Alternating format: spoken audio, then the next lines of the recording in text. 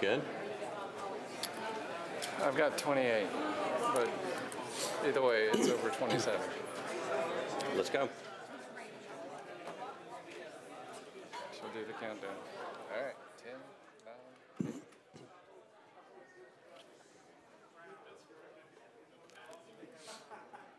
Two.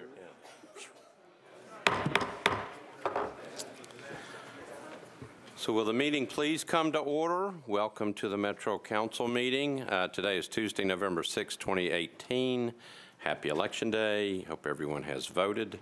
Uh, You've got um, 20, um, 26 minutes if you have not.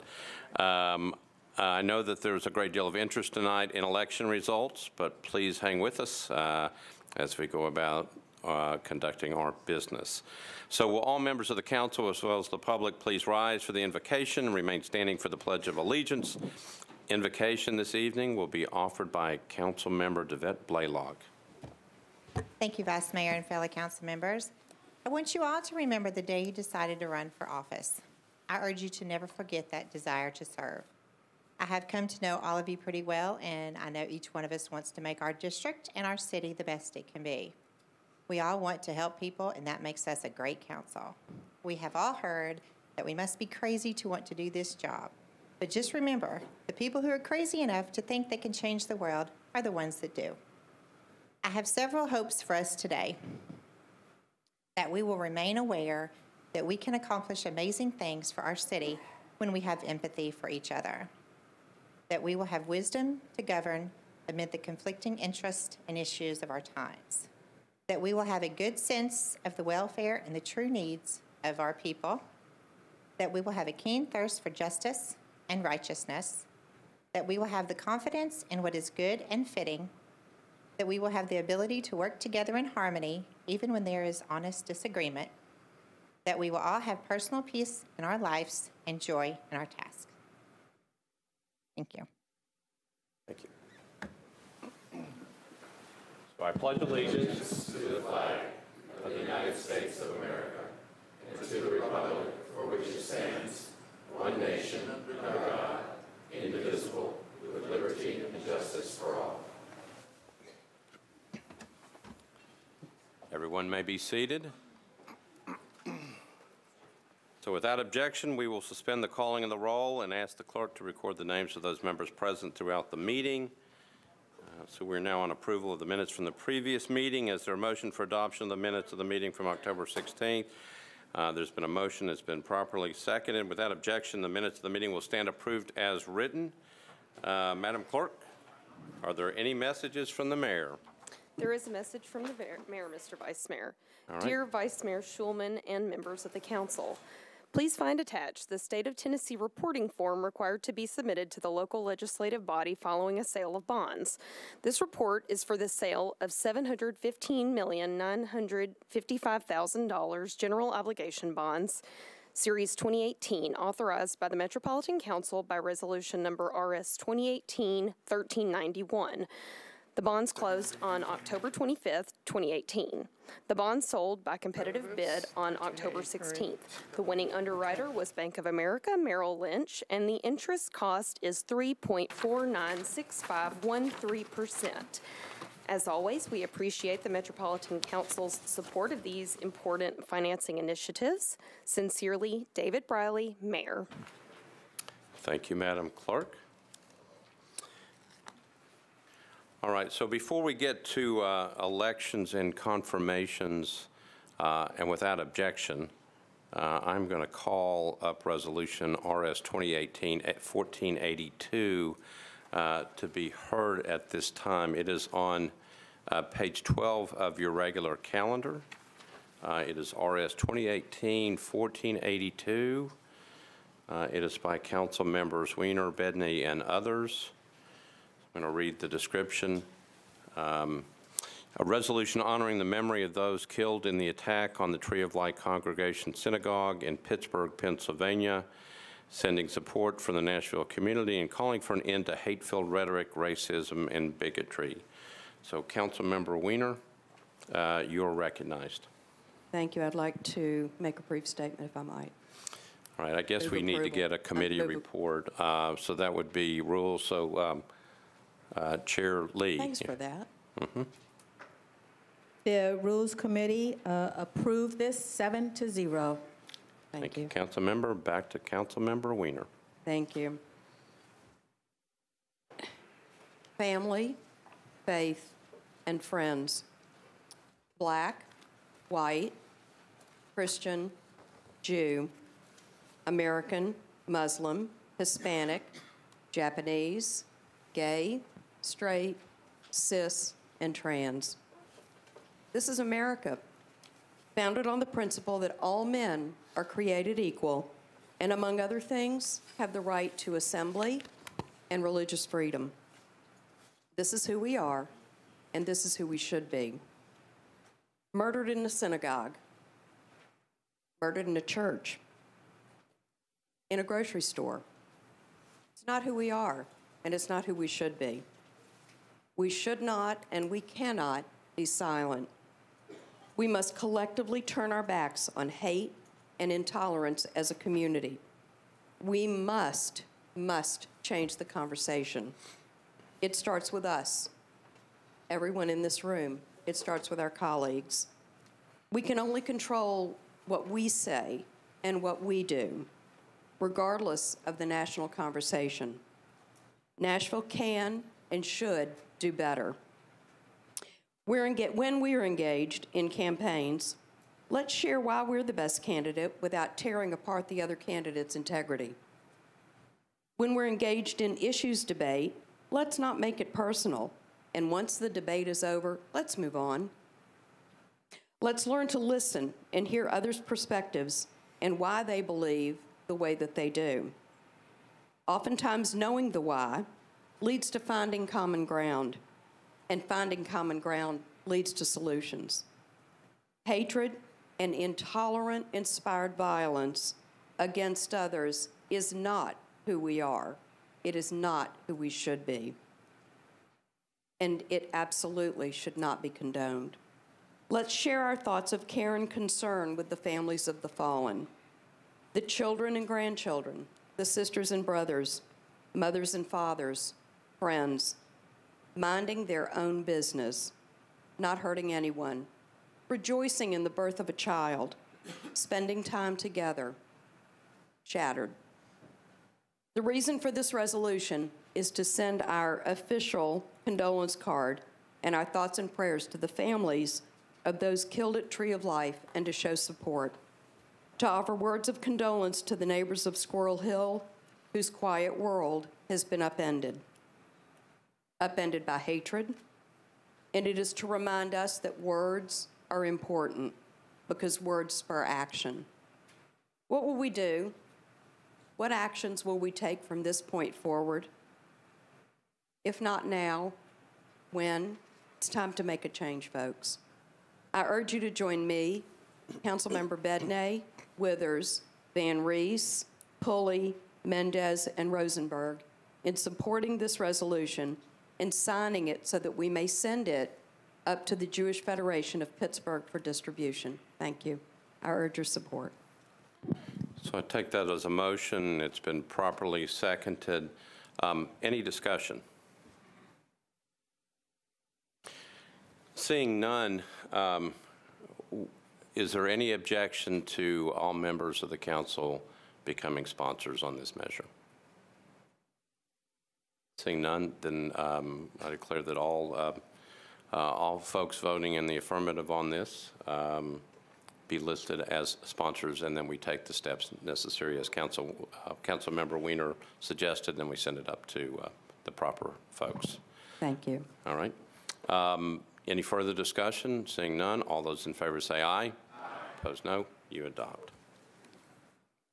So I will say, um, I very much appreciate the, the words that Councilmember uh, Weiner said.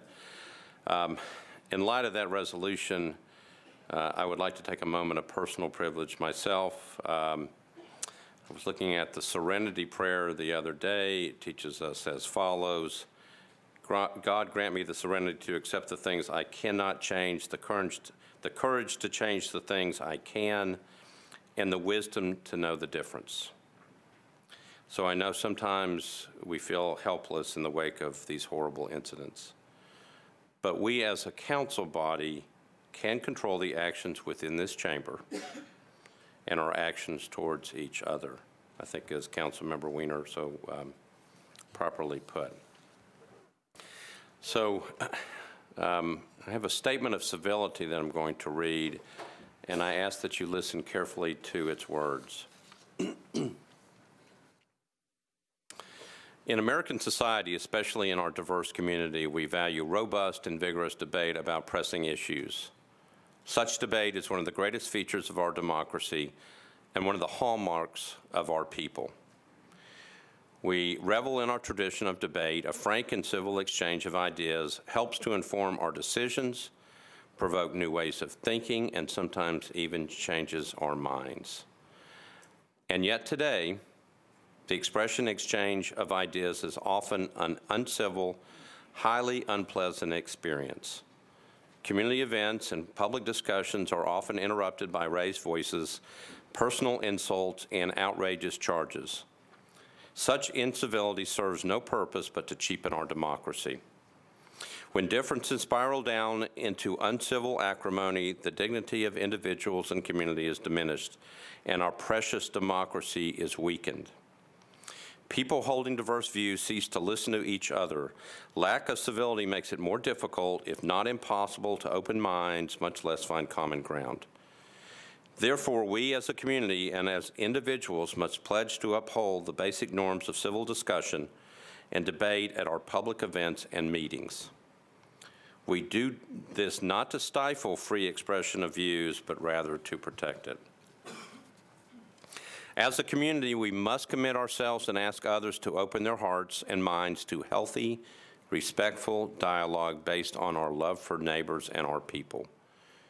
We therefore agree to treat, uh, treat others with decency and honor and to set ourselves as models for civil discourse, even when we disagree with each other. We commit ourselves to this course to preserve an essential element of a community, the ability to meet and talk as brothers and sisters. So I ask that you think about that statement. Uh, we will send out copies to all the members. And I would request, in this time of such turmoil and things happening in our country, I would request that you join me in the commitment to civil discourse and civility to each other. I appreciate the time. So on to elections and confirmations. Um, Committee Chair Lee, call for the report. The board, um, the appointment of Mr. Christopher Bellamy to a term expiring um, July the 31st, 2019, to the Beer Permit Board was approved seven to zero.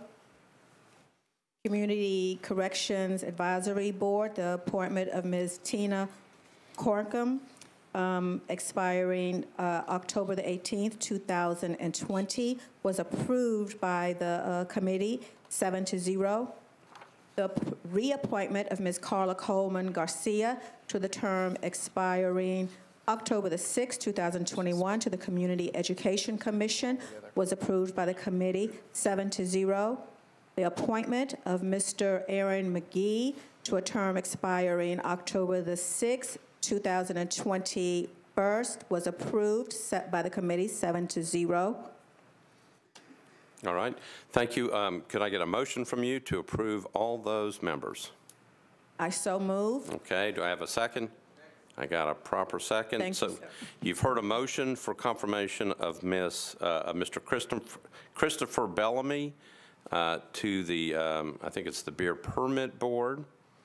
Um, The motion for confirmation from Ms. Tina Corkum to the Community Corrections Advisory Board. Motion for confirmation of Ms. Carla Coleman to the Community Education Commission. And confirmation, motion for confirmation of Mr. Aaron McGee to the Community Education Commission. They've all been properly seconded. Uh, Any discussion? Seeing none, all those in favor say aye. Opposed, no. Motion passes on all four. Um, So um, if those four folks will stand as I call your name. For the Beer Permit Board, Mr. Christopher Bellamy. For the Community Corrections Advisory Board, Ms. Tina Corkum. For the Community Education Commission, Ms. Carla Coleman and Mr. Aaron McGee.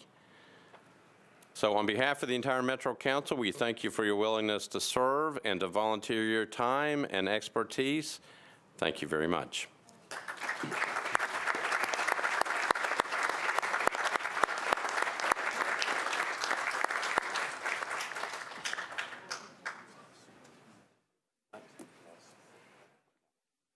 Okay, is he ready?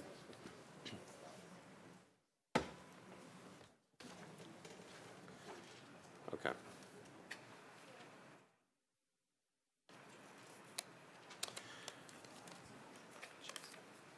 So um, in the old days, we used to ask the folks that we uh, confirmed to stay if they wanted to for the rest of the meeting, but uh, you don't have to. But please, please do not take any council members with you. We need them here. Okay? Uh, So uh, I am now going to go to uh, Councilman Pulley for um, a a personal privilege. Thank you for that uh, moment of personal privilege, uh, Mr. Vice Mayor. I I just want to welcome, and feel free to stand if you'd like, uh, Troop 92 from Woodmont Christian Church in uh, my district. They are all here with their Scoutmaster Richmond Williams, working on their citizenship and the community merit badge.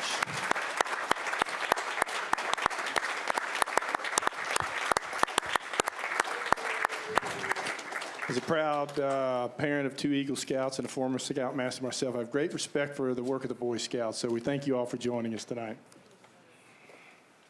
Thank you, Councilman Pulley.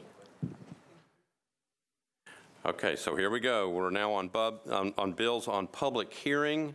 Um, So we are happy to hear from the public on each bill. Um, You will be given three minutes if you want to talk. Um, We ask you, um, when you come to the podium, if you are interested, uh, that you uh, show your name and address. Uh, We ask that you do not repeat what others have shared, and please be respectful of all parties. Again, the way this is going to work is I'm going to call out the bill number, read the description, uh, and then I will go to the sponsor of the measure for a specific action. If the um, sponsor calls for a public hearing, uh, we will then open the public hearing. I'll ask for a show of hands uh, for those in favor, and then a show of hands for those in opposition. Uh, If people on either side wish to speak, if you will come to the back podium um, and then line up, and then we will let you speak. And again, you have three minutes. So we are ready to proceed. Uh, Bills on public hearing, BL 2018-1288. Uh, This is an ordinance to uh, amend Title 17 of the Metropolitan Code of Laws um, pertaining to parking requirements for certain types of users. Uh, The sponsor is Councilman Withers. You're recognized. Thank you, Mr. Vice Mayor. Uh, This is a ordinance that I've introduced. It is um, before the Planning Commission. I've deferred it uh, at the Planning Commission until this coming Thursday's uh, hearing. Um, What I would like to do today, uh, if it pleases the body, I would like to go ahead and add an amendment uh, to this bill so that it- when it comes before us for public hearing at the December public hearing, that that amendment is already added to that language that the public can see on the website. So uh, you have a motion to um, pass, put the amendment on the bill. Uh, I got a proper second. Uh, Back to you, Councilman Withers. Um, Thank you. What this amendment does is um, it uh, adds language pertaining to shared uh, parking plans, which uh, can be arranged when folks have uh, parking lots that they may not use 24 hours a day. They can work out a shared parking plan with the traffic engineers. So this adds that language to the ordinance. Okay. Any discussion on the amendment? Seeing none, all those in favor say aye. Opposed, no. Uh, Motion passes. So you've got the amendment on the bill. Uh, you. Thank you, thank you, Mr. Vice Mayor. I would now like to defer the public hearing to the first meeting in December. Okay. So I have a motion to defer until the, um, First meeting in December. the first meeting, the first meeting, the first meeting in December. Uh, Got a proper second.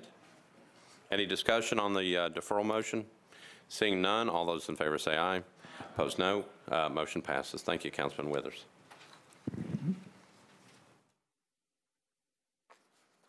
Okay, we're on BL 2018-1309. Um, This was approved with conditions, disapproved without uh, all conditions by the Planning Commission.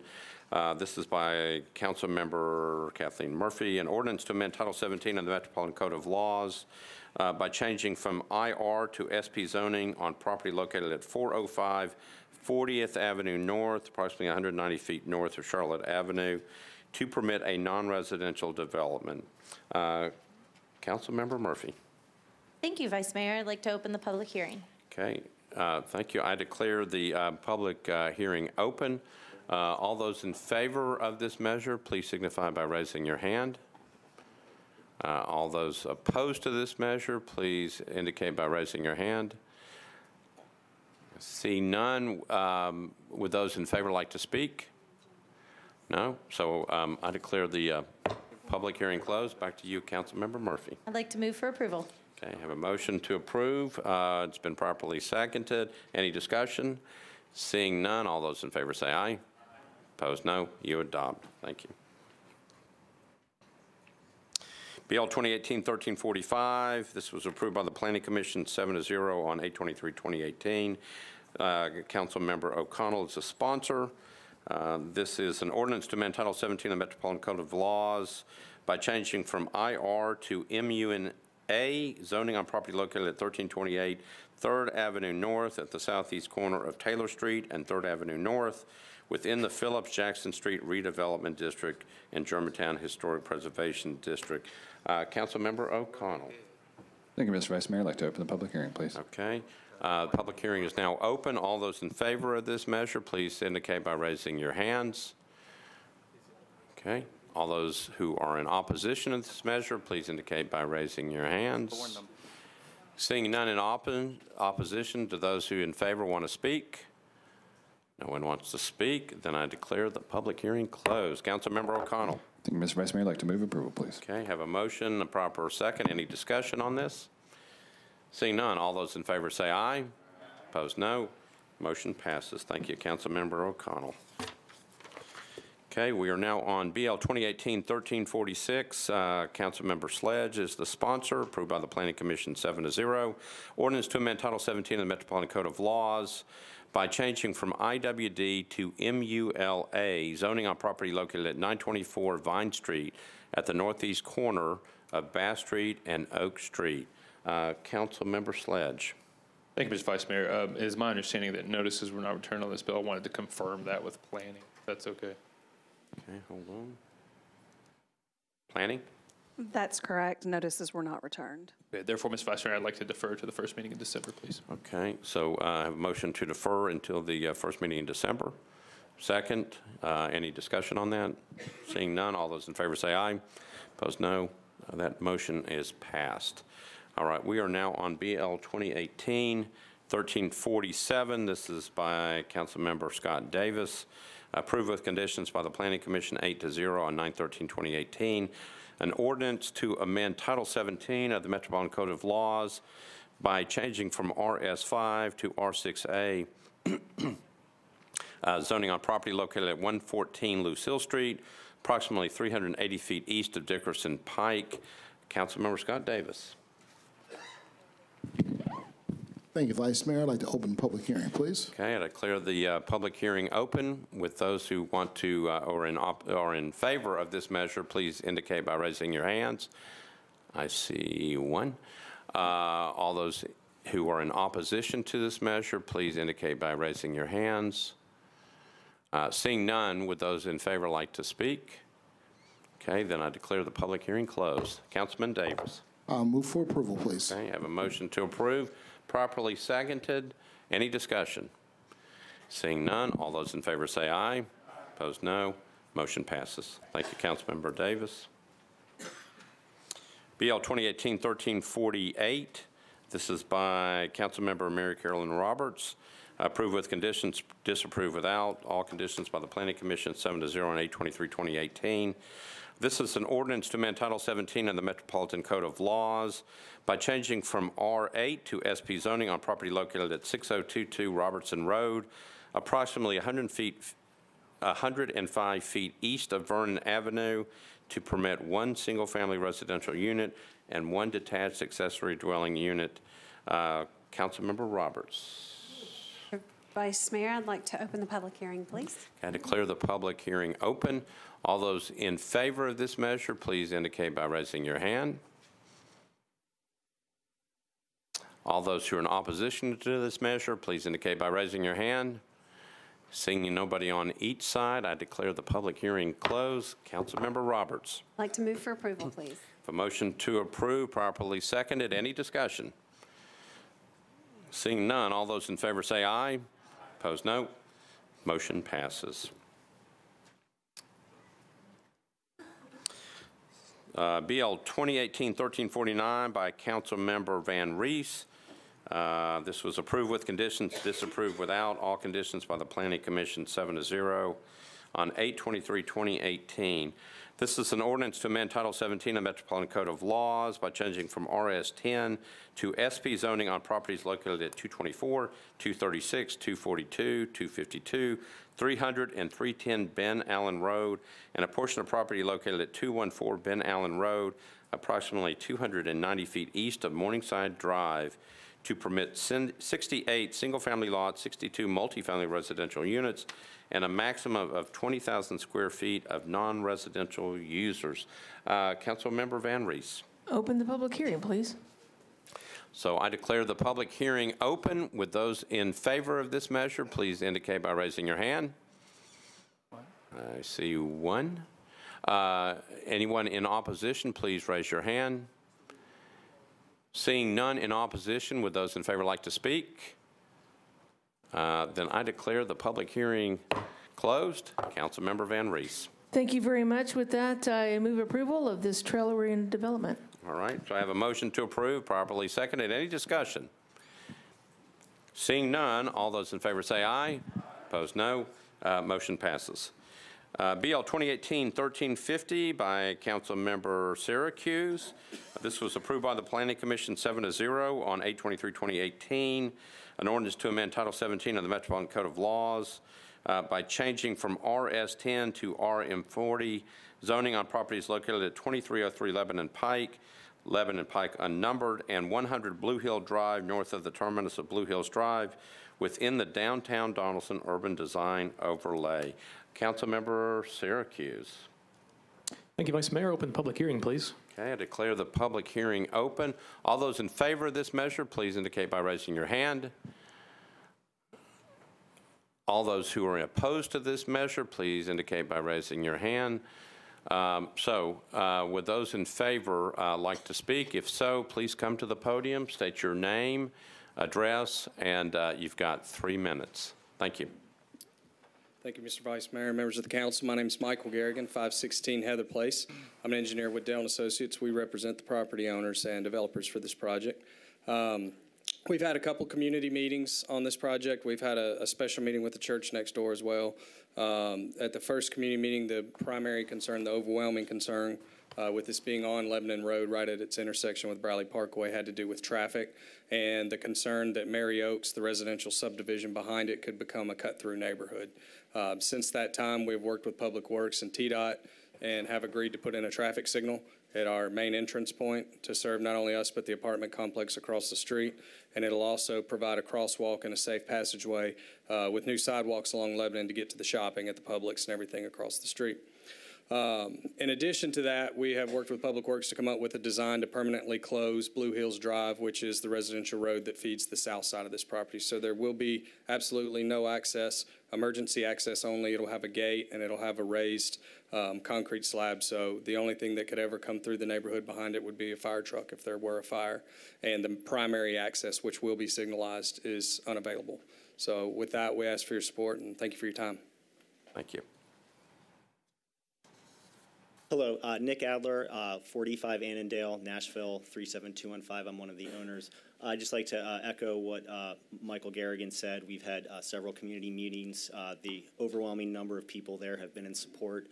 We feel we have addressed the majority of the concerns raised at, at these meetings and have worked pretty hand in hand with the councilman and with the, the neighbors, the church, which is immediately to the, uh, I think, to the east of the property, uh, to work out a, a solution for this, uh, this development, and we'd ask for your support. Thank you.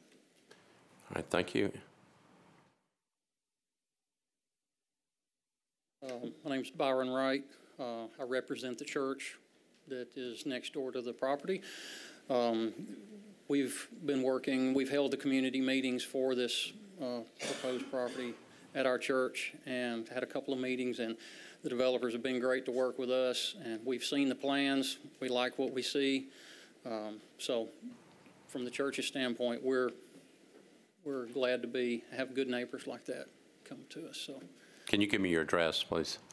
Um, I'm actually a Wilson County res- resident in Mount Juliet, but I'm the facilities and the security coordinator at the church.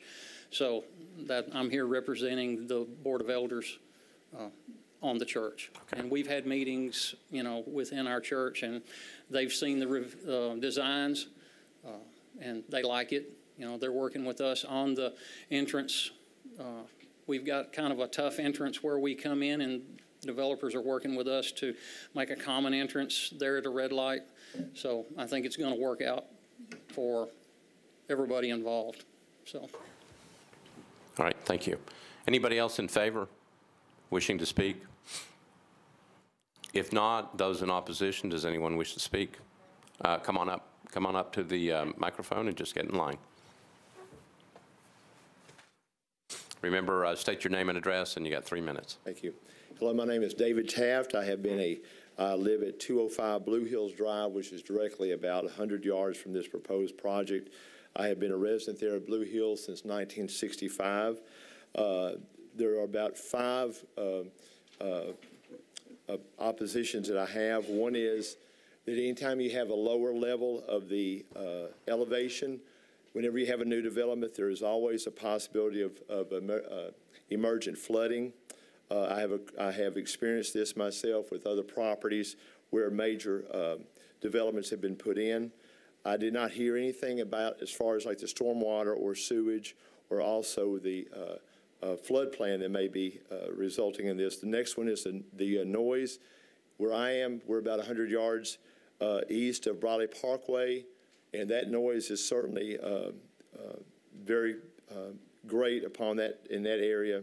And I do know that being working and also being next to multifamily housing areas, that noise is an issue always. The third is, is that many of them mentioned about the traffic issue, but I think they don't understand the area of uh, Lebanon Road there where many MTA, there are two MTA bus stops there, and even with the crosswalks at, at uh, um, Fairway and Lebanon Road, many of those people cannot get across safely to be able to get to those bus stops. The other part I want to mention to you was in 1972, Blue Hills Drive was cut off, uh, and I remember that there was a significant uh, in, improvement in this, the uh, pedestrian safety and also with uncleanliness. When I remember when I was there uh, during that time, uh, litter was always a part because it was a main thoroughfare, and ever since that street was closed, uh, there was a significant uh, improvement. The last question I have is the parking of guests who want to come to that community with that many units per se. If somebody has a social event, there will be guests, and the only place for them to park would be right there at the Blue Hill section. So those are the uh, uh, those are the oppositions that I have listed. All right, thank you. Hello, council members. Pat Clark, 232 Blue Hills Drive. We in the Merry Oaks neighborhood were told that there would be a traffic light at Lebanon Pike entrance to the proposed development and that it would cost $220,000. I did verify the cost, that's true. Uh, I uh, contacted Public Works and was told originally that they would not recommend a light at that location. However, today I got a, a phone call from a Mr. Devin Doyle that said that they wouldn't oppose a light at that location, and that however, there is a process to getting that done. I asked when did an application for the light need to be filed and was told that it was a coordinated thing. There isn't one there now. I would want to see, uh, I wouldn't want to see work underway and suddenly find out for some reason that there would not be a traffic light. Originally, there were 113 units, but we were told that an additional 20 units were needed in order to pay for the traffic light. The total would be 133 units, but the revised drawing stated 140 units, making it the uh, maximum that they can put there for, was RM 40. Since they said 20 units were needed to pay for the $220,000 traffic light, that would make the profit for 20 units $220,000 or $11,000 per unit. Multiply that by the 120 remaining units, and you get $1,320,000 for their total profit. They've paid $1,490,000 for the 3.58 acres of the proposed development, and it appears they're already $170,000 short. I don't know how much, I don't know much about the financing of such a development, but I've done a little research, and I found that the average profit is 20% of the selling price of a unit. That percentage can be lower in a down market or higher in a boom market such as Nashville. Using 20% as the base of the profit per unit, that would be 44,000, and only five extra units would need to pay for the traffic light. Two-bedroom units sell for 220,000 each, and one-bedroom sells for $180,000 each. I don't know how many of each there are, so I half the 140 units, making one one-bedroom, the other half two bedrooms. 220,000 times 20% equals 44,000 for the two bedrooms, and 180,000 times 20% equals 36,000. And the total of the 180,000 times 70, because there's two units, would equal a profit of 5,600,000. As I said, this could be the low end in a boom area. In the original design, there was a roundabout at the end of Blue Hills Drive. We were told that it was there for the use of emergency vehicles at the request of emergency services and would never be used for traffic to flow through the neighborhood. The fire marshal, who is responsible for emergency services, responded to my email asking if emergency services had requested a roundabout. He states that he is unsure of where a roundabout discussion came into play. There is no straight ahead. It doesn't make sense to me that emergency services would want to go around a roundabout instead of directly left or directly right. You can judge for yourself by looking at the email attachment that was sent to you this afternoon. I was asked if I thought a filling station would be preferable to this development, and my answer was yes. Oak trees could be planted along the backside and, and the side of the property, along with holly bushes, thick holly bushes that were very stickery, um, so that anyone walking into the filling station thinking that they could get easily into the neighborhood would not be able to do so. The neighbors wouldn't see the service station, the holly bushes. Uh, there would be no need for an extra traffic light. No traffic to the development would be coming through the neighborhood, and there are only two filling stations on Lebanon Pike and Donelson now. Ma'am, do you, do you mind finishing your statement? Yes. Okay. Since I've been accused of many times of giving false information, I urge you to verify the information I've provided.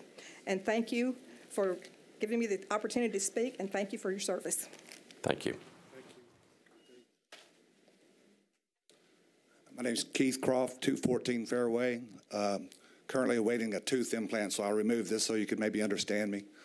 Uh, all traffic nightmares aside, I'm happy to hear that there won't be an outlet to Blue Hills, but I find that difficult to believe once the tenants move in there and see the nightmare of Lebanon Road between 3 and 6 o'clock. As I was driving up here, there were two lanes of traffic all the way back halfway to Spence Lane. Uh, I would just like to say to the developers that uh, I think it's a losing money proposition because once you get the tenants in there and they realize what they've gotten into, they're not going to be happy. Thank you.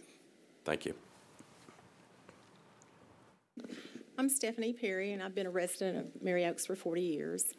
Um, my concern with the development is the scope of it. I feel the size of it is a little excessive for our area. Um, it was mentioned at the meeting that these would be condominiums, not rental property. That being said, I would like to at least offer the idea, or maybe it's been discussed, that um, that only a percentage of these condominiums could be used as rental because just because you sell it to people doesn't mean that other people will not turn around and rent it to others. Uh, just as that's important to me. Uh, I have a son with a disability. He walks this neighborhood and he's safe in this neighborhood, and I would like to keep it that way. Um, and the, that was about it. Those are my concerns to add to what other people have said. Thank you. All right, thank you. Anyone else wishing to speak? Okay. Good evening, council people. My name is Donna Hale, and I live at 2300 Deerwood Road. My concern is that already Merry Oaks has three entrances and three exits. No more, no less. They're not going to make any more in there. We already have it as a cut through. As a gentleman previous to me stated about the two lanes of traffic, I unfortunately was late to your meeting because of said traffic. I can only imagine what it's going to be like when we have these buildings built. So I am opposed to it in a great way for that reason alone. If, however, they do go through, I would suggest perhaps humps be placed in some of our areas on our roads so that we can have some slowdowns. It is on a daily basis that I walk my puppy, and it is on a daily basis that I run for my life and dive into a ditch. And I get pretty tired of it. And I don't want to have anybody else aiming their cars at me. It's bad enough for the people that already use our neighborhood for a cut through. Thank you. Thank you. Anyone else? I declare the public hearing closed. Uh, Oh. If you could just come to the microphone and uh, hand the security guard the petition, that'd be fine. All right. Thank you. I declare the public hearing closed. Councilmember Syracuse. Thank you, Vice Mayor. I appreciate everybody coming out. Um, I do have a substitute that I would like to offer. Okay, so, um, so uh, let's take a motion on the substitute, properly seconded. Councilman Syracuse. Thank you. Uh, I do want to move approval with an explanation. All right. Thank you. Um, So I- as is the case with all rezoning uh, situations that, that I go through, I always have a community meeting well in advance of anything even being filed, which is what I did here uh, in June. And uh, meeting went well, plenty of good questions, um, and I asked for input. I really didn't get any input from the neighborhood, so I was okay with it going ahead and being filed. Um, after that is when I found out about Ms. Clark um, putting a petition together and uh, scratched my head a little bit about uh, I thought these concerns had been uh, uh, addressed. But so I engaged the neighborhood in a lot of conversation on, on their Facebook page and um, heard some of the concerns. Um, and ultimately put a second community meeting together. And out of that, we've put together this SP. So uh, really, all the concerns that you heard here have been addressed here with, with this SP. Um, the back emergency-only access will be constructed in su- such a way that it's not even going to have a vehicular ingress egress. Um, emergency services doesn't have a problem going up a six-inch curb. Um, so, but I understood the concern that the next councilman is going to be pressured perhaps by the people that live there to open that up. So that's why we have the SP that does a couple few things. It, it legislatively says that that has to remain an emergency-only access. It also says that uh, the signal is required. The signal would g- go across the street towards Magnolia Square uh, condos, which they could use the access also. It also gives uh, pedestrian accessibility. Remember, this is in the downtown Donelson UDO. This is this uh, sailed through planning as part of the, the vision for the community. Um, and uh, it actually, as, as you heard from the gentleman from the church, it benefits the church. It doubles their handicap parking um, and gives them better access flow through, through their uh, parking lot there. Um, so it does provide a, a number of benefits. And as you heard about the, the price point for the, the units, um, these are good units, market rate for Donelson right now, uh, affordable, um, good for families. We, we need this, uh, uh, we need this kind, kind of housing. Um, and um, uh, we, we have the signal, we have the, even in the SP, um, we're going to ban short-term rentals. Um, so that we, we have an SP that addresses the issues. Um, I, I I think it's a quality development for, for the, really the gateway into, into Donelson. And so I ask for your support. I move approval. All right, so I have a motion, a second on the substitute. Councilmember VanReece, do you want to speak on that? You- Okay. Got your button pushed. Did you want to speak on this measure? All right. All right. All right. So um, we are now on the substitute, uh, properly seconded. Any discussion on the substitute? Seeing none, all those in favor say aye. Opposed, no. You adopt. Okay, back to Councilmember Syracuse for passage on this measure as substitute. Uh, Move as substituted. All right. So now I have a measure uh, to pass this um, as substituted, uh, properly seconded. Any discussion on that? Seeing none, all those in favor say aye. Opposed, no. You adopt. Thank you. Thank you, Councilmember Syracuse. Um, So we are now on BL 2018-1351. This was approved by the Planning Commission 7 to 0 on 8/23/2018.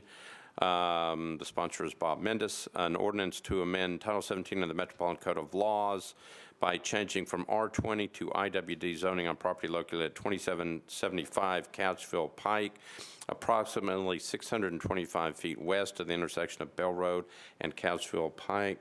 Councilmember Mendes. Thank you, Mr. Vice Mayor. I'd like to open the public hearing. All right, thank you. Uh, I declare the uh, public hearing open. Um, Would all those in favor of this measure please indicate by raising your hands? Would uh, those in opposition please indicate by raising your hands? Seeing none in opposition, do those in favor wish to speak? Seeing nobody approach, I declare the public hearing closed. Councilmember Mendes. Move approval, please. Okay, so I have a motion to approve, properly seconded. Any discussion? Seeing none, all those in favor say aye. Opposed, no. You adopt, uh, you adopt the motion. Thank you. Uh, We're now on BL 2018-1352, approved by the Planning Commission 7 to 0 on 8/23/2018. Uh, The sponsor is Councilmember Scott Davis. This is an ordinance to amend Title 17 of the Metropolitan Code of Laws uh, by changing from RS5 to R6 zoning on properties located at 1408 and 1430 Rosebank, uh, Rosedale Avenue, approximately 130 feet north of Crockett Street, uh, which is .3 acres. Councilmember Scott Davis. Thank you, Vice Mayor. I'd like to open the public hearing, please. Okay, I declare the public hearing open. Would all those in favor of this measure please indicate by raising your hand? Would uh, anybody in opposition please indicate uh, that by raising your hand? Uh, Seeing nobody in- in favor or opposition, I declare the public hearing closed. Councilmember Scott Davis.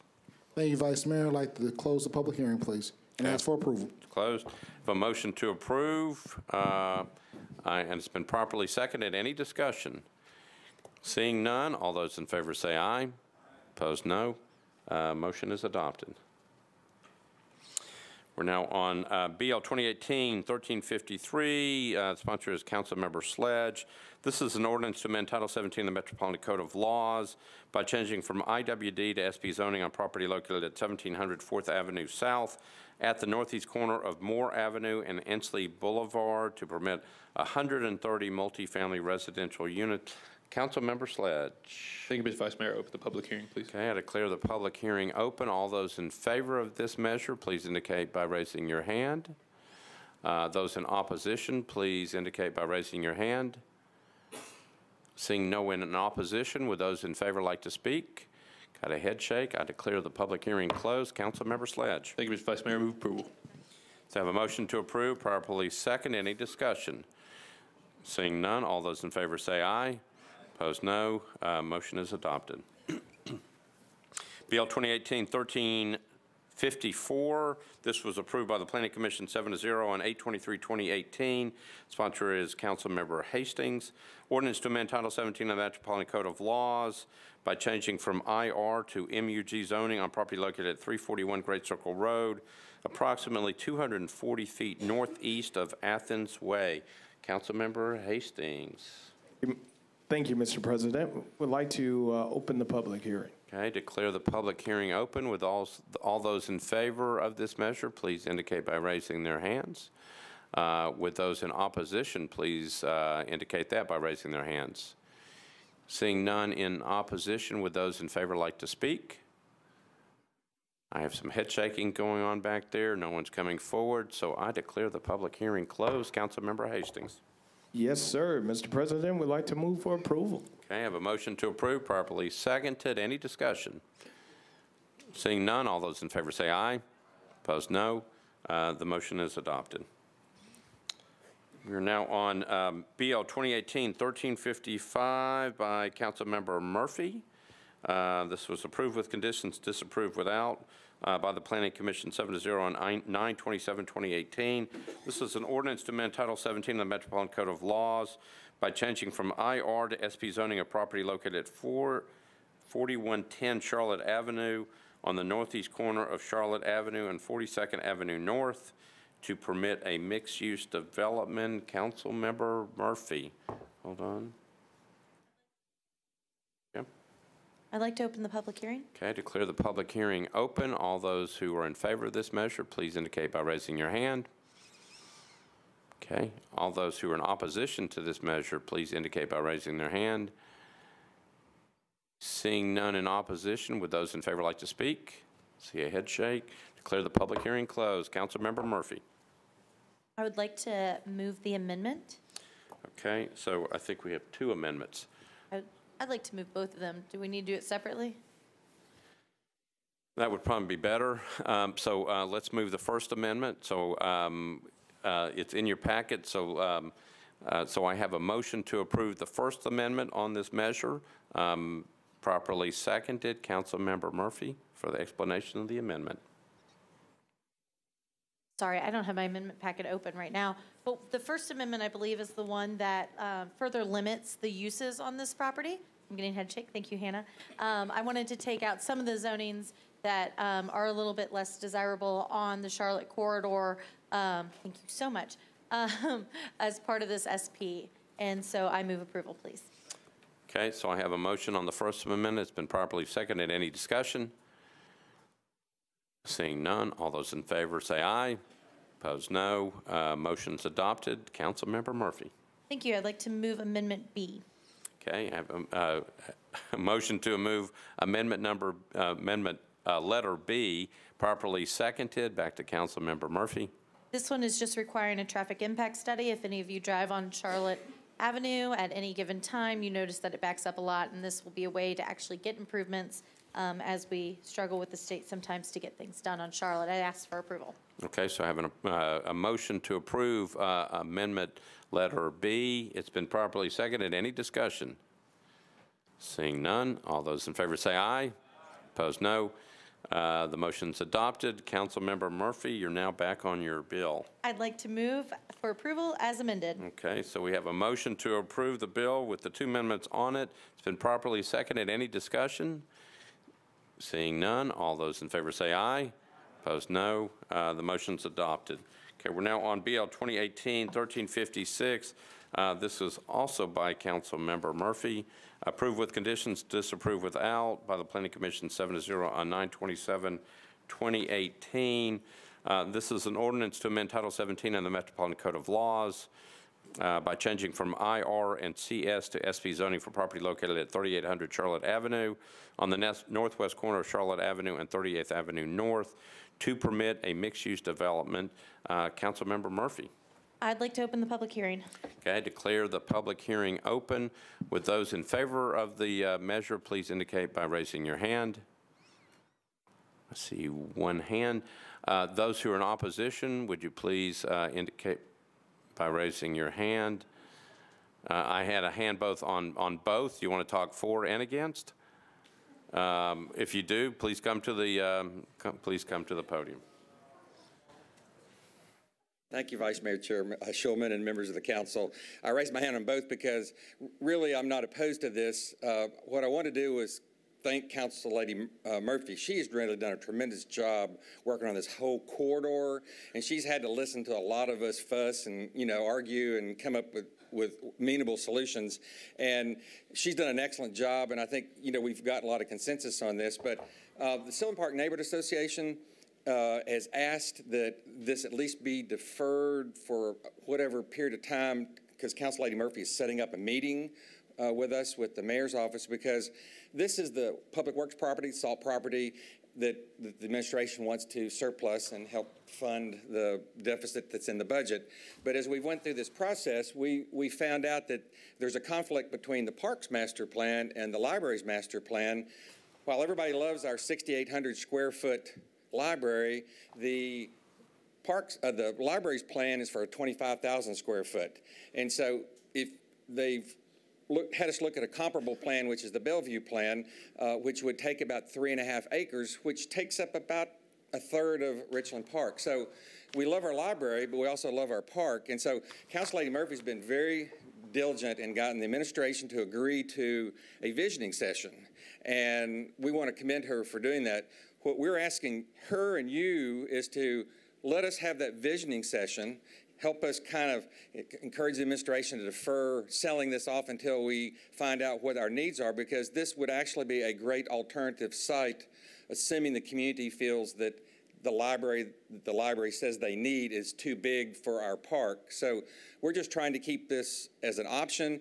There's still eight months left as I count in this budget, so there's still time for the visioning session, hopefully, and then if this property is not needed, but we'd certainly hate in our community for there to be no consensus developed over putting a bigger library in the park and maybe losing trees and obviously losing green space, and then not have a close by option um, to where we could keep a library close to our neighborhood. So I'm not here in opposition. I think, Council Lady, I think this is probably a good rezoning for this property. We'd like to just wait so we keep this as an option until we know what what happens out of this visioning session. And again, I can't commend Council Lady Murphy enough for all the hard work. I mean, she spent hours and hours and hours on this, as I have too. You know, we spent a lot of time together riding around on a bus and looking at maps and doing all sorts of things. So uh, what the neighborhood has asked is that we at least get a deferral, maybe not necessarily tonight, but at least in terms on third reading, so we have some time to be able to meet with administration and try to have our visioning session. Thank you very much for listening. Thank you, Mr. Summers. Do you want to sit down and then come back up in opposition? Uh, I think I'm okay right All now. right, thank you. Thank All you, right. Vice Mayor.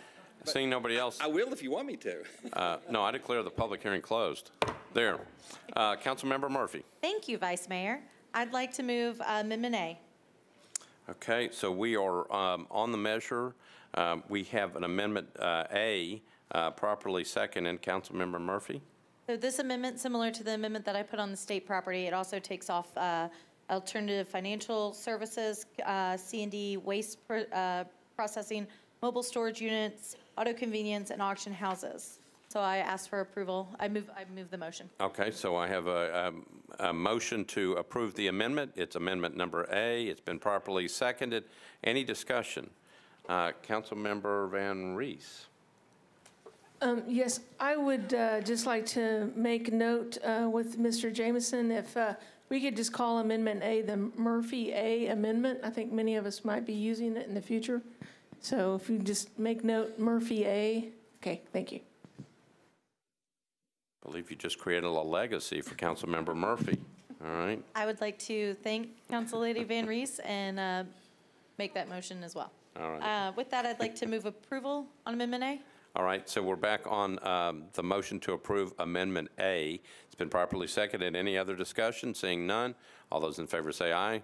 Opposed, n- uh, opposed, no. The motion is adopted. Councilmember Murphy. Thank you. I'd like to move Amendment B. All right, now we have a uh, motion to move, to uh, move Amendment B, properly seconded. Councilmember Murphy. Thank you. This amendment, just like on my previous uh, SP zoning on the state property, that's just a couple blocks down from the Metro-owned property, what this does is it requires the traffic impact study. Again, it's, it's how we're going to get traffic uh, funded without a funding mechanism that failed earlier this.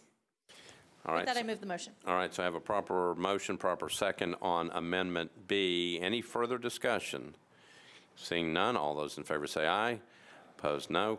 Motion's adopted. Councilmember Murphy, you're back on your bill. Thank you. I'd like to move the bill as amended with a brief explanation. All right, uh, you got a proper motion, it's proper seconded. Um, Councilmember Murphy.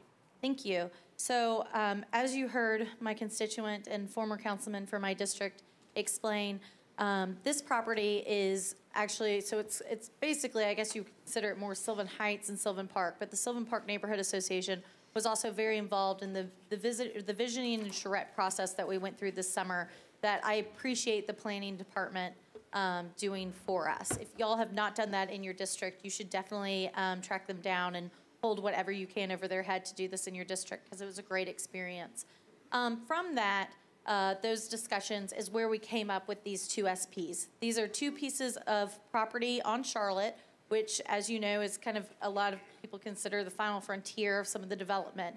But unlike in um, the council lady to the northwest of me, in the nations where her district has developed a little bit more rapidly than, than the Charlotte corridor, I kind of sat back and said, why is this happening? Why are we not developing just as fast?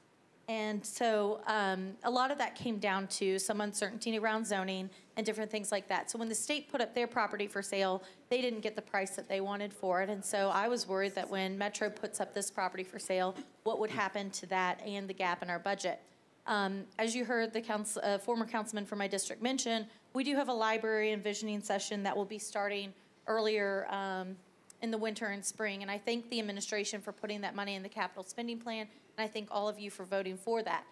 At the end of the day, though, Libraries has told me that they do not want to build a library on this site. Um, and this is a piece of property that I don't want sitting empty on, um, on the Charlotte corridor or, or in my district. Um, if Public Works is moving off of this site, then it is going to sit empty and it is a piece of property that can fill our, our budget gap. Um, as you know, I had some legislation regarding the sale of property Metro-owned, and I will be bringing that back soon. I was sick the night that it was on third reading, and so it was indefinitely deferred, but be looking for that soon. All of that being said, I hope you can understand my thought process here of that this is an SP that has been agreed upon through the visioning sessions. It has a lot of good things in it that I won't go completely into, but happy to answer questions in the planning committee. And with that, I move for approval. Okay, so we are back on the um, bill as, uh, with two amendments. Uh, It has been properly seconded. Any discussion on that? Seeing none, all those in favor, uh, please indicate by saying aye. Opposed, no. Uh, Motion passes. All right, we are now on uh, BL 2018-1357, and uh, I think without objection, we will take uh, BL 2018-1358 as well. Uh, These were both uh, 15, uh, let me go to 2850 if 28 2018-1357, approved by the Planning Commission, subject to adoption of BL 2018-1358. That was by uh, 6 to 0 on 9/27/2018. Uh, Again, 2018-1357, an ordinance to amend Title 17 of the Metropolitan Code of Laws uh, by canceling a plan unit development overlay district on property located at 3419 Murphy Road, approximately 100 feet west of West End Avenue, that's 1.47 acres, and BL 2018-1358, approve with conditions, disapprove without, by the Planning Commission 5 to 1 on 9/27/2018. Ordinance to amend Title 17 of the Metropolitan Code of Laws by changing from ORIA to SP zoning on property located at 3419 Murphy Road, approximately 100 feet west of West End Avenue, within a plan unit development overlay district, 1.47 acres. Uh, Both sponsors, um, Councilmember Kendall. Thank you, Vice Mayor. I'm going to move to uh, defer on both of these to the first meeting in December uh, with a brief, brief explanation. Councilmember Kendall? Yeah, the, uh, this project, as, as many of you know, uh, is in my district, is in the 21st district, but it sits kind of adjacent or contiguous to two other council districts, and a lot of the people in all of these districts have spoken on this uh, project, have had, had uh, uh, comment, and we're, we're still working on that. And, um, hopefully, we'll have something resolved by that, by that meeting. Thank right. you.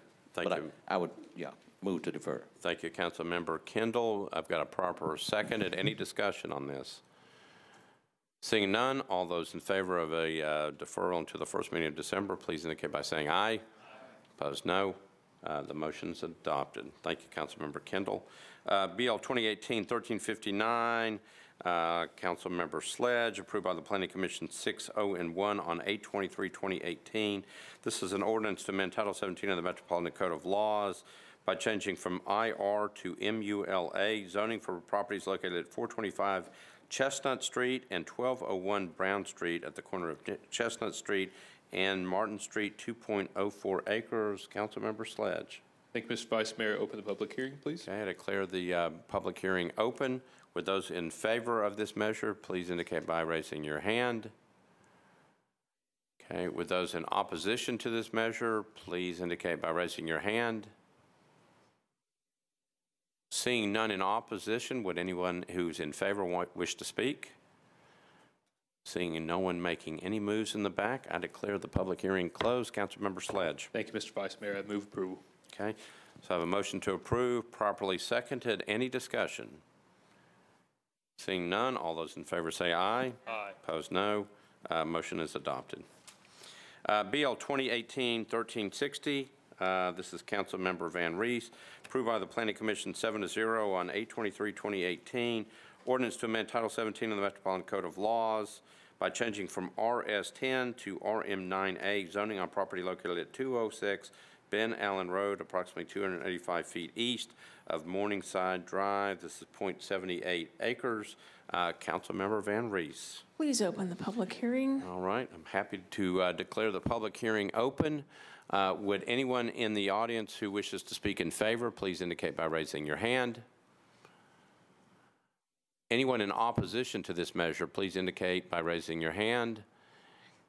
Seeing nobody raising their hands, I declare the public hearing closed. Councilmember VanReece. Move approval, please. Okay, so I have a motion to approve, properly seconded. Any discussion? Seeing none, all those in favor say aye. Opposed, no.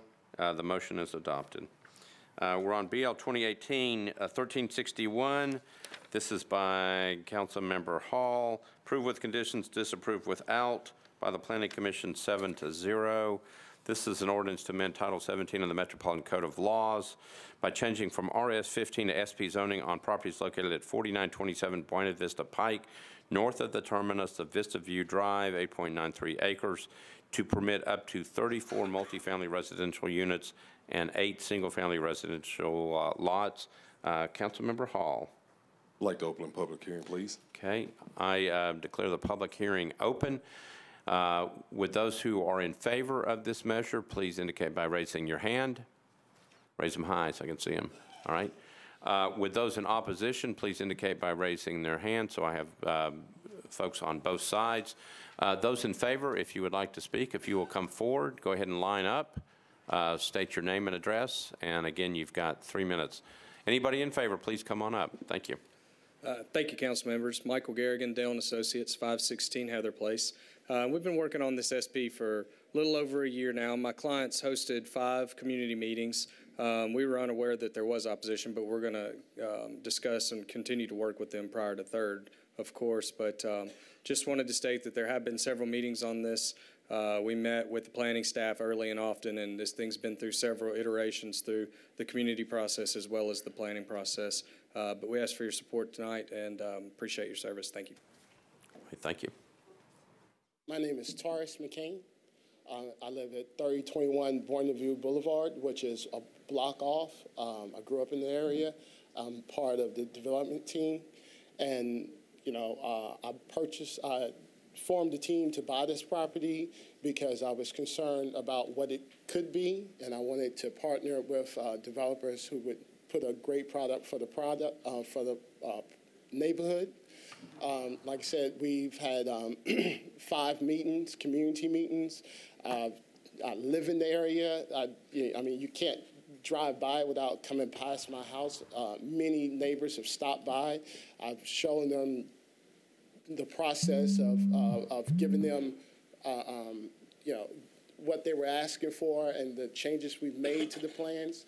So I, I am also a little caught off guard because it was overwhelming support and I've been very available, and we've had five community meetings. But you know, I hope you all uh, approve it because it is, it has, it, it does have overwhelming support in the community. All right, thank you. Anyone else wishing to speak in favor? Okay, would anyone wishing to speak in opposition, uh, please come on up. Go ahead and line up and um, come on up to the mic. Again, name and address.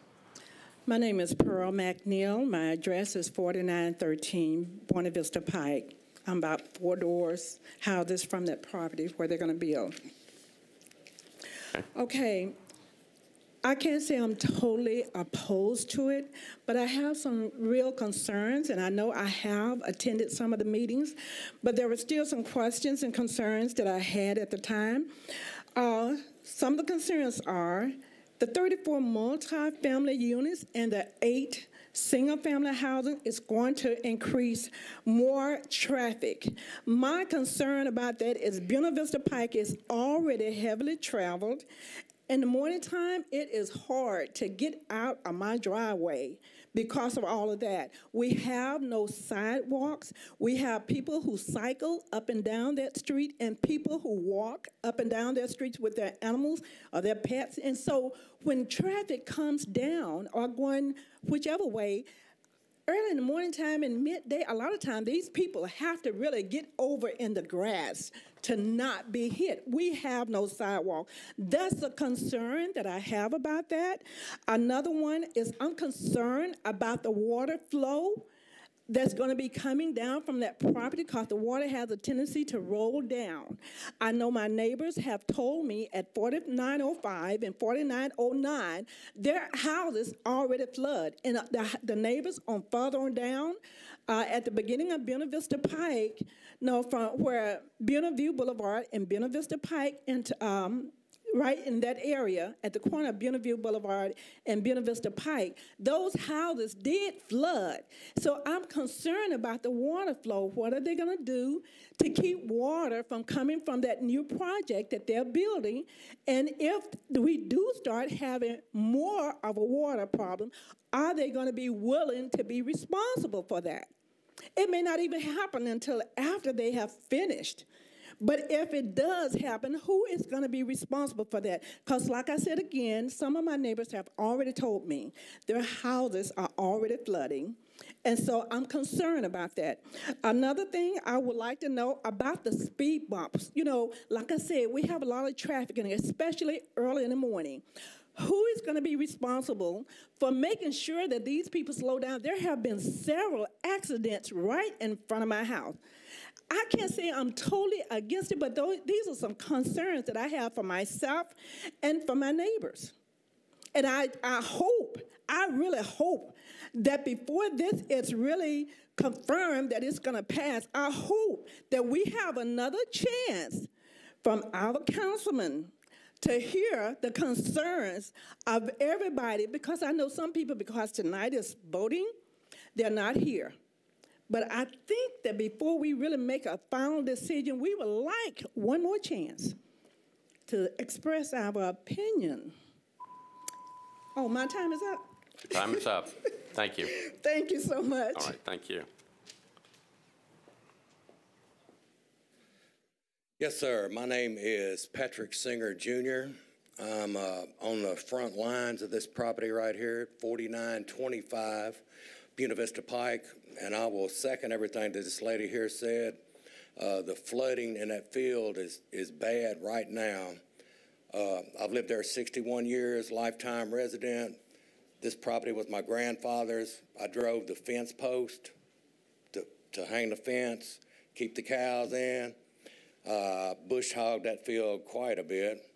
Uh, and again, you know, the traffic is terrible on Buena Vista Pike. I spoke with the builder. I'm assuming it's this gentleman right here. He said they did an impact study that that we haven't seen. Uh, we had five. He said five meetings. I've only got invited to three of them, but I mean that's okay. But anyway, so yes, we we are. You know, this is not in keeping with the neighborhood. You know, it's single family homes, 34 multiple family homes on eight acres is building pretty much the, uh, the perfect housing jungle. And so what are they going to do with all the trees that they have to cut down to build these homes? You know, again, the water in the field, you know, it doesn't go out now. So how's it going to go through the foundations and the roads and whatever else they build back there? Again, who's going to be responsible for that? Hopefully not my house. Thank you very much for your time. Thank you. I'm Roy Hill, and I live at 4917 Buena Vista Pike. And anytime it's a wreck on I-24 and they shut down, all the traffic is directed down Buena Vista Pike, which a lot of people are probably not aware of. Because if they did this study, every time something happened on I-24, they have to come down either 431 or either Buena Vista Pike. And, uh, and he got a couple of teenagers driving. You cannot get out in the morning time. My wife cannot get out. Now, if you put that many more coming out of there, traffic will be that much worse. You had to put a red light there. Thank you. Hi, hi, my name is Carolyn Hill, and I live at 4917 Buena Vista. And my concerns is like Pearl. I'm concerned with the flooding because every time we have a hard rain, like the rain last night, my yard floods. I need to know what they're going to do about the flooding because it does flood really bad in that area, not only up on the 4900 part of the block when they built a new church down the street at the end of our street. If it's a bad rain, it floods, and Metro Police Department probably knows about that because of the academy and everything. That street has been blocked off several times due to the flooding. So my thing is, I'm concerned about the flooding because I have two sheds back there. You can see the water line from the 2010 flood, how deep the water got up in my backyard. So that's my concern, and where is the street going to come out at? Is it coming out on Buena Vista? Is it coming out on those other streets? There's four streets up in the neighborhood. Which one of the streets are they going to use for outlets? And that's my concern. All right, thank you. Uh, My name is Paige Singer. I live at 4925 Buena Vista Pike. Um, Been there 25 years. Um, My concern is that they started out with the proposal of 13 houses on 8.9 acres. Um, Now it's gone up to 34 plus eight housings, which is, just in cars alone, you would think 84 cars if you have two, two cars per household. Um, um, the noise we get already from Buena Vista Pike, if you're going to put that many people in that small of an area, not only the noise concern, you've got uh, a, a lot of people in one small area. Um, of course, our um, the flooding is an issue. My basement flooded today just because of the quick flash flood. That um, that whole back acreage always floods back there. Well, who's going to take care of that? Um, um, where uh, was proposed uh, a lot nicer of a development, and now that it's changed through development companies, it just keeps getting larger of the multi-dwellings, and we're concerned of um, the, the income of that, if it's going to be a low income, you know. Thank you. All right, thank you, Ms. Singer. Um, Anybody else? Declare the public hearing closed. Uh, Councilmember Hall. Um, yes, I'd actually like to move for a deferral to the second meeting in December so that the development team has a chance to sit down with the community one more time and address some of the issues that they weren't aware of until tonight that they said. And so um, I move for a two-meeting deferral to the second meeting in December. So it would be a deferral to the second meeting in December? In December, yes. Okay, so it would be um, basically a three-meeting deferral, all right? All right, so I have a, um, a motion to defer to the second meeting in December, properly seconded. Any discussion? Seeing none, all those in favor say aye. Opposed, no. Uh, Motion is adopted. Thank you. All right, so we're now on BL 2018-1362. This is a, um, uh, sponsored by uh, Councilmember Sledge. Approved with conditions, disapproved without uh, by the Planning Commission, 7 to 0 on 8/23/2018. Ordinance to amend Title 17 of the Metropolitan Code of Laws by changing from IR to SP zoning on properties located at 630, 634, 638, and 640 Hamilton Avenue at the northwest corner of Hamilton Avenue and Hagan Street, 1.92 acres to permit 37 multifamily residential units, of which a maximum of four units are permitted as live slash work units. Uh, Councilmember Sledge. Uh, Thank you, Mr. Vice Mayor. To open the public hearing, please. Okay, I declare the public hearing open. Uh, Those in favor of the measure, if you would, please indicate by raising your hands. Uh, Those in opposition, if you would, please indicate by raising your hands. I see no one in opposition. Would those in favor like to speak? The heads are shaking no. Declare the public hearing closed. Councilmember Sledge. Thank you, Mr. Vice Mayor. I move approval. Okay, have a motion to approve, properly seconded. Any discussion? Seeing none, all those in favor say aye. Opposed, no. Uh, The motion is adopted. All right, we are on BL 2018, uh, 1363 by council members Wazo and Glover. Uh, This was approved with conditions, disapproved without by the Planning Commission 4 to 2 on 8/23/2018.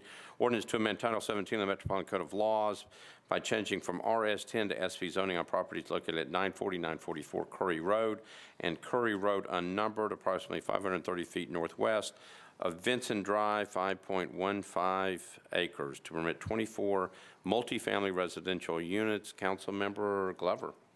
Thank you, Vice Mayor. Open the public hearing, please. Okay, I declare the public hearing open. Any- Anyone in favor of this measure, please indicate by raising your hands. Um, Okay, those in opposition, if you would, please indicate by raising your hands. So um, we have uh, folks on both sides. Those in favor, if you wish to speak, please come forward. Uh, State your name and address. You got three minutes. Thank you. Thank you, Vice Mayor, members of the council. I'm Roy Dale. I reside at 1657 Stokely Lane, and I'm here representing the applicant on this proposal. Uh, This uh, fits within uh, the policy, the Planning Commission, it is approved bill. Um, It is an area um, that has single family across the street. This development basically does have single-family homes facing this existing Curry Road. Behind it, there is um, detached units that are um, sort of a cottage-style layout, and it backs up to a bunch of multifamily duplex housing. And so the Planning Commission recommended approval. I've talked to Councilmember Huezo, who has indicated that she is in support of this, and so I'll just leave it in the good hands of the council members. Thank you. All right, thank you.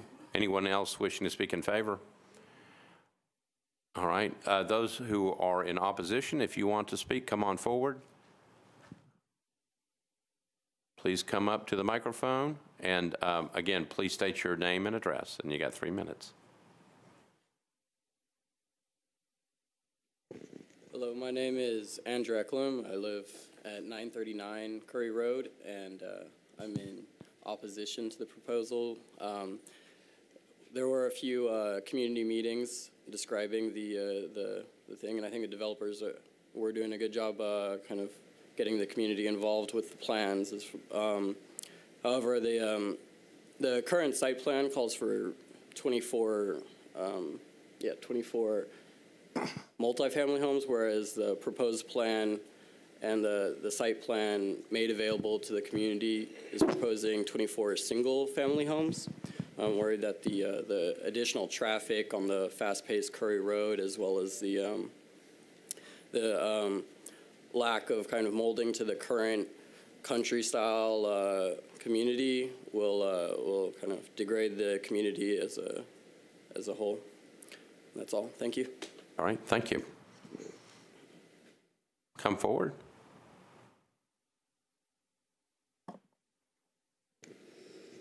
I'm Betty Curry. I live at 934 Curry Road. have been there for 70 years. I have lived in this neighborhood for 79 years. I have a lot of concerns about the development that they're trying to put at this location. The last planning commission that was held, uh, they were notified that this property has a flood zone in part of the, on part of the property. The question was asked, what would be done about this? The answer was, there is no flood zone. We have lived here long enough to know there is a flood zone. This was ignored, and this concerned me. My son, David Curry, and I think he's going to speak, has property that is located adjacent to this property.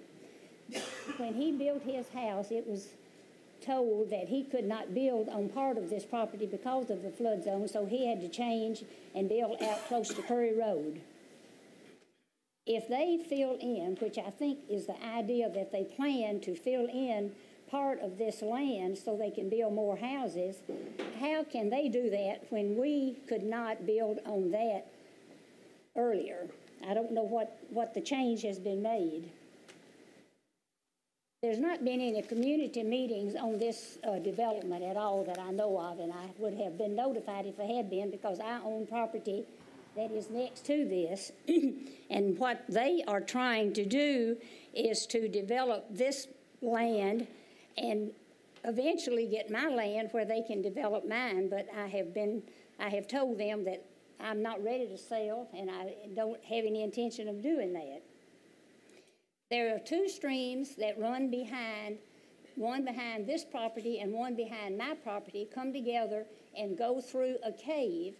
When there's a lot of rain, in 2010 especially, my house flooded. I had nine inches in my basement, and I also had nine inches in my garage.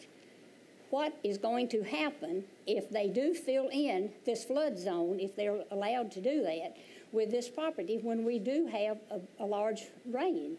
It's going to impact David's property, it's going to impact my property, also Tara Ann, which, Cowart, which is on the same, uh, it runs behind their property also, it's going to flood that. I've tried numerous times to contact our council lady. I have left messages.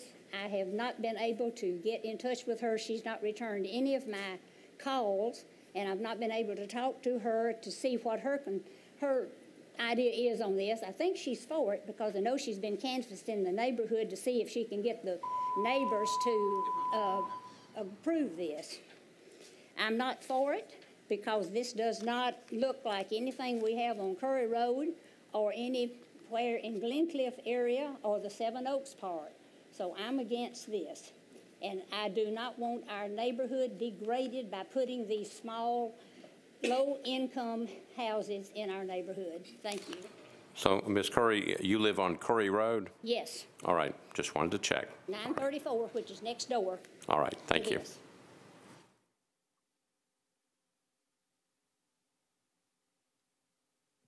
Mr. Vice Mayor, members of the council, my name is David Curry. I live at 936 Curry Road. Uh, I am standing in opposition to this development, uh, basically because of the reasons that she just spoke about. Um, this does exist, part of the property in a floodplain. Um, if you look at the topography of it, uh, they're going to have to dump about two acres of fill, somewhere in the neighborhood of 20 to 30 feet, which will then create a runoff onto my property uh, in which a creek bisects the middle of my property. And I'm very curious where that water is going to go. Uh, and I think it will have an adverse impact on my property, even my property if I decide to develop it uh, long term. Uh, the neighborhood in and of itself has kind of been in opposition to this project since it began. Uh, there's been one public meeting about two years ago. Uh, the plan has changed about three or four times. Initially, they wanted to put 40 houses on the property, and then 30 houses on the property, and then 20 houses on the property. Uh, so I think it's it's trying to come up with some solution. Uh, I'm not opposed to development of it. I'm just opposed to development in its current form. Uh, thank you. Thank you.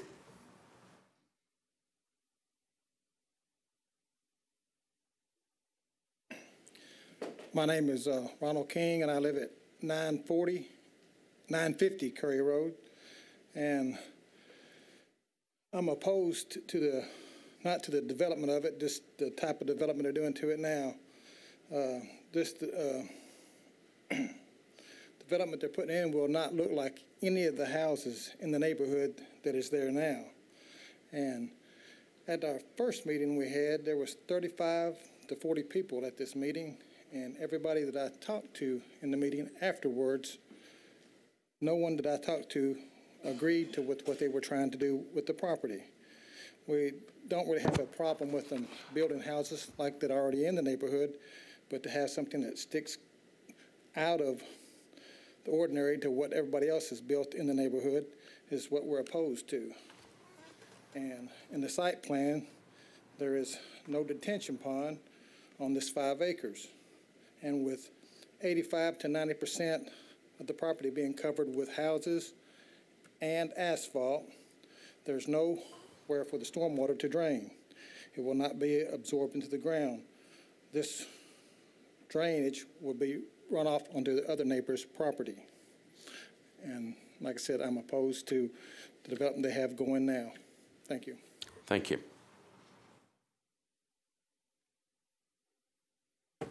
Uh, my name is Thomas Carruthers. I live at 933 Curry Road, directly across the street where I will have a direct impact. Um, I'm not opposed to building either. But my question is, why so many? in such a densely populated area. The traffic will be coming directly in front of my driveway, and it's only one way in and one way out. Uh, the already the rain, I have a problem with my drainage as it is with, with through Metro, but it's going to even be a bigger problem because once you put all the concrete, asphalt, where's the water going to run to? I mean, if the guy had came to us, I think in a professional manner and talked to us a little bit more about it, and our council lady had done the same thing, we wouldn't be standing in this situation right now. So that's why I'm opposing the bill, and I hope that we can get something satisfied through the night. Thank you. All right, thank you. I declare the public hearing closed. Councilmember Glover. Thank you, Vice Mayor. Uh, Well, very candidly, I, I don't know the project, uh, and so unfortunately, there was a conflict with her schedule tonight. Um, But uh, I'm going to ask for a one-meeting deferral so that she can address uh, any issues that, that have been brought up tonight. All right, so I have a motion to defer this uh, one meeting. Correct. So I'm properly seconded. Any discussion? Just making sure that uh, I'm looking back in the audience. So it's a one-meeting deferral. Uh, We're not approving it tonight, we're passing it off for one meeting. Any further discussion? Seeing none, all those in favor say aye. Aye. Opposed, no. Uh, The motion is adopted. Thank you, Councilmember Glover. Uh, We are now on uh, BL 2018-1364 by Councilmember Kendall. This was approved by the Planning Commission 7 to 0 on 8/23/2018. Ordinance to amend Title 17 of the Metropolitan Code of Laws by changing from SPR to RM20A zoning on properties located at 2805, 2807, 2809, and 2811 Delaware Avenue, .68 acres. Um, Councilmember Kendall. Like to open public hearing, please. Okay, declare the public hearing open. All those in favor of this measure, please indicate by raising your hands. All those who are in opposition, please indicate by raising your hands. I see none in opposition. I do see, uh, anybody in opposition? Seeing none, uh, those in favor wish to speak? Uh, Then I declare the public hearing closed. Uh, We are back to Councilmember Kendall. Move approval. Have a motion to approve, properly seconded. Any discussion? Seeing none, all those in favor say aye. Opposed, no. Motion is adopted. Thank you, Councilmember Kendall. Uh, BL 2018-1365, uh, this is by Councilmember Pulley, disapproved as submitted, approved with a substitute by the Planning Commission, 7 to 0 on 10/25/2018. This is more- an ordinance to amend Title 17 of the Metropolitan Code of Laws by changing from R10 to RS10 zoning for various properties located on General Hood Trail, Robin Road, and Winston Place, south of Woodmont Boulevard, 7.46 acres. Uh, Councilmember Pulley. Uh, Thank you, Mr. Vice Mayor. I'd like to uh, open the public hearing. Okay, declare the public hearing open. Uh, Would those in favor of this measure, please indicate by raising your hand. Uh, Those in opposition, if, um, we have, so we have folks on both sides. Opposition. Uh, Those who are in favor, if you wish to speak, if you would come forward and come to the microphone. Come on up, state your name and address. My name is Kristen Dillard Kim. I'm at 3509 General Hood Trail. And uh, I was a little floored because I have neighbors I haven't met and we'd surveyed folks. So I just wanted to thank you for considering the wishes of the families in my neighborhood. We did um, send out surveys in advance of even bringing this to Russ as he had guided us to do to ensure that all of the families that, that spoke back to us were fully in agreement with both of the bills.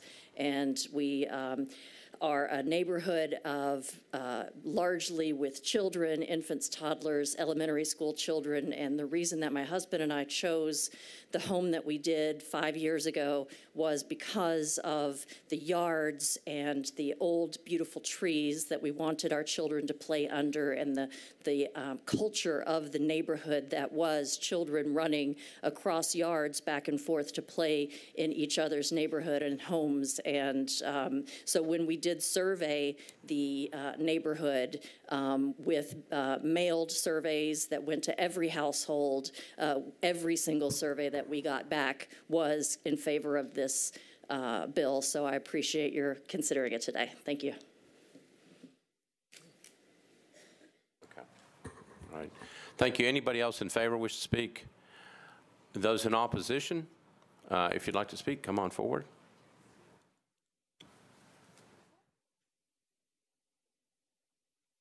Good evening. Good evening. My name is Georgia Yvette Floyd, and I reside at 909B Winston Place, where I moved approximately a little over a month ago.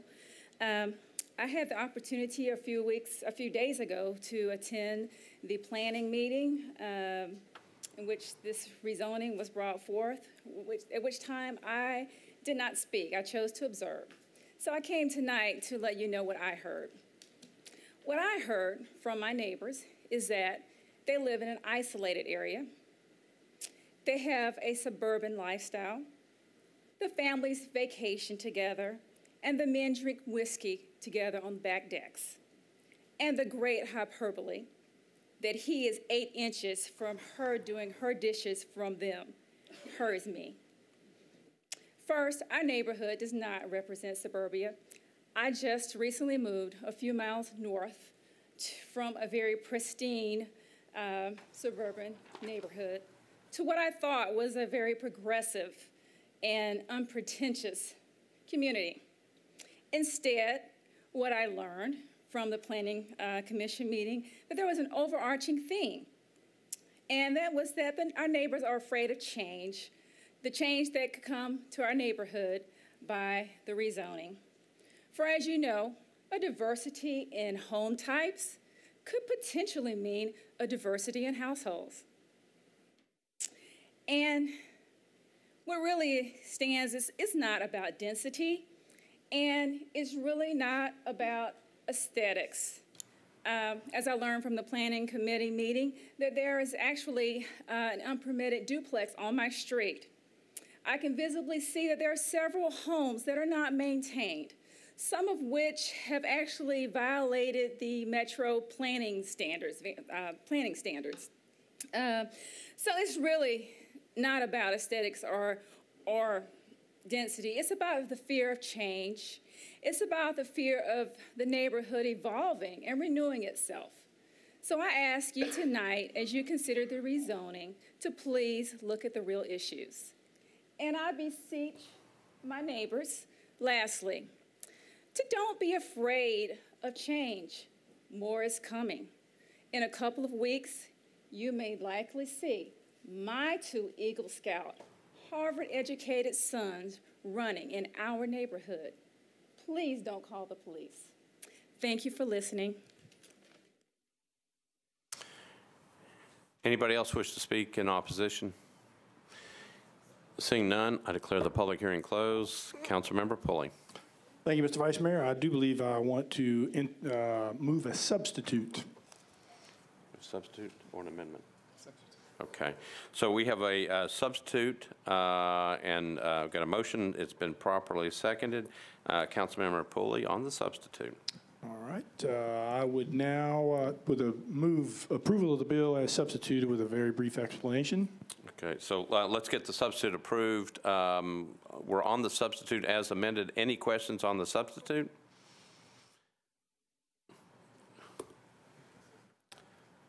Councilmember Hurt? Thank you, Mr. Vice Mayor. I just wanted to know if this is the substitute that the Planning Commission recommended. Right. Uh, Councilmember Pulley? That is correct. It's the uh, substitute presented by the Planning Department. All right. Uh, Councilmember Pulley, uh, do you want an explanation of the substitute, just to make sure we know what we're voting on? Uh, And I Uh, can defer to Mr. Jameson if that's what you'd like. Sure, yeah, this is a downzone bill, and the substitute, uh, I could get the Planning Department to tell you what it does, is it removes several parcels. All right. Uh, Planning Department.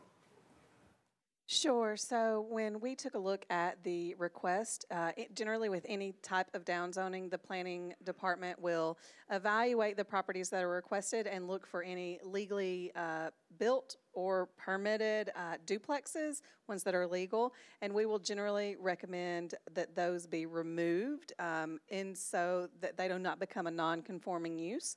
And so the properties that are being proposed to be uh, removed through the substitute are ones where planning researched and found uh, legally permitted duplexes. Okay, thank you. Uh, Councilmember Pulley?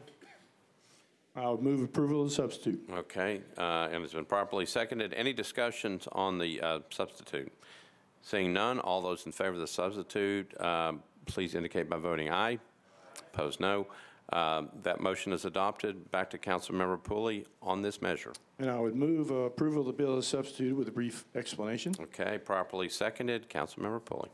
Uh, This is the first I've heard from uh, the lady who approached uh, the uh, uh, microphone tonight uh, expressing her concerns. So my hope is that we can, uh, between now and third reading, talk with her. There are a couple of other individuals that we need to um, uh, button up on this. So there may likely be another, a third substitute as, or a second substitute as we move this for, forward to third reading. So I would ask that you uh, support this measure at second reading, uh, and I look forward to a discussion of planning zoning at third. All right, so we have a, a motion to approve as substituted, uh, properly seconded. Any other discussion? Seeing none, all those in favor say aye. Opposed, no. Uh, The motion is adopted. Thank you, Councilmember Pulley. We are now on BL 2018-1366, also by Councilmember Pulley. Uh, This was uh, approved by the Planning Commission 7 to 0 on 10/25/2018. Ordinance to amend Title 17 of the Metropolitan Code of Laws by applying contextual overlay to various properties on General Hood Trail, Winston Place, and Robin Road, south of Woodmont Boulevard, 7.46 acres. Councilmember Pulley. Uh, I'd like to open the public hearing. Okay, declare the public hearing open. All those who are in favor of this measure, please indicate by raising your hand. Okay.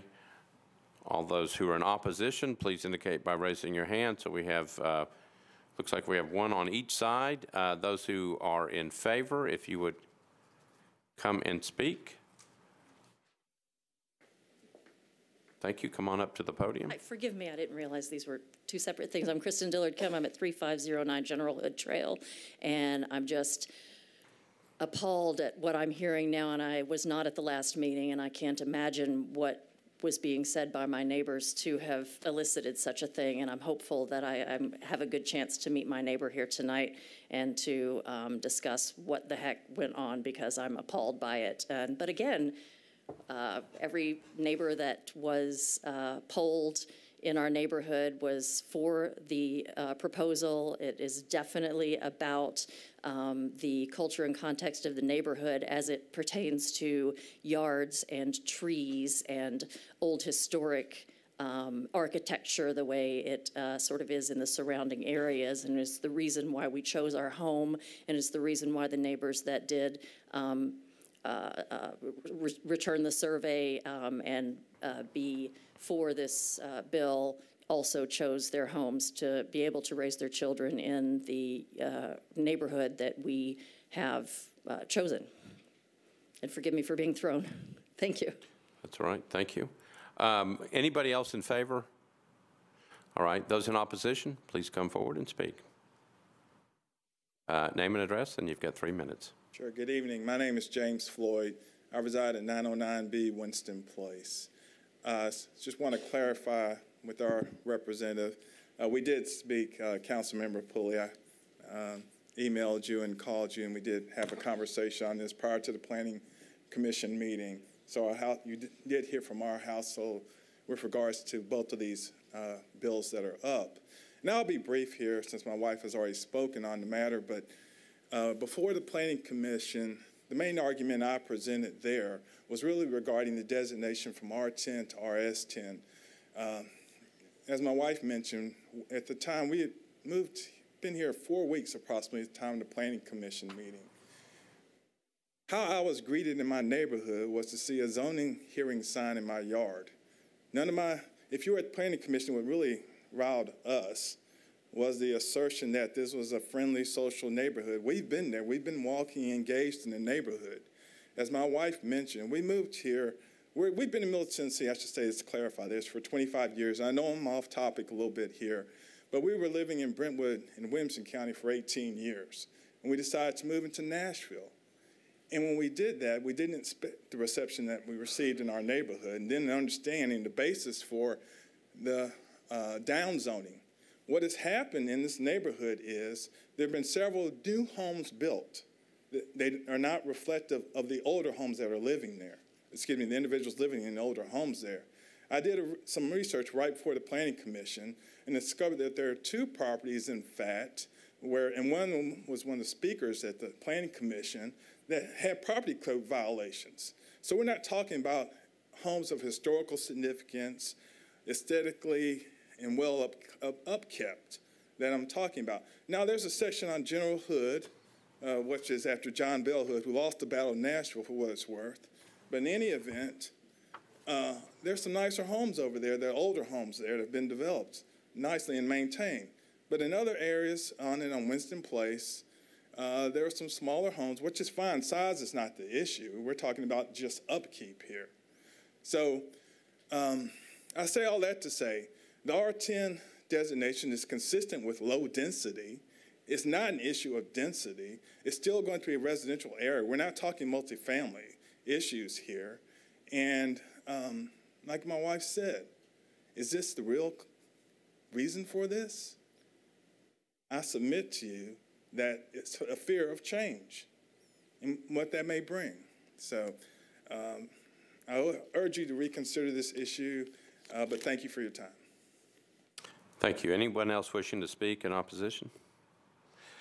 Declare the public hearing closed. Councilmember Pulley. Uh, Yes, Mr. Vice Mayor, I'd move approval with a brief explanation. Right. Uh, I have a motion and a second. Uh, Councilmember Pulley.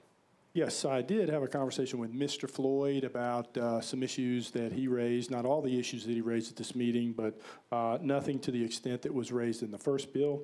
Uh, This uh, is a contextual overlay uh, that joins uh, the previous bill in an effort to create an area of sensitive development around the geography that was uh, put for you in this bill. Uh, This is a neighborhood-led effort, and uh, in order for me to put a bill before you like this, it requires significant neighborhood support, which this does have. So towards the end of this, I did hear from Mr. Floyd, but I've not heard from any other individual within the confines of this geography regarding the contextual overlay. There have been some who have expressed some concern about their property being downzoned from R to RS, and we'll address that in uh, the next couple of weeks. Uh, But I would uh, ask your support for this contextual overlay as it has overwhelming support of all the neighbors. All right, thank, thank you, Councilmember. We have a motion to approve. It's been properly seconded. Council Member Hurt. Thank you, Mr. Vice Mayor. You know, I, it, it concerns me that we have some new neighbors from uh, our neighboring county that decided that they wanted to come to Davidson County. And I would just ask the councilman to uh, assure the new neighbors that he will give them an opportunity to uh, discuss their concerns in uh, greater depth and see if there can be some kind of um, mutual understanding with uh, the concerns that they have. All right, thank you. Councilmember Pulley. Thank you. I appreciate the comments of my fine colleague, uh, at-large colleague, Council Leader Hurt, and yes, I, uh, I certainly will provide that opportunity. All right, thank you. Any other discussion? Seeing none, we're on a motion. It's been properly seconded for approval. Um, Nobody else in the queue. All in favor say aye. Opposed, no. Uh, The motion is adopted. Thank you. Uh, Count, uh, we are now on BL 2018-1367. Uh, Councilmember Pridemore is the sponsor. This was approved with conditions, disapproved without by the Planning Commission 7 to 0 on 8/23/2018. Ordinance to amend Title 17 of the Metropolitan Code of Laws by changing from RS 7.5 to SP zoning on properties located at Palmer Avenue unnumbered, 1207 Pierce Road, and Pierce Road unnumbered at the northeast corner of Lawrence Avenue and Palmer Avenue, 3.36 acres, to permit 28 multifamily residential units. Councilmember Pridemore. Thank you, Mr. Vice Mayor. I'd like to open for public hearing, please. Okay, declare the, the uh, public hearing open. Uh, All those in favor of this measure, please indicate by raising your hand. Right? All those who are opposed to this measure, please indicate by raising their hand. I see none. Would those in favor wish to speak? Then I declare the public hearing closed. Councilmember Pridemore. Thank you, Mr. Vice Mayor. I'd like to move for approval, please. So I have a motion to approve. It's been properly seconded. Any discussion? Seeing none. All those in favor say aye. Opposed, no. Uh, The motion is adopted. Uh, We're now on BL 2018-1368. Councilmember Sledge. This was approved with conditions, disapproved without by the Planning Commission 601 on 8/23/2018. Ordinance to amend Title 17 of the Metropolitan Code of Laws by changing from IWD to SP zoning on properties located at 806 Olympic Street and 1019 8th Avenue South, approximately 150 feet west of 8th Avenue South, .61 acres to permit all uses of MULA with an overall maximum building height of five stories and 60 feet. Councilmember Sledge. Thank you, Mr. Vice Mayor. Open the public hearing, please. Okay, declare the public hearing open. All those who are in favor of this measure, if you would raise your hand. Okay, those who are opposed to this measure, if you would raise your hand. Seeing none, uh, don't wish to speak, I uh, declare the public hearing closed. Councilmember Sledge. Thank you, Mr. Vice Mayor. I move approval. I have a motion to approve. Got a proper second. Any discussion? Seeing none, all those in favor say aye. Opposed, no. Uh, The motion is adopted. Thank you, Councilmember. Uh, BL 2018-1369, Councilmember Scott Davis, approved by the Planning Commission 7 to 0. On 8/23/2018, ordinance to amend Title 17 of the Metropolitan Code of Laws by changing from RS10 to RM20A, zoning on properties located at 433 and 435 East Trinity Lane at the northwest corner of Jones Avenue and East Trinity Lane, .61 acres. Councilmember Scott Davis. Thank you, Vice Mayor. I'd like to open the public hearing, please. Declare the public hearing open. Uh, Those who are in favor of this measure, if you would, please indicate by raising your hand. All right, thank you. All those who are opposed, please indicate by raising your hand. Seeing none, those who wish to, uh, those who are in favor wish to speak, no. I declare the public hearing closed. Councilmember Scott Davis. Like to move for approval with a very, very, very brief explanation. All right, Councilmember Davis has moved for uh, approval. I got a proper second, and this is going to be a very, very, very brief explanation. Councilmember Davis. I want everybody to relook at East and also West Trinity Lane. Lots of great new restaurants. Um, Grimey's has moved to Trinity Lane, great new location. Get your coffee, your books, and your favorite records. I'd like move for approval. All right, got a motion to approve, properly seconded. Any discussion? Seeing none, thank you for the very brief, brief, brief explanation. Um, Nobody else in the queue? All in favor say aye. Opposed, no. Uh, The motion is adopted. We are now on um, BL 2018-1370. This is by Councilmember Pulley. This was disapproved by the Planning Commission 7 to 0 on 8/23/2018. Ordinance to amend Title 17 of the Metropolitan Code of Laws uh, by changing from R20 to SP zoning on property located at 1120 Glendale Lane at the northwest corner of Glendale Lane and Scenic Drive, 19.87 acres to permit 31 single-family lots um, or a community education use of up to 200 persons, a religious institution, an orphanage, or a daycare center. Um, Because it's a disapproval, we need to see the slides. Planning, you're recognized. This is the Glendale and Scenic SP. This is a request to rezone property to permit 31 single-family lots or a community, community education use, religious institution, orphanage, or daycare center over 75. The Planning Commission recommendation is to disapprove. The property is located at the terminus of Duncanwood Court, uh, just north of Glendale. Uh, The current zoning of the property is R20, which is residential one and two family. The surrounding property, surrounding zonings also include R20 and RS20 to the north. The land use policy for the property is conservation, recognizing a stream and associated buffers that bisects the property, as well as T3 suburban neighborhood maintenance.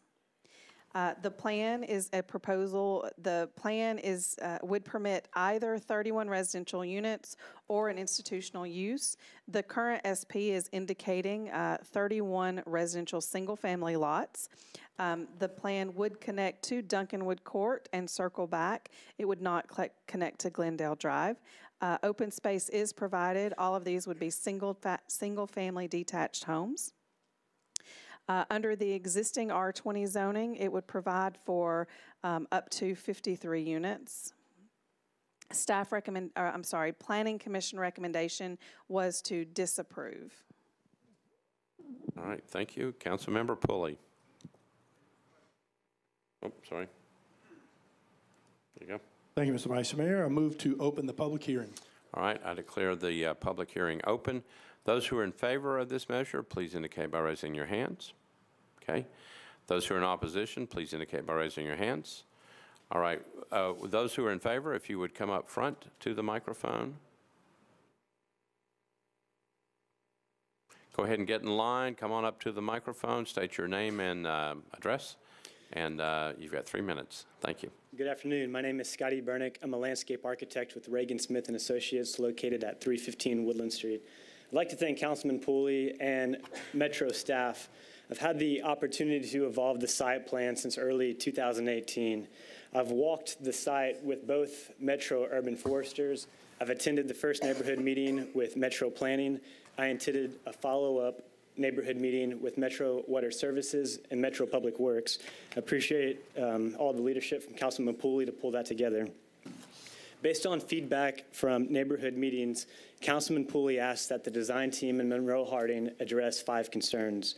Vehicular access, sidewalks, stormwater, tree preservation, and construction traffic. In regards to vehicular access, we've agreed to remove uh, the access drive from Glendale Lane. Not only are we including sidewalks internally with the site, but providing over a thousand linear feet of new public sidewalk along Glendale Lane. In regards to stormwater, we've adjusted the layout to accommodate potential stormwater buffers. We're outside of the floodplain. In addition to the tree canopy that we're saving, we're, uh, we're proposing to install 42 additional native trees as well as 300 native seedlings. Most importantly, we're regulating this SP to exceed the current stormwater regulations by reducing the amount of runoff greater than what's out there today. In terms of tree preservation, we've required a field tree, uh, a field located tree survey that needs to get assessed by a certified arborist to look at tree species, tree health, and tree size, to report that back to Metro Urban Forester, and that any tree on the site that is to be removed must be approved by the Metro Urban Forester. In regards to construction traffic, we agreed to provide all traffic uh, from, from Glendale Lane. In closing, I'd like to note that this is a, a, a downzoning by consent, an extremely, extremely regulated SP, significantly more regulated than the current zoning. The R20 would allow 53 units, some of which could be duplex. We're providing and proposing 31 single-family homes consistent with the neighboring uh, and adjacent community. I'd like to note that we're in agreement with all staff conditions of approval. We're compliant with the land use policy and available for questions at the appropriate time. Thank you. All right, thank you. Thank you, Mr. Vice Mayor and council members. My name is John Bryant. I live at 217 Wilsonia Avenue. I'm on the board of directors of Monroe Harding. Monroe Harding owns this property. Uh, in June 2017, Monroe Harding made the very difficult decision to sell and relocate from this property where we've operated since the 1930s. We no longer need 20 acres in Green Hills to operate the programs that we maintain. Uh, it's important to understand that Councilman Pulley initiated the SP. Monroe Harding did not initiate the SP. Monroe Harding didn't ask for it. Monroe Harding doesn't need it. We were not seeking to change anything about the R20 zoning that is applied to this property since the 1970s. With the R20 zoning, we understood all we or our buyer had to do was to submit a subdivision plat to uh, proceed with residential development. It's also important to understand that before we marketed the property for sale, we met with representatives of Metro Parks about whether a Metro Parks purchase might be a possibility. We were told that it was not part of the Parks plan. At Councilman Pulley's request, we also met with Mr. Riebeling in the mayor's office about a Metro purchase. We were told there weren't funds in the budget for it, and evidently it was not a priority. After we marketed the property for sale, we selected a local builder, Barlow Builders, to buy the property with the intention of creating a residential development in keeping with R20 zoning. Before we could get it under contract and a subdivision application filed, Councilman Pulley filed a regulatory SP to change the zoning of the property in late November 2017. He did that in furtherance of the neighborhood interest, not to further Monroe Harding's interest. In its initial form, his regulatory SP limited residential development to only two units across the entire 20 acres. It's fair to say that we were quite upset when that hit us without warning late last year. Over the course of several months, though, we met with Councilman Pulley and groups of neighbors and the planning staff on several occasions, and we hammered out a compromise plan that retains residential development potential for the property and addresses neighborhood concerns. This result was not our first choice, but we support the resolution we reached, which is a voluntary downzoning, as Mr. Burnick told you. Like all good compromises, not everything about this one pleases everybody, but the SP addresses neighborhood concerns about traffic, both during construction and long-term. It prevents a cut-through opportunity uh, for traffic between Glendale Lane and Granny White Pike. Uh, it addresses stormwater concerns. It requires stormwater management facilities that result in less stormwater runoff into Browns Creek than occurs under current conditions. It preserves trees, as Mr. Burnick told you. There will be new sidewalks all along the uh, development and along the Glendale Lane frontage. It preserves about seven acres of open space, which uh, uh runs along Browns Creek and is now floodplain. Uh, under the R20 zoning, as the planning staff member mentioned, 53 units could potentially be accommodated. This allows for 31. We ask for the uh, council's support for this plan. Thank you. Right, thank you. Good evening. My name is John Hurst. I live at 908 Montrose Avenue. I am the current board chair for Monroe Harding. I want to thank you for your time and consideration for this bill and ask you to vote in favor. One of the arguments you will hear from the opposition of this bill is that the property and or buildings on it are historic. Let me be clear when I say neither the property nor any of the buildings on it carry any historic designation whatsoever. The main building was built for Monroe Harding in the 1930s, and we have been the sole private owner of the property ever since.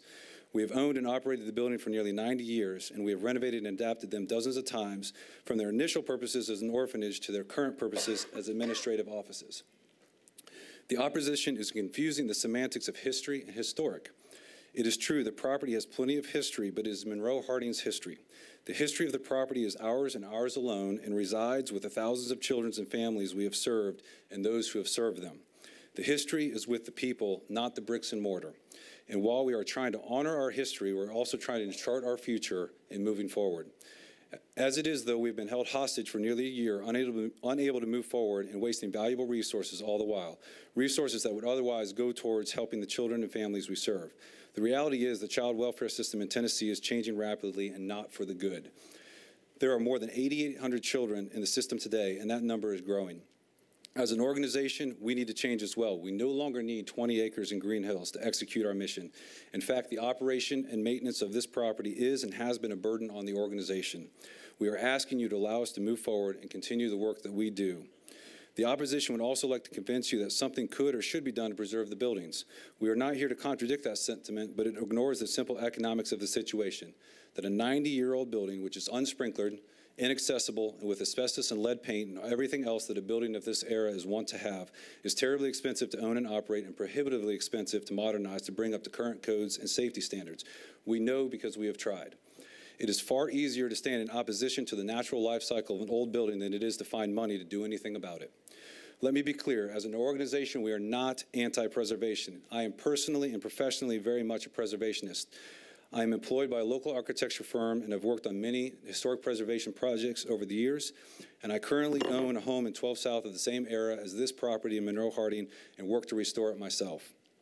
We wish it was different, but we are in the unenviable position of sacrificing the preservation of a 90-year-old building while fighting for the preservation of a 125-year-old organization.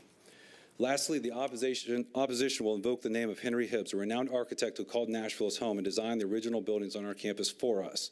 He is well respected, and many of his works still stand in Nashville and across the Southeast. Hibbs should be remembered for the great work he did, but here's the thing about all architects. They will be the first to point out that the legacy of their work is not in the bricks and mortar that make up the buildings, but rather the work that is made possible within those buildings themselves. There's not an architect alive or of past that would assign more value to the buildings than have been designated to the people who have helped them inside them. Thank you very much. Thank you. Good evening. I'm Laura Folk. I'm on the board of Monroe Harding. I've volunteered there for many years. I've served on the property committee and been um, involved with this process since we've made the difficult decision to sell the property on Glendale Lane. I want to speak in favor of Councilman Pulley's bill. I also want to say that it was in no way requested by Monroe Harding, and it was filed by Councilman Pulley at the taxpayer's expense for the benefit of the neighborhood. That being said, as you have heard, we've worked with the developer, the councilman, and the neighbors to find common ground.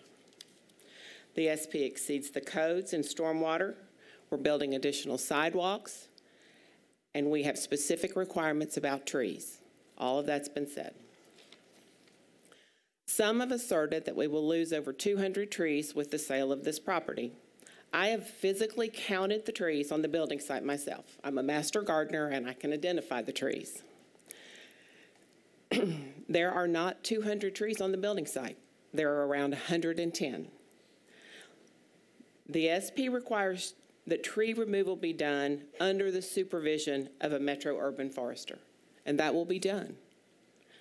There may be trees along Glendale Lane where we have, are going to put a sidewalk at the neighborhood's request that have to be taken out in order to comply with that code. But as far as I'm concerned, or no, there will not be any 200 trees taken out of the canopy of Nashville from this development. Also, you've heard about the floodplain. There are many trees in the floodplain that will go untouched. In addition, Monroe Harding's um, planted over 4,000 trees with the help of volunteers in that floodplain to repair that area.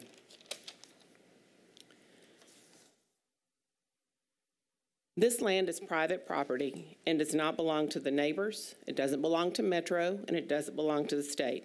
The trees belong to us and to whoever we sell that property to. They are there for the neighbors to enjoy, but they do not belong to them. The same holds true of our orphanage that serves as our administrative building. It is not functional and it is costly to maintain. It's not on the bus line, and we have been told it will never be. We are in need of more efficient, less expensive accommodations in an area where our constituents and staff can more easily get to our organization. Please vote for the SP in order to help us continue 125 years of service to the young people in this community. Thank you very much. Thank you. Walt Burton, 1304 Duncanwood Court. Uh, I'm here representing the Board of Directors and the HOA for the Duncanwood Reserve neighborhood. We're the 15 homes directly adjacent to um, this new development that uh, Russ alluded to earlier. I'm here to verify that there's been substantial discussion between the parties. Russ has made himself available to us throughout the process. We think our voice has been heard throughout the process. Uh, in fact, our board voted unanimously, unanimously to support this. I think you all got an email from Margot Owen this afternoon. We didn't get everything we wanted. You never do in a compromise. Uh, but I think the most important things that our neighborhood cared about, we did get and are reflected in the SP. I think it's a great testament to the process, and I think it represents the will of, I think, most of the neighborhood. Uh, I know you're going to hear detractors, but um, I think Duncanwood Reserve supports the SP. Thank you. Thank you. Good evening. I'm Mike Stewart. I live at 1325 Duncanwood Court. Um, as you can see, our street dead ends into the Monroe Harding property, I guess when the map circles back around. Um, we have 15 homes. We have 25 children that live in our neighborhood. Um, so when we heard about the Monroe Harding sale, we were concerned. We opposed any connection of our street into the new neighborhood or any integration into the new neighborhood. And as you can see, when the map comes back around, we weren't successful in that. Um, and that's okay um, because we worked with Monroe Harding and the developer to come up with a compromise that you know met our needs and made sure that the project was economically viable for both the developer and Monroe Harding. Um, and thanks to Councilman Pulley for bringing the neighbors together with Monroe Harding and the developer. Um, over the last year, we've had community hearings, and the community's had its opportunity to be heard. Um, and that's what this plan represents. It's a compromise of the neighbors, uh, Monroe Harding and the developers. Um, we heard concerns about preservation of trees. Trees are preserved in the SP, as you've heard. Without the SP, there's no protection for the trees. Um, stormwater was a concern for a lot of the neighbors. Um, as you heard, stormwater is much improved from the initial plan. Um, our primary concern was connectivity and ensuring our street didn't become a cut through to Glendale Lane. Um, and that's incorporated in, in the SP. Duncanwood Court, Duncanwood Drive, and Granny White Court will not be a cut through. Instead, it will support neighborhood traffic. Um, it's not perfect. No compromises, as you've heard. Um, the end product of a long negotiation never is. And it's a compromise. It's a compromise that we support. It's a compromise that Monroe Harding supports, that the council person supports, and I hope you'll support as well. Thank you. Thank you.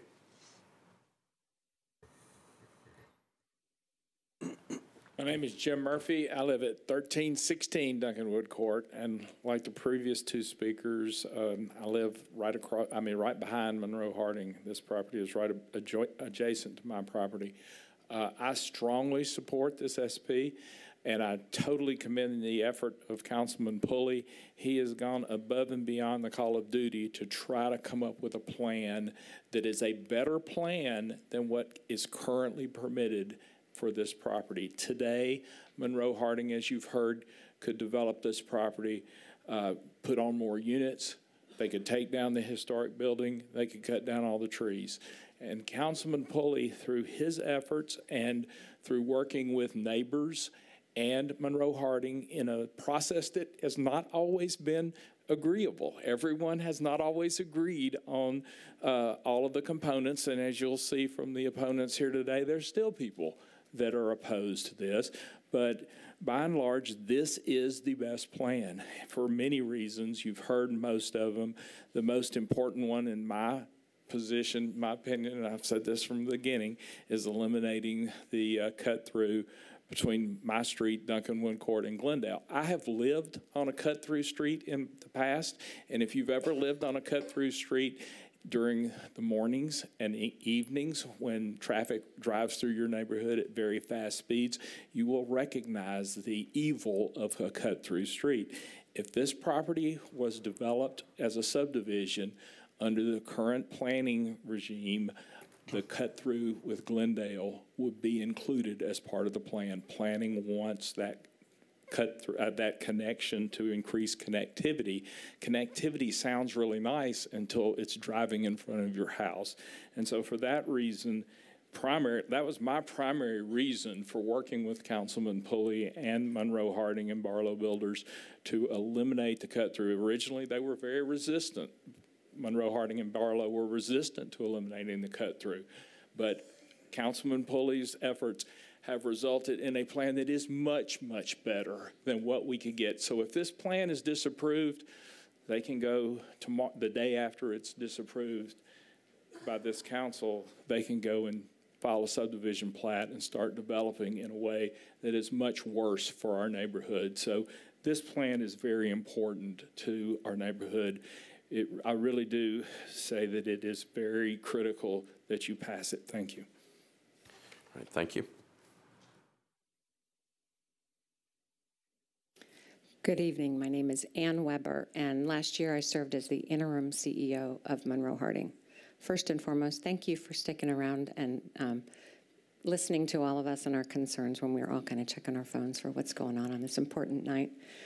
Um, I'm here to speak just briefly about the process that I witnessed, which was very collaborative, everyone coming to the table with a spirit of compromise and seeking um, a solution that would obviously not have us here today.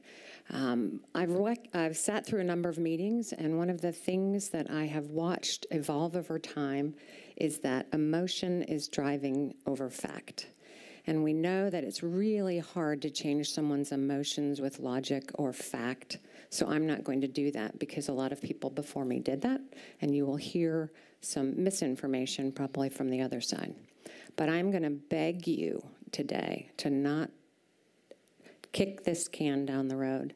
There are staff members who are serving marginalized children out in the community. There are a volunteer board that is helping Monroe Harding reach the needs of children and youth who are homeless because of no fault of their own. And they have been in this limbo land since December of last year. Our kids our organization deserves us to move forward. We have come to the table with the best of intent. We have let go of a lot of the monetary gains that we could have had, and we've heard a lot of false information about that. I've also heard a lot of disparaging comments about the children that we did serve on that property. We heard a lot of these neighbors that are going to speak in opposition um, make some pretty hurtful comments about children who probably did some things that weren't so great. But the point is, we're trying to move forward, and I am going to beg each and every one of you to help us do that by supporting this SP. Thank you. All right, thank you. Anyone else in favor? Seeing none in favor, uh, those in opposition, if you would come forward, come on up to the microphone, uh, state your name and address.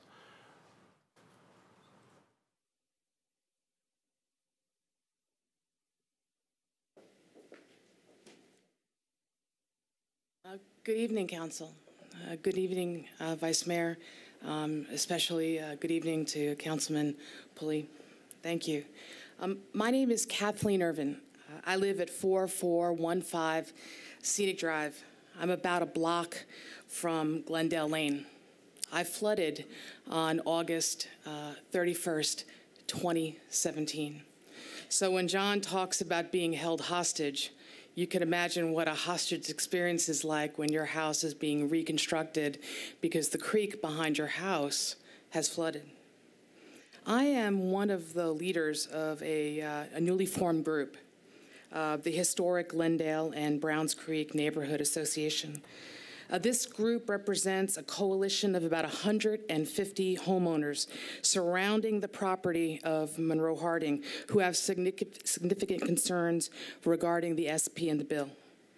Uh, these residents um, uh, translate to about uh, $1 million of property tax income to Metro.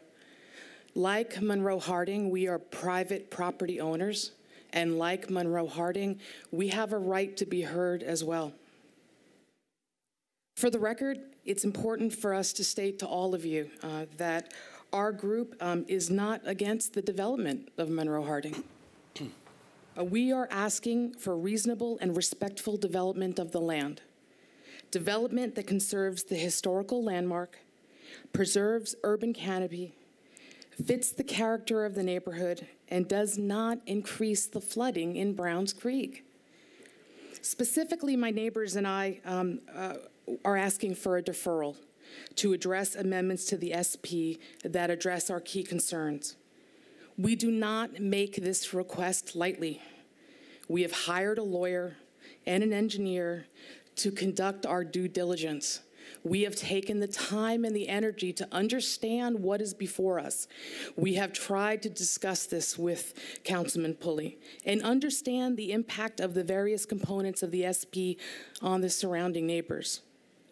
We needed to do this to do our due diligence, to take this seriously, and because the collaboration with our councilman had broken down.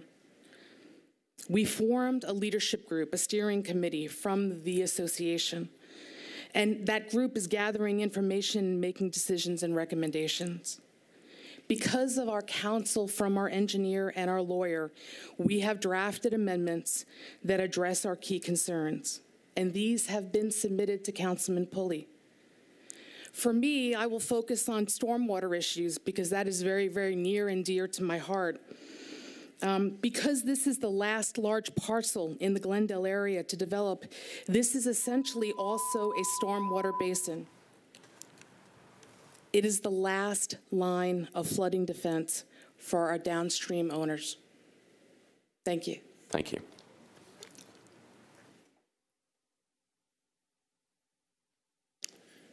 Good evening. I'm Herman Parton, and I live at 1114 Brookmead Drive. I've lived there for 48 years, since 1970. I am not against reasonable growth and development with attention to neighborhoods and history of the neighborhood. However, I urge you to disapprove the SP request for rezoning unless further conditions are met. I oppose this current SP, and I want to focus on density for the proposed development at 1120 Glendale Lane. The SP has already been disapproved on August 23rd, as uh, spoken of earlier, seven to zero. The SP site plan proposes a high-density urban development within a low-density suburban neighborhood and states that the property has 19.87 acres that will permit 31 single-family lots. This is not accurate. There is no mention in the SP that the 19.87 acres includes eight acres of floodplain. that can never be developed. The 19.87 acres includes environmental sensitive features, steep slopes, and floodplain that are to be permanently maintained as open space. This reduces the buildable land acreage to 11.97 acres. The plan is for lux- 31 luxury single-family homes to be built on 11.97 acres. That changes the actual density and all result impact. Neighborhoods surrounding the property are included in the, T, uh, the T3 Suburban Neighborhood Maintenance Policy that features low-density, single-family residential use with open space and natural features including into site design. These are home sites with mature trees with large front yards and backyards with setbacks from the street. Proposed development density is, first of all, inappropriate. Second, contrary to the character of the neighborhood surrounding this property. This proposed attempts to shoehorn 31 houses into 11.97 acres. Proposed density is not in scale and does not fit in. Our neighborhoods have RS20, R20 zoning. Our lot sizes are minimum of 20,000 square feet per house or one house per half acre. Suggested lots in the development can be a minimum of 7,500 square feet. Neighbors, choo- neighbors chose to buy their homes in this low-density suburban neighborhood, and we expected to stay within without having a high-density development thrust upon us. Remember, Metro Planning Commission disapproved this SP unanimously, seven to zero. Metro Council has authority to vote no to the current SP. I urge you to disapprove this SP as currently written. And remember, many of us, including my family, served during the time and had to go through and gut our own basement because of the flooding that exists already. All right, thank you. Hi, I'm, I'm Deborah Evans, and I live at 100 Braxton Hill Court, about one block from the property. And actually, tonight, I would just like to speak on the historic aspect of um, the property that's before you. And you all probably have a packet that I brought earlier, and it has a picture of the historic Henry Hibbs building that is there. Um, yes, it is historic. The property itself is historic, not just because of the Henry Hibbs uh, building. We are a part of the Glendale Park um, neighborhood that where the trolley came down. I actually walk every day by where the uh, the um, um, the Bear Cave is, which is right across from the Monroe Harding Park. But Henry Hibbs, just a little bit, um, he is one of Nashville's premier architects. He designed Scarritt Bennett, Fisk, um, um, the Fisk Library, uh, buildings at Vanderbilt, um, Rhodes College, Davidson College, and the list can go on. Um, just part of it, it obviously hurts my heart because I feel that this plan um, is kind of ripping out the core and the heart of our historic neighborhood. And I would love to ask for a deferral, and I'll tell you really quickly three reasons or four reasons. Um, let's maybe look at a plan B. Ben Page, um, the landscape architect that is currently working on the Fort Negley, has offered to work with us, and we have actually had one meeting. And Ben has that mind that he looks at the history of the place. And in his vision, he visualizes utilizing that uh, historic Henry Hibbs building. Let our neighbors stay in place. Let them maybe move to condos in this building. It's a huge building. It has a lot of possibilities. The other thing um, we have found out, and Ben also told us, told us that we are right in the site of the Noel Native American burial grounds. In your packet, we've reached out to the state archaeologist, and he responded that he recommends a architect- architectural survey of the site, and um, so that's also in your in your packets. The other thing is actually just today in doing research because I'm so passionate about saving this land for our neighborhood, um, found out that right in this area too, there is a federally endangered um, uh, species, and it's one that I, I used to dig up as a kid, and I apologize for that now, but it's the Nashville crayfish that are that are actually in that site. So let's have a chance to investigate that too. I've reached out to the zoo today. So again, I would appreciate maybe a deferral on this building. Thank you. Thank you. Hi, thank you. You guys have been sitting there a long time. I appreciate your time. Uh, my name's Tracy Williamson. I live at 943 Evans Road. And um, I personally grew up with a foster brother, so I have a lot of empathy and compassion for what Monroe Harding, um, what their mission is, and I, I, I want to support that. Um, but I've lived in the area for 30 years, and I, I love the pastoral setting of this neighborhood. I also appreciate all the work that Councilman Pulley has done on this. Um, he's um, done it on behalf of us, and um, you know, is, I think was looking out for us. And all in all, I think he had good intentions, and he's tried to listen to all the parties. But I also think that what's being proposed this evening doesn't really meet our needs. Um, the Monroe Harding property backs up to the historical Browns Creek. Uh, on the on the other side is the Duncanwood, a new um, subdivision that's very similar um, to what's being proposed with the, um, some luxury homes, where they cut down lots of trees and built really big, nice two-story homes. That's not really the neighborhood I moved into, nor my neighbors here. Um, anyway, Browns Creek floods more because of that, and because of developing uh, areas around that as well. Um, families who live on Scenic Drive and Leland Road are at risk of having their homes flooded on a more regular basis if this de development occurs. And I'm not talking about flooding like 2010. Um, I, I, am talking about flooding like 2010 um, because I, I'm on that street a lot and I see what happens when there's a lot of rain and heavy storms. Eliminating the trees and laying concrete for large, oversized Brentwood homes not only doesn't fit the character of the current neighborhood, but these homes will have small yards, few or no trees, and large driveways. I saw the, if you see, look at the map that was just posted, you can see the difference between Duncanwood um, subdivision and the rest of the, the uh, neighborhood. That will only cause more stormwater to rush down. It's a 13% grade hill. I'm sure it will flood the existing homes. I'd like to hope you take into consideration, serious consideration, these folks that are most vulnerable in this situation. If the developers don't limit the density and the concrete for these million dollar homes, then the homes of the Nashvillians who already live in the area aren't going to be protected. I believe Monroe Harding and the developers can do better. Sometimes environment and treating your neighbors fairly are more important than money. Barlow Construction and Monroe Harding could work to build smarter while preserving the environment.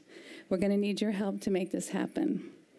I've just recently looked over the master park plan and would love to see a park be a part of that institution, that, that area up there. I'm not against building, and I would love for you to defer this plan. Thank you. Thank you. Good evening. My name is Michael Evans, 100 Braxton Hill Court. As you'll be all voting this evening, I appreciate your attention. There's a green folder in front of all of you that was uh, put out earlier tonight.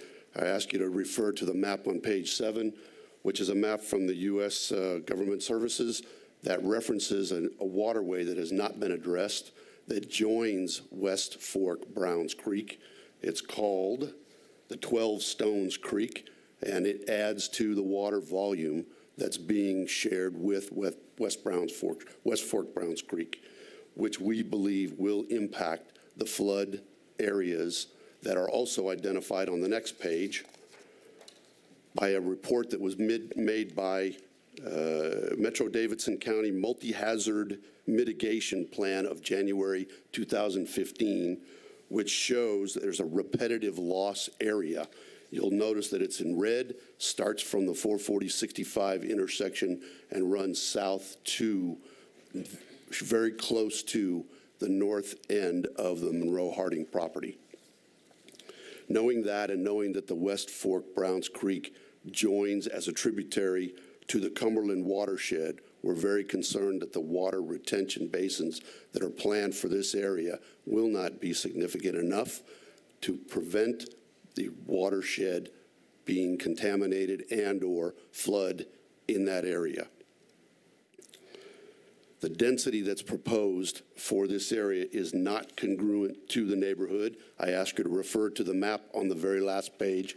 You'll notice that the neighborhood that exists is a new development, which is the Duncanwood Court development. Every other street area in the neighborhood has not the same density as what's being proposed or this one street that will adjoin that area. This is significant because you're talking about an additional traffic and neighborhood population that will increase the double amount of vehicles that are coming from that new neighborhood onto Granny White Pike, where it's almost impossible to get on and off of during the morning rush hours and the afternoon rush hours due to a school that's located in the area where there's all drops, drop-offs and um, pickups in the afternoons. I appreciate your time. Thank you. Thank you. Hi there, I'm Patsy Parton, and I live at 1114 Brookmead Drive. I've been there 48 years, since 1970. I also am not against reasonable growth and development with consideration of existing neighborhoods. However, I do oppose this SP in its current form and urge you to disapprove the SP request for rezoning until these further conditions are met. The SP was disapproved on August 23rd by Metro Planning unanimously, seven to zero. This high-density development at 1120 Glendale Lane has serious and significant problems, and these include recurrent flooding, traffic, destruction of a historic building, and the loss of the tree canopy. I want to focus on the impact of the zoning and flooding and wildlife. Um, the SP proposes a type of spot zoning surrounding neighborhoods that are R20 or RS20. And this allows development inconsistent with the surrounding area, as many of my neighbors have told you. This is not just about the lot size, but about the ultimate cost to surrounding neighbors. And my focus here is that flooding. It's not just the 2010 flood that our house and 12 houses below participated in. We lost our entire first floor. But it's anytime there's heavy rain on Lower Brookmead Drive, on Scenic Drive, and other areas around Browns Creek, they have flooding. They have flooding in their basement, in their crawl spaces, in their yards, up to their deck. Uh, all of this comes from increased stormwater runoff. Um, all because, and this could increase, all because of an approval of density of 31 homes, when really we could, we could pare that down to about 22 homes because there's only 11.97 acres. Eight acres of the 19.87, as has been stated, is floodplain. It's flood zone. It's on the FEMA flood maps. This is not just, maybe it's a floodplain, it is on the FEMA floodplain maps. Um, the site plan suggests a study to decide if the creeks are wet weather conveyances. If that's determined, the developer could have even 30 to 60 more feet taken from the stream buffers and used for further development. Remember that anything in the site plan becomes part of the SP if it's approved.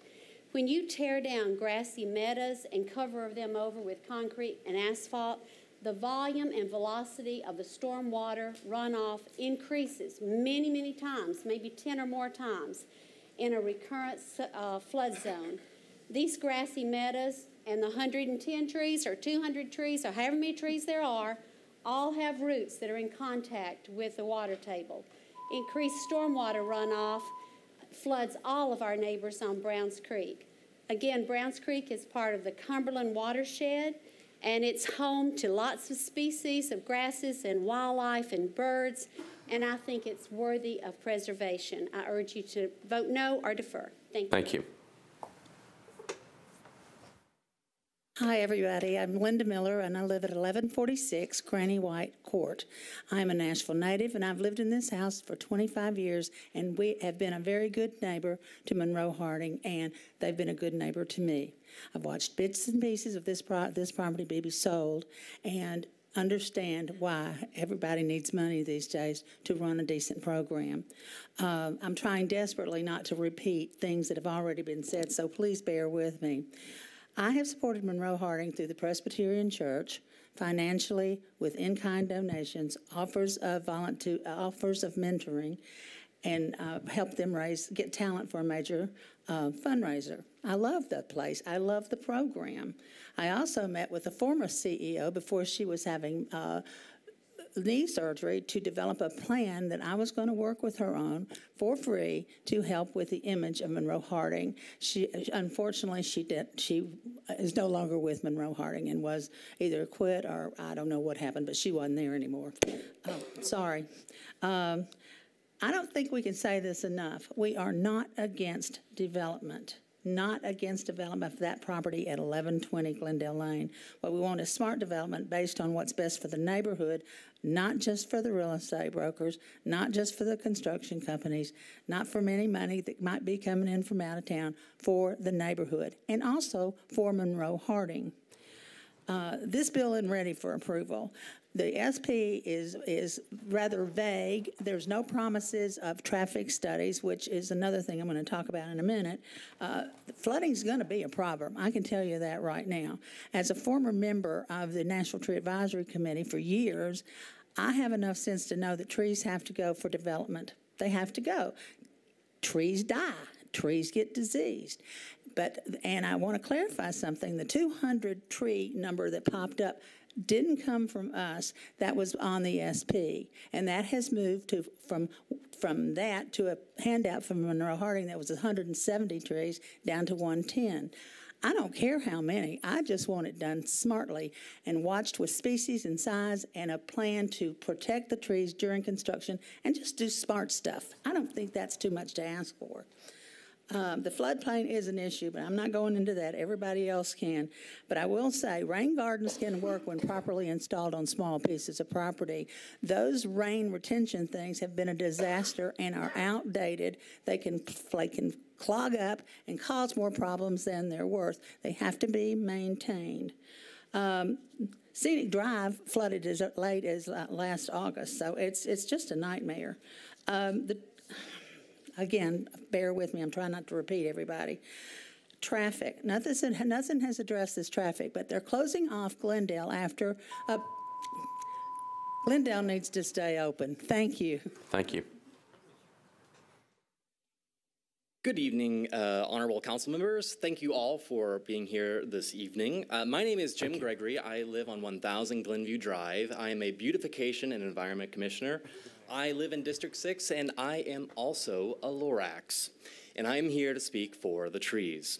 I'm also here to speak with Green Hills residents who are calling for smarter development of this community. I'm here to ask you all specifically to consider not to support this SP without amendments made to it, specifically uh, with specific mature tree preservation requirements. And that's what this SP lacks. And I'll get into that in here in a second. In an unprecedented vote, the Planning Commission voted unanimously, 7 to 0, to oppose this SP as it currently is, not only just because of the lack of historic preservation, but also because of the lack of mature tree preservation. There are beautiful mature trees on this property that are generations old. In fact, there are two big old tree contest winners, otherwise known as the Tree Grammys, from Nashville Tree Foundation on this property, just to give you kind of an idea of what type of quality and stock of trees that are on this property. Uh, Councilman Pulley, I want to thank you very much for the diligent work that you've done uh, that gone in, that's gone into this SP. I have read it. Uh, I've read the specifics regarding the landscaping and planting details. And although it does include a fantastic selection of native tree replacements and a tree survey, it does not have a measurable mature tree preservation plan. With just a tree survey, it falls short of requiring a small portion or any portion of these large oak trees and other specimens to be preserved through development. These large, large trees are irreplaceable, and the, S, the replacement trees that are referred to in the, in the SP are a misnomer. They're misnamed because they are simply substitutes, necessary patches that our community must make when large, healthy, beautiful trees are torn from our community. The temporal loss of waiting generations for replacement trees to grow, towering once again, are measurable. They're measurable. That if, even if there's 100, 200, if let's say there's 100 uh, mature trees on this, that's 400,000 gallons of stormwater that's going to be going into our streets. Uh, there are measurable air quality benefits that save our city healthcare costs because that's less people that have asthma and other these other diseases. Uh, there are immeasurable benefits to happiness, and let's think about like if you're if you're having a bad day and you find a you find a shade of a big tree uh, maybe that'll just make you less cranky and less anxiety, and we'll just be an overall happier city all altogether. I would hope so. um, and so I just want to say that these benefits of keeping mature trees where they're growing to a community uh, are, are worth a long consideration. And so, in light of the Planning Commission's unprecedented vote, I will ask you all to consider setting a precedent with this SP and support adding an amendment that puts specific, measurable tree preservation in it. Thank you, Councilman Pulley, and thank you, council members, very much. Thank you. Good evening, everyone. My name is Lynn King. I live at 102 Braxton Hill Court, and thank you for your attention this late at night, especially on Election Day. Uh, I am also the co-lead of our neighborhood uh, group. I do want to point out something that did not make it into your packet, and this is 650 signatures from the city of Nashville, residents that are opposed to this uh, development for the various reasons that you've heard already today. Uh, the SP is designed to protect all sides, provide certainty, limit impact, and let's make sure it all says that and that there's no holes in it. As Kathleen said, our first speaker, that we're just not there yet with the SP or the bill. We're asking for deferral so we have some time to get there. Deborah mentioned a couple of new findings around potential Indian burial grounds and um, crawfish or crayfish, whichever one you want to call it. However, um, we haven't gotten here for a couple of reasons. We did need some time to hire an attorney as well as an engineer and do our due diligence. Both took time to find and inform, and we are now at the place where we can, are ready to have conversations with our councilmen and other parties, and our relationship is just not there. For whatever reason, I'm sure Councilman Pulley could blame us. We could blame Councilman Pulley. It doesn't matter. We, um, we want enhanced communication and to move forward from here. There are some inconsistencies in the language that I want to focus on that makes us very nervous. This is a legal document. The document, the site plan, um, has inconsistencies. For example, there's supposed to be either institutional or residential use.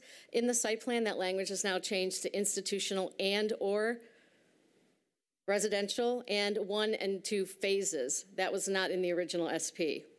We talked about density already. I do want to state that R20 zoning calls for 20,000 square foot lots, as you know, one and two family homes.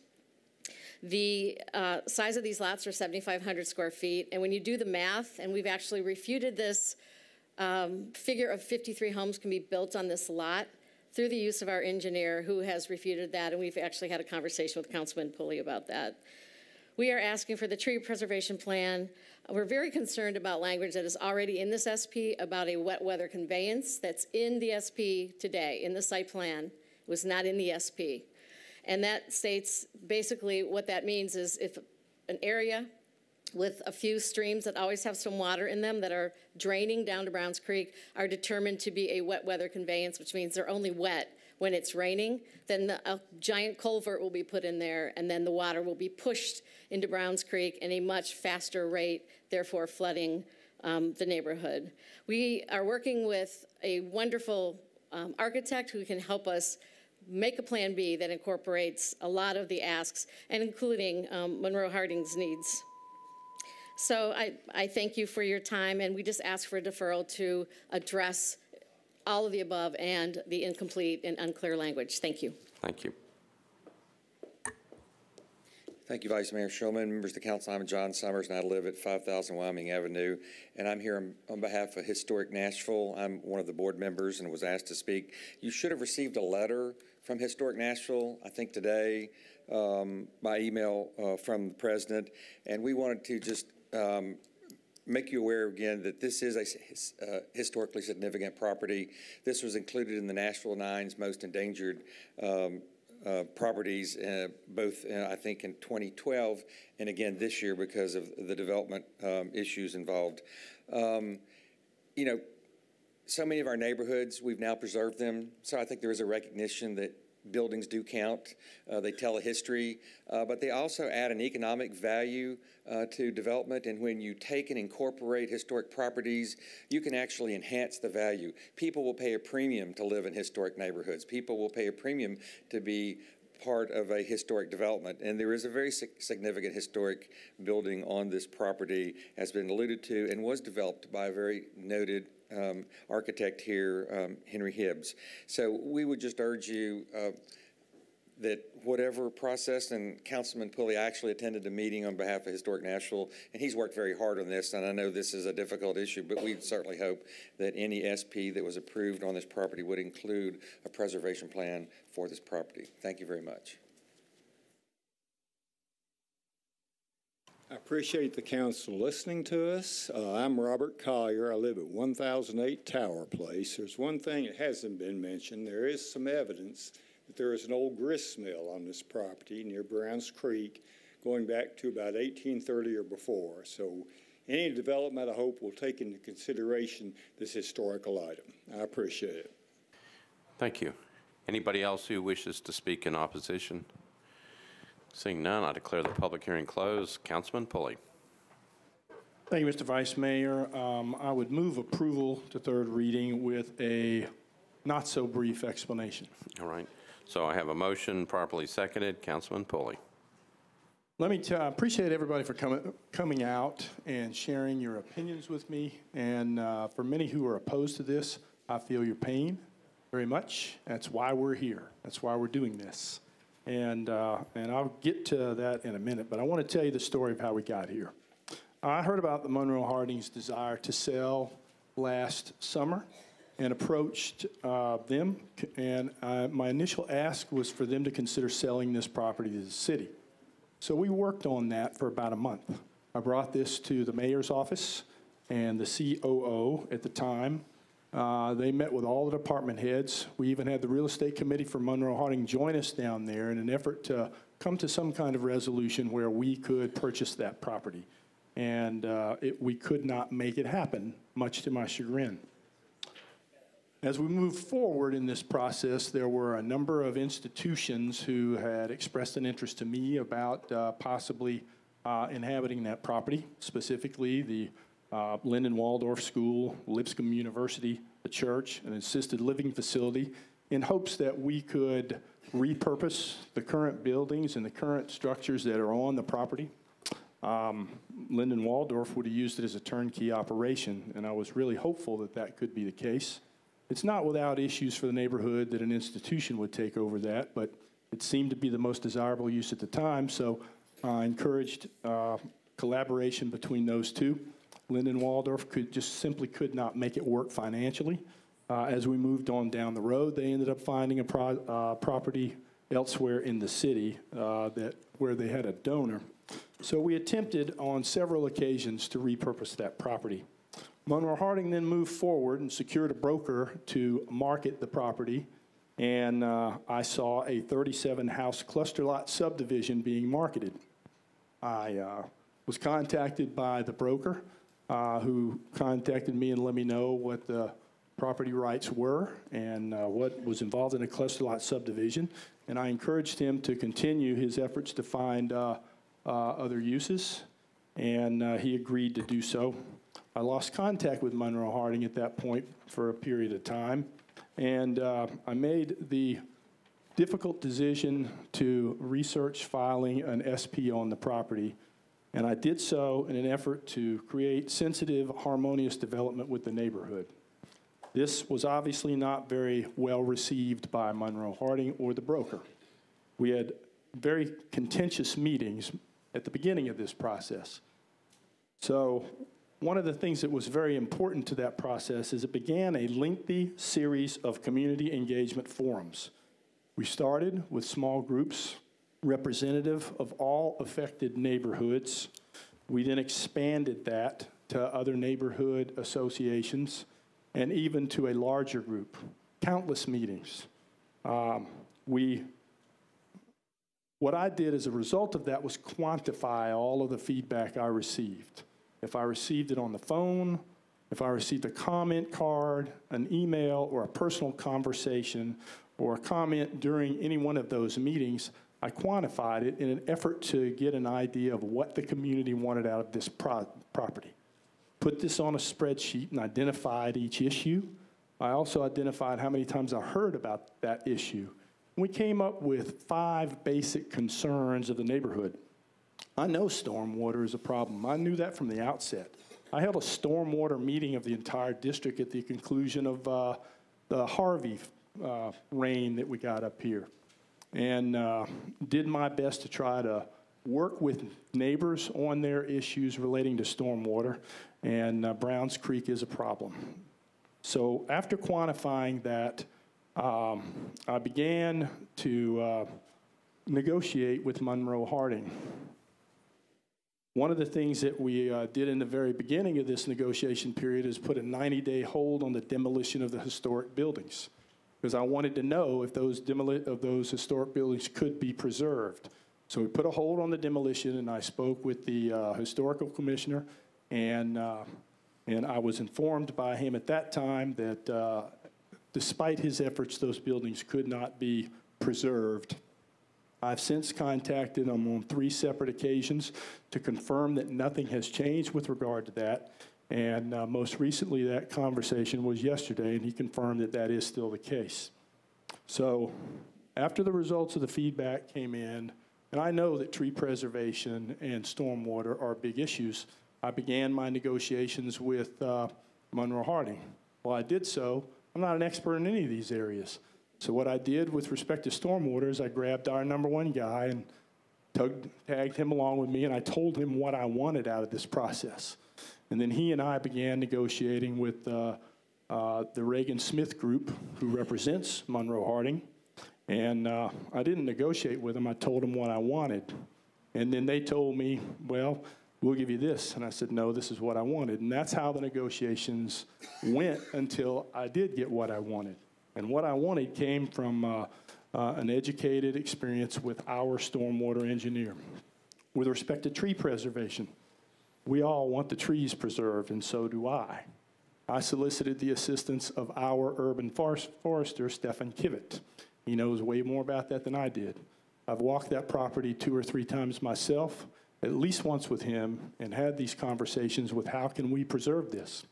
Stefan Kivett is the man who will enforce any tree uh, ordinance or tree uh, stipulation we have in the SP. So I told him what I wanted, and he gave it to me. I wanted to preserve as many trees as we could.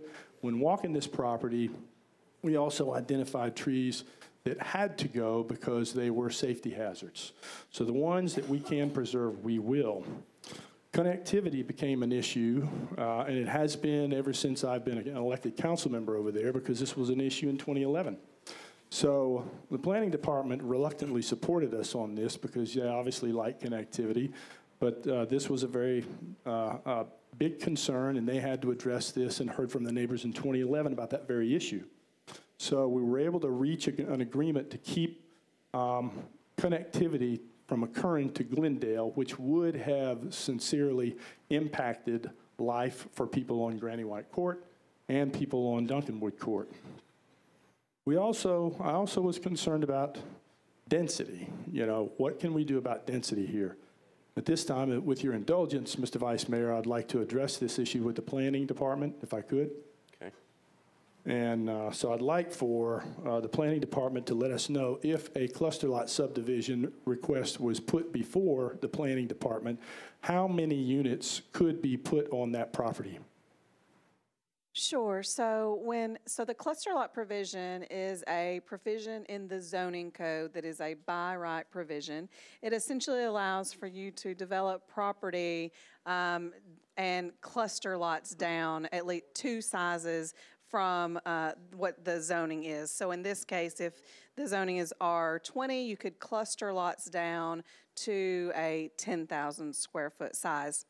Um, how you come up with the number of lots that would be permitted is the total land area is uh, is taken. You remove 15%, um, assuming that for um, infrastructure, roads, those sorts of things, and then the uh, area that is remaining is divided by the lot area requirement. In this case, 20,000. Um, and so in this case, you could cluster down to um, 36 uh, lots, with nine of those, 25% being eligible for duplexes, for a total of 45 units. So it's 45 units under the cluster lot subdivision. I believe the 53 referred to in the, uh, S- in the uh, staff report uh, is raw data based on uh, acreage alone. And uh, so Where that came from? 47, that number that you just heard from the planning department is a very real number under which they would be exposed without protections. So after, uh, after much, uh, con- many contentious negotiations, we finally came to an agreement on all of the amendments.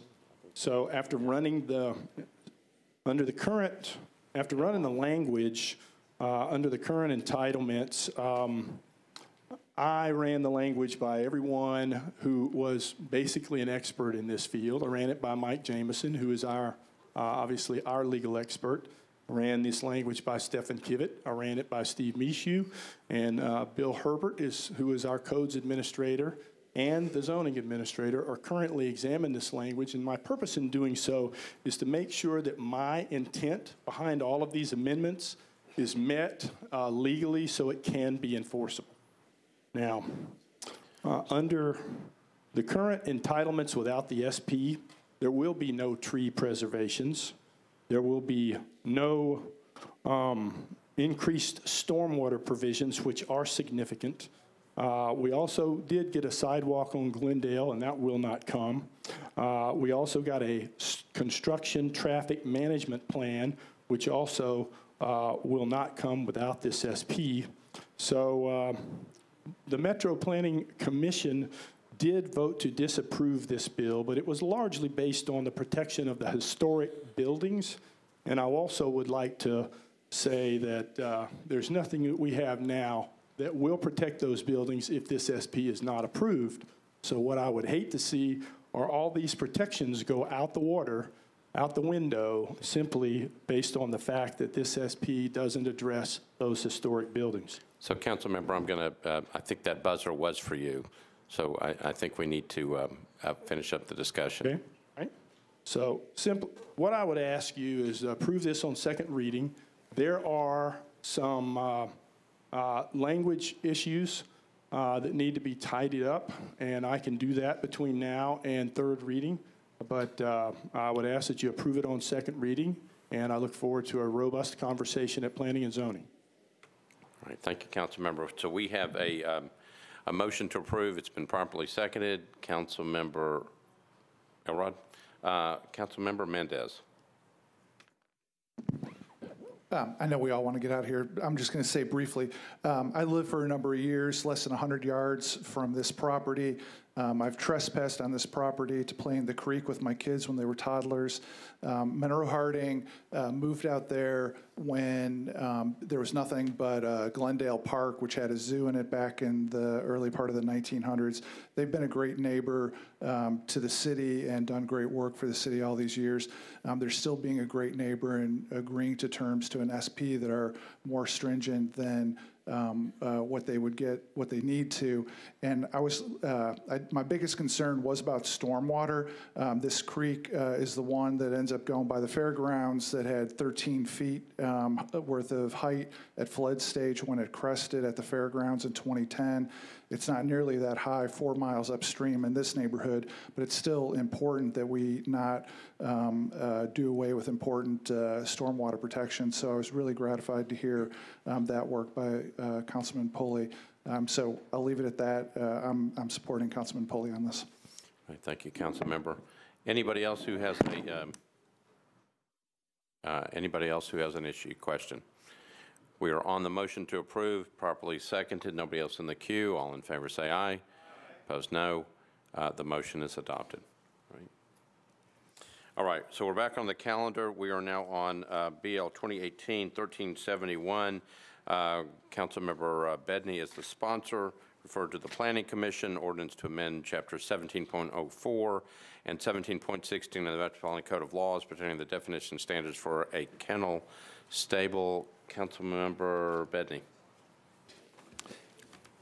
Uh, yeah, thank you. I'm going to ask for a deferral uh, of this legislation to the first meeting in uh, December, and I'd like to give a brief explanation with your permission. All right, so we have a motion to defer to the first meeting in December, properly seconded. Councilmember Bedne. So we, the objective of this legislation was to um, draw attention to an issue that uh, we need to address where we um, do the will of the many without hurting the minority. What ends up happening many times is that we all want to have a good place to take our pets. I have two dogs and I love them to death, and I want to make sure that they have a good place to be when I am out of the city. But we don't want anybody to wake up one day finding 50 barking dogs next door, uh, and they were not told about it. So, uh, against my better judgment, I decided to take on this uh, challenge and see if we can find some kind of a compromise. Uh, I put together this uh, legislation, then I called a meeting. We had a meeting at the Kentridge Community Club. Many people came from the Kennel Association and other groups. And we are still interested in your feedback. People are watching this, people are listening to this. Uh, Hannah, with the council staff, has been gathering information from people. If anybody is interested uh, in providing feedback, please call the council office and talk to Hannah or call me directly 615-829-6226 and let me know what you think should be done. I got a call from the Beacon Center. I was very happy. However, how, as many people as want to call me to give me their feedback on this, it's welcome. We want to make sure it's a good, inclusive legislation that addresses the needs of everybody. And that's why I need to defer it to December, so we have time to get all that feedback and try to include in the legislation. So with that, I'm asking for your vote on deferring to the first meeting in December. All right, thank you, council member. Uh, We have a motion to defer the first meeting in December. It's been properly seconded. Any discussion? Seeing none, all those in favor say aye. Opposed, no. Uh, The motion is adopted.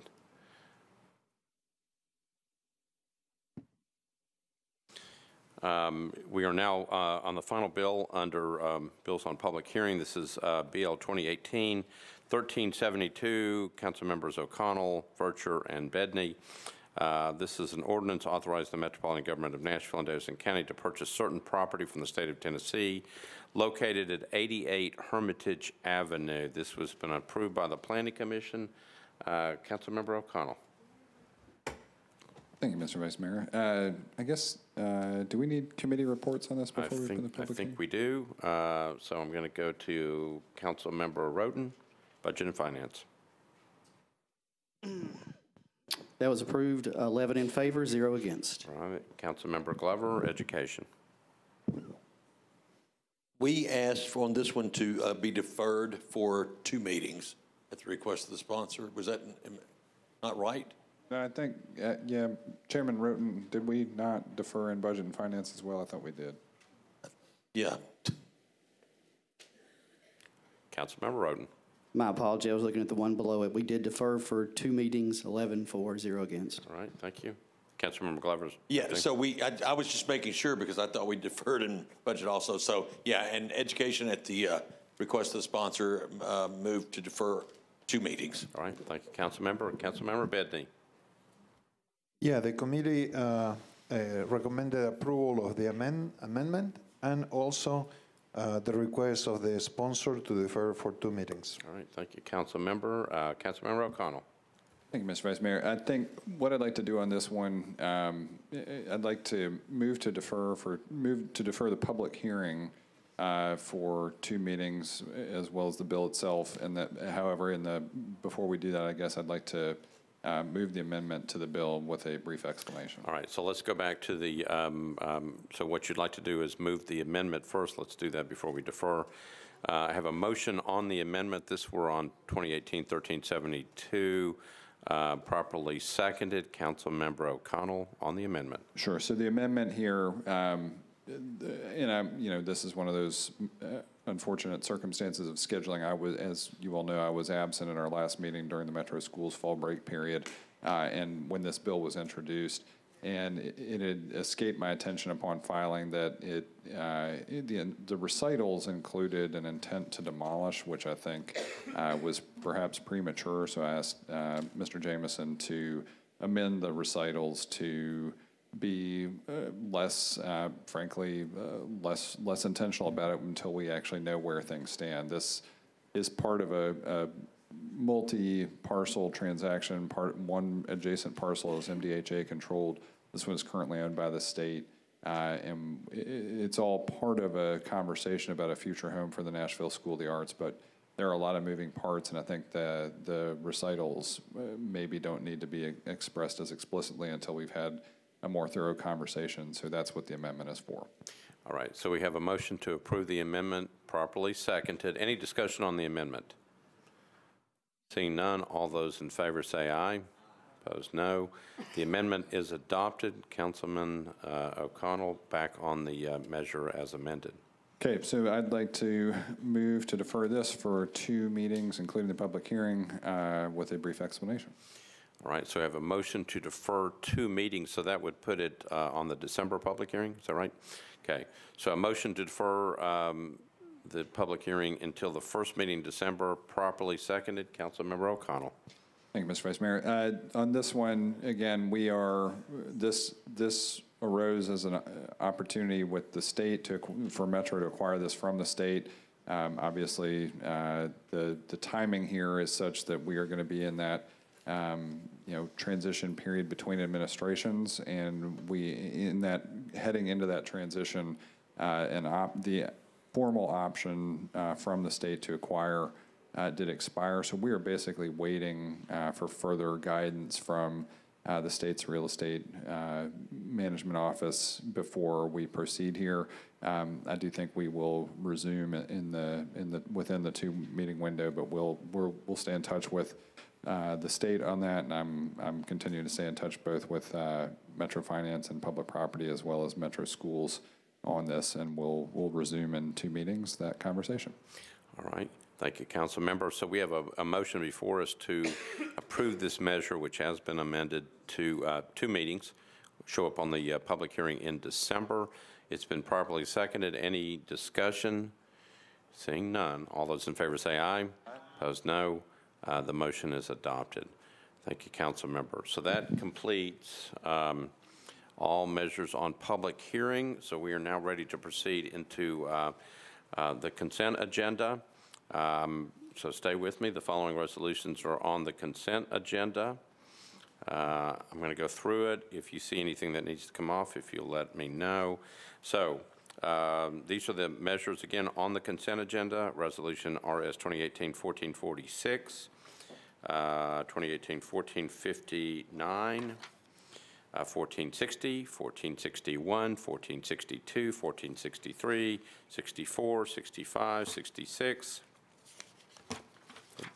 67, 68, 69, 1470, 1471, 72, 73, 74, 75, 1477, 1478, 1479, 1480, 1481, we've already handled 1482, 1483, and 1484. Anybody see anything that needs to come off the consent agenda? All right, seeing none, um, I'm going to read the captions of these um, measures. Um, This would be RS 2018-1446. Uh, Sponsors Hagar, Vercher, Freeman.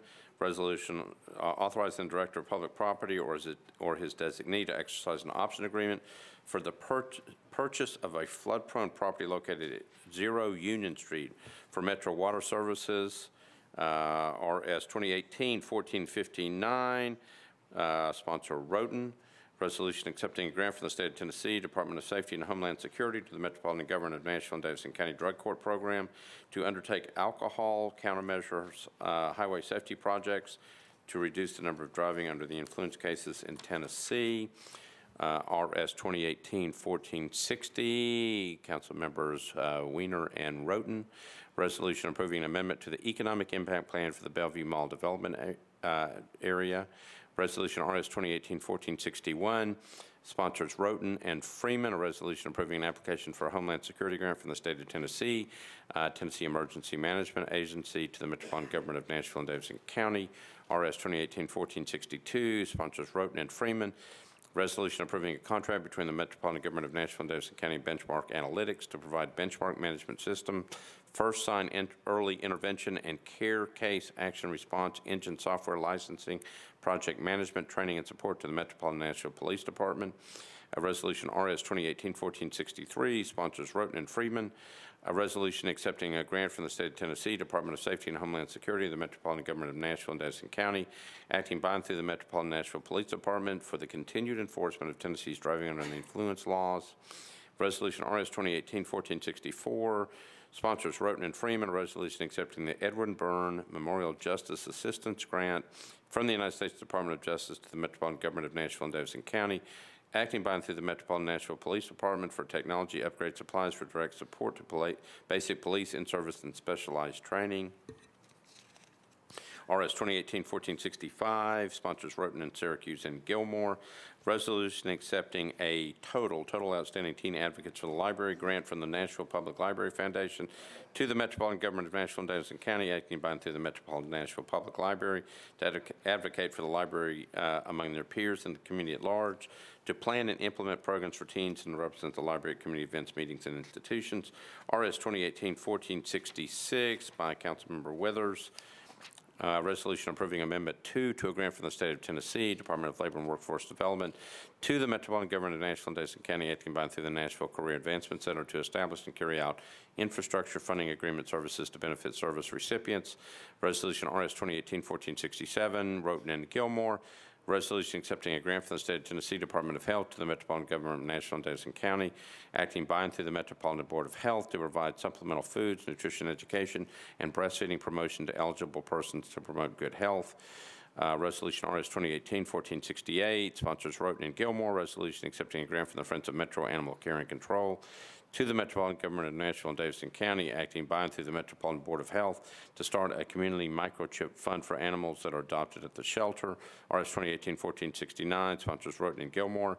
Resolution approving Amendment 1 to a grant from the Greater Nashville Regional Council to the Metropolitan Government of Nashville and Davidson County, acting by and through the Metropolitan Social Services Commission to provide meals that meet RDA nutritional guidelines and transportation access to eligible seniors and handicapped residents.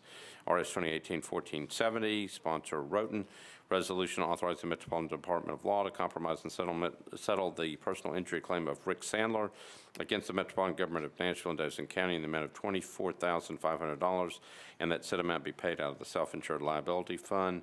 RS 2018-1471, sponsors Rhoten, O'Connell, Allen. A resolution approving an application for a curbside recycling grant from the Tennessee Department of Environment and Conservation to the Metropolitan Government of Nashville and Davidson County, acting by through the Metropolitan Public Works Department to fund the purchase of curbside recycling trucks. Resolution RS 2018-1472. Sponsors Rhoten, O'Connell, and Allen.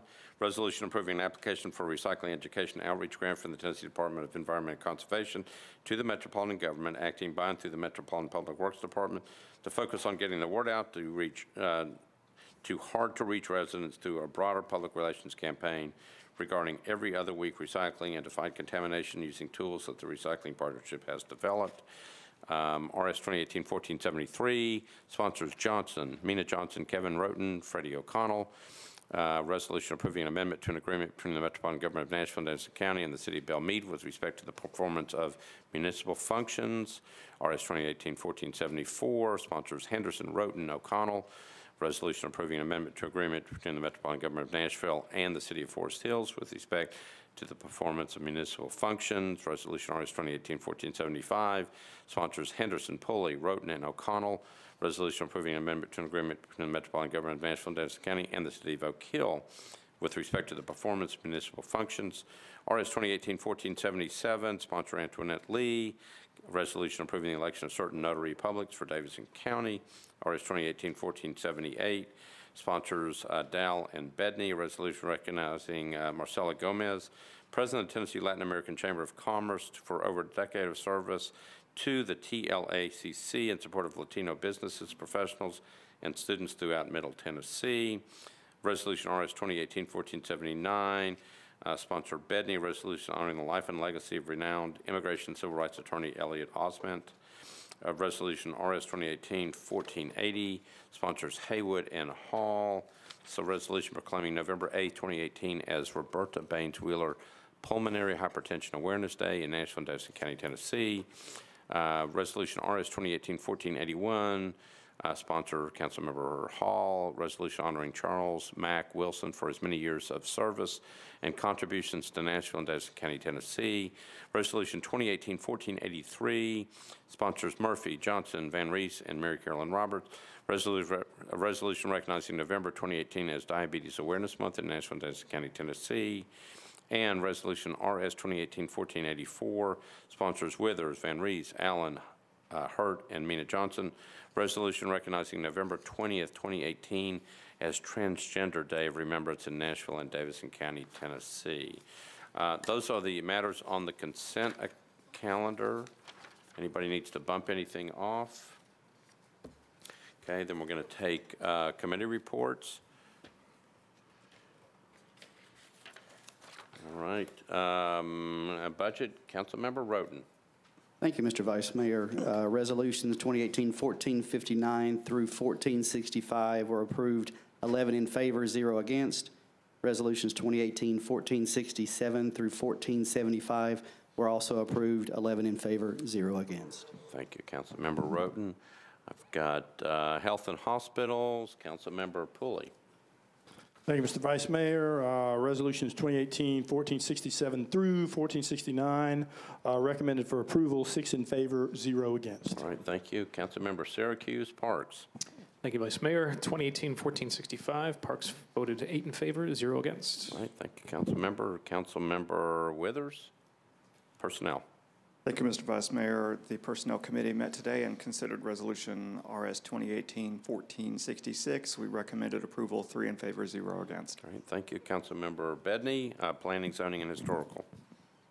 Yeah, thank you, Vice Mayor. Uh, This was a toughie. We had to have a long conversation about what to do about this uh, resolution, but they decided to support it, nine, four, zero against. All right, thank you, Councilmember. Uh, Councilmember Freeman, uh, Public Safety. Thank you, Vice Mayor. Public Safety Beer and Regulated Beverages voted RS 2018-1461 through 64 to approve, five in favor, zero against. All right, thank you, Councilmember. Councilmember O'Connell, Public Works. Thank you, Mr. Vice Mayor. We voted uh, 11 in favor, zero against uh, on all of the items on the consent agenda. I've- I've got uh, 1471 through 1475. Yep. Does that look right? That does look right. All right, thank you. Um, Yes. All right. 1471, 1472, yep, all those. All right. And uh, last but not least, I believe uh, Councilmember uh, Lee, for Rules Confirmation Public Elections. Thank you, Mr. Vice Mayor. Um, Rules approved by seven to zero. The following resolutions, RS 2018-1476, 1477, 1478, 1479, 1480, 1481, 1482, 1483, and 1484. And with all of the committee reports in, I would like to move approval of the consent agenda. All right, uh, so I have a motion to approve all those measures. It's been properly seconded. I think you mentioned RS 2018-1476, which I believe has an abstention, so we'll pull that one off the consent. Uh, It will come back to it, Six, though. yes. Um, So everything else stays on. Properly, mo- proper motion, uh, it's got a proper seconded. Any discussion? Seeing none, all those in favor say aye. Opposed, no. Uh, The motion is adopted. Okay, so now we go back to uh, um, resolutions that were not on the consent agenda.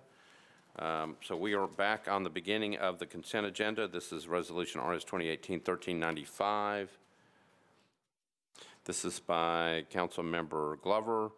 Uh, Resolution appropriating the amount of $360,000 from the General Fund Reserve Fund for the purchase of equipment for the Nashville Fire Department. Councilmember Glover. Thank you, Vice Mayor. Uh, Committee reports, please. All right, it's referred to budget. Um, Chairman Rhoten. Thank you, Mr. Vice Mayor. Uh, Budget and Finance uh, voted one in favor, nine against. Okay, thank you, Councilmember. Back to Councilmember Glover. Thank you, Vice Mayor. Um, I'm going to move to withdraw, and uh, if I may, kind of explain why. All right. Yesterday, it got a little contentious, and it did for a reason. Um, Because back in September, when we originally started working on this, uh, I uh, actually sent out uh, information to the fire department, and very specifically, the, the director signs this on September the 10th, and it has to do with the hoods. This is equipment that they need uh, and, and for their fire protection.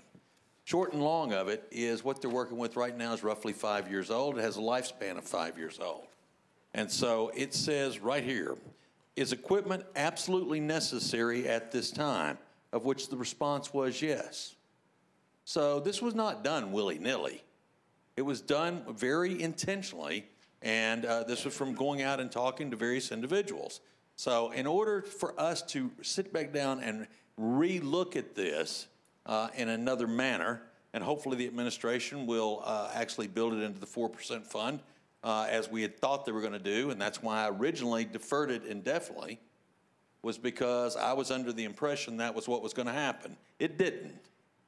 So that being said, I'll withdraw. Uh, but again, yesterday I think everybody felt like that we weren't actually following the process. We actually were following the process.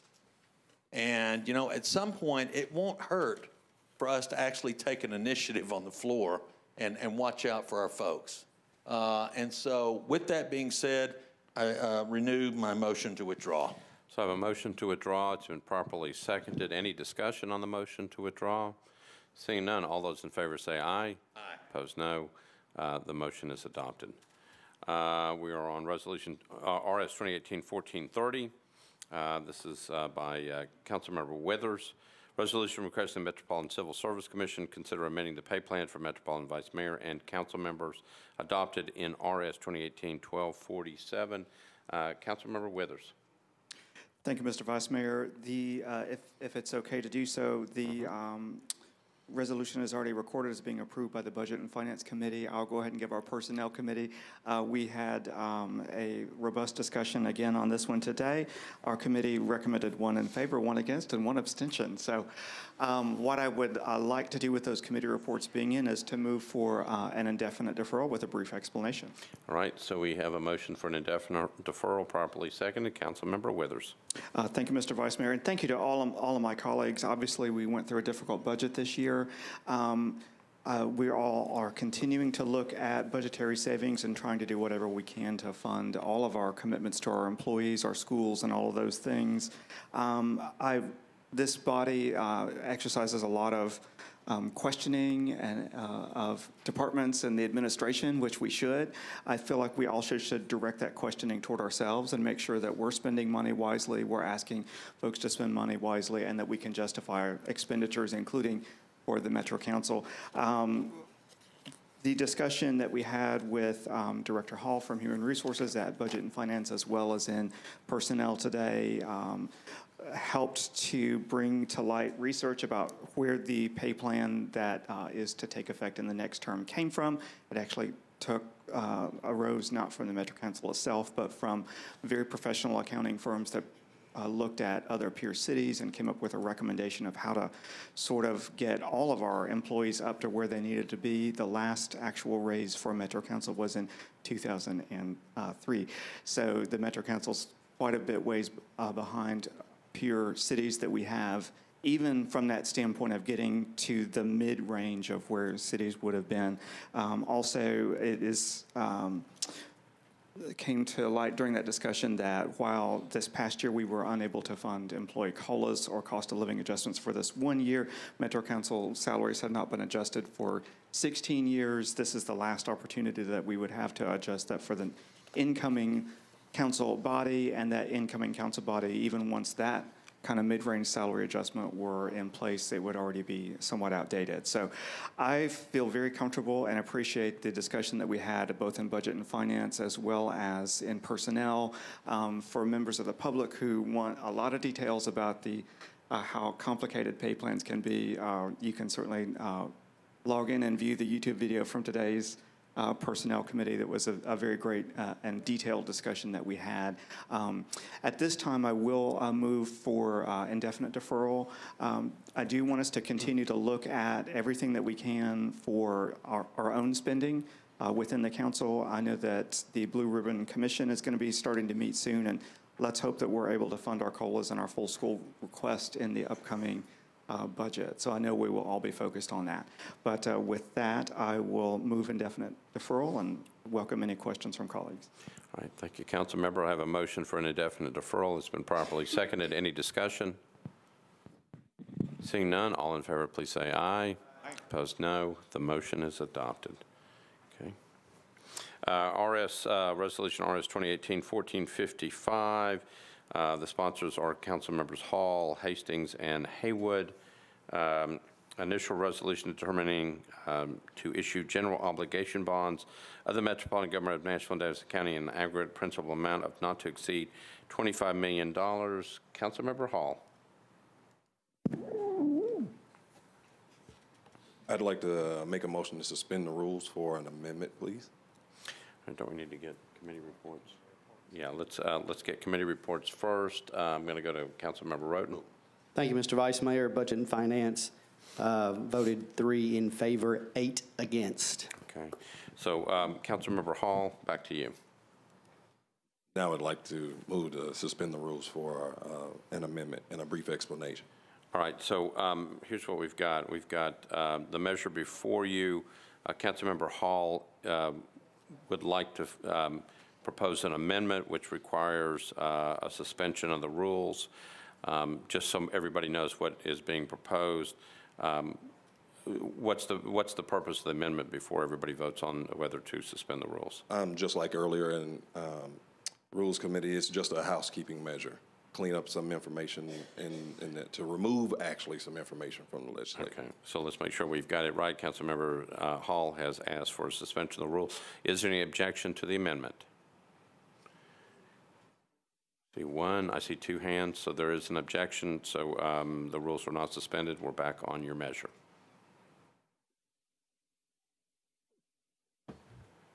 I'd actually like to uh, move for a two-meeting referral to the second week of December. Excuse me, that would be three meetings, I believe. Okay, so you want to, there's a motion uh, to defer until the second meeting in December, properly seconded. Uh, Any discussion? Seeing none, all those in favor say aye. Opposed, no. Uh, The motion is adopted, all right? Okay, the um, one last remaining measure on your um, agenda um, that is, um, was not on the consent calendar is Resolution RS 2018-1476. RS 2018-1476. Uh, Councilmember Lee is the sponsor. Resolution confirming the appointment of the members of the Tax Increment Financing Study and Formulating Committee established per ordinance BL 2018-1315. Um, Councilmember Lee. And thank you, uh, Mr. Vice Mayor, and I am so sorry that I left this off before. We did have one person to abstain um, in the committee on this because he is also on the committee. All right. So I'd like to move, Move for approval? please. All right, uh, properly seconded. Councilmember Mendes. Please mark me as abstain on this one. Okay. All right, uh, we have a motion and a second uh, on this measure. I think it requires us to be on the board. Madam Clerk, uh, would you open up the board? We are on voting on, again, Resolution RS 2018-1476.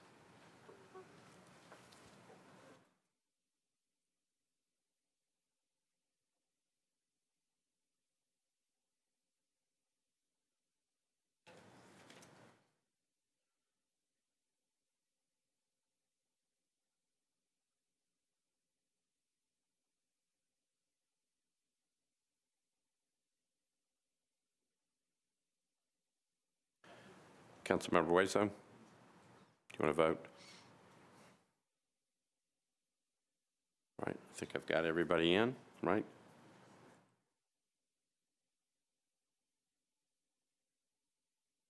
Madam Clerk, close the board, take the vote. 28 in favor, one abstention. Uh, The motion passes. Thank you.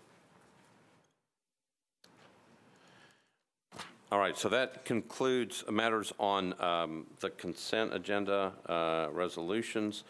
Um, We have two late filed resolutions. I'm going to go to those. Um, Let me figure out what we want to do with those. So I have, um, doesn't matter which one. So um, um, I'm going to go to a late file resolution by Councilmember Henderson.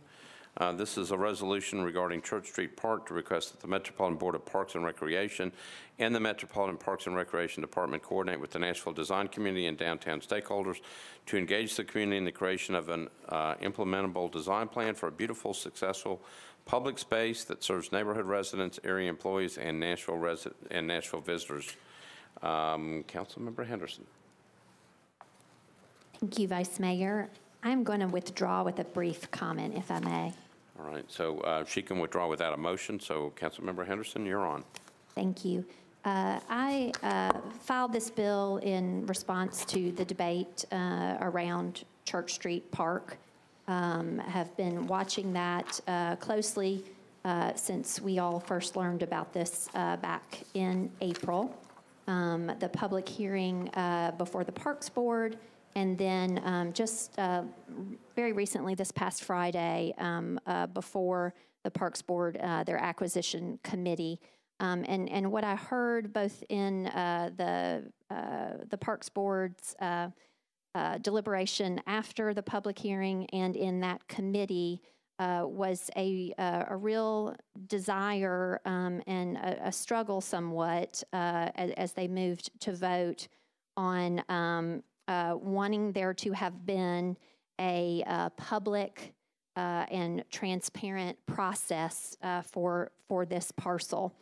Um, and so uh, I, I filed this resolution really as a placeholder in advance of the Parks Board's uh, debate um, today um, uh, to show uh, support um, uh, just for that because, you know, public design process um, for public space matters. And um, I respect uh, Councilman O'Connell very uh, much um, and, and this particular uh, park that has been a real challenge in his district. Um, and he and I have talked about um, uh, the you know variety of possibilities really to make this an excellent public space um, uh, for the residents uh, of downtown and on Church Street that they deserve. And so, um, again, just in response to what I heard from the Parks Board members who voted against this today, um, they really did want a fair, transparent, proactive process wherein um, there would be a public uh, request for proposal um, to redesign and enhance um, uh, our challenging park locations rather than responding to unsolicited single proposals of individual developers or entities um, that are directed and negotiated uh, specifically to the mayor's office. So I would just say to, to colleagues that I, I feel like we need to uh, turn a corner on, on this kind of approach uh, that we've been doing. We've seen uh, several of these now. And so um, as we, I I- I will be withdrawing, but as we look to this, um, let's listen to our Parks Board and what many uh, of them wanted, because they will continue to be put into this position as there is an increasing demand on park space. Um, And I think we, as a council, can really uh, lead when we look at, um, you know, the myriad uh, properties, whether in Green Hills on Charlotte Pike, uh, former school properties, uh, parks properties, um, in making sure that that is a um, community-driven and engaged process um, wherein uh, the community informs uh, the request for proposal rather than backwards where the deal that's already been negotiated with one individual entity informs the RFP and then we have community meetings for that. Um, So I think we can do good work together as a body to try to come up uh, with a process um, for uh, similar uh, things. And uh, I would invite uh, colleagues to join me in that effort. And with that, withdraw. Thank you. All right, thank you, council member. The bill is withdrawn. All right, so uh, we had one other late file resolution. Uh, This is a resolution requesting that the Metropolitan Government of Nashville and Davidson County, uh, the Metropolitan Sports Authority, Metro Board of Fair Commissioners, and Nashville Soccer Holdings Development LLC refrain from construction demolition activity at the Fairgrounds Nashville until resolution of a legal proceeding in the matter Save Our Fairgrounds at All versus Metropolitan Government of Nashville and Davidson County, Tennessee. Councilmember Glover. I'm sorry, say that, one- I'm, I'm sorry, Vice Mayor, I mi- I missed you. This is the late file. Yeah, I thought, I'm- I'm, that's why I thought we were, I'm withdrawing it. I didn't think it was going to be brought up. All you have to do is just ask for a Okay, withdrawal. okay, yeah, then I'm asking to withdraw. So the matter is withdrawn. All right? Thank you. So that should take care of all matters on um, late filing. Thank you, Councilmember Glover. All right, so we are now on bills on uh, first reading. Uh, If there is no objection, we'll consider all ordinance on first reading in one vote at this time.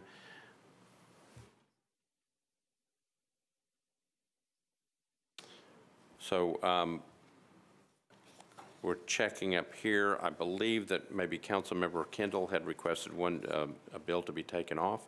Councilmember Bedne? My microphone got stuck, sorry. All right, no problem. Uh, At the request of Council Lady Murphy, uh, we are, re- I'm requesting to pull out uh, BL 2018-1388. BL 2018-1388. 1388. 1388. It's on first reading. I got it.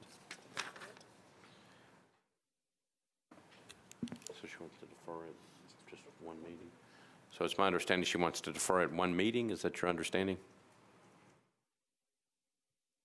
To the first um, reading in December. All right. So uh, we've had a request to move that meet, uh, to move that to the first meeting in December, just make sure we do it correctly. So um, have a motion to move BL 2018-1388 to the first meeting in December. Uh, Properly motion, proper second. Any discussion on that? Uh, I've got people in the queue. Anybody want to talk about this particular bill? All right. So uh, all those in favor of the motion, please indicate by saying aye. Opposed, no. Motion is adopted. All right. And then uh, Councilmember Weiner. Uh, Yes, um, for Councilmember Kindall on BL 2018-1398, I need to pull that. All right. So we're, are we pulling that or? We're um, pulling it so we can defer at one meeting. Okay, pulling it so we can de- defer it Defer one one meeting. So meeting. The motion is defer one meeting. This Right. is BL 2018-1398.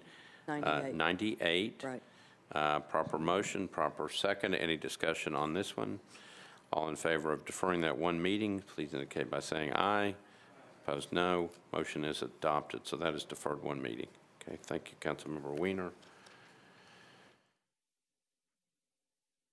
Councilmember Davis, anything?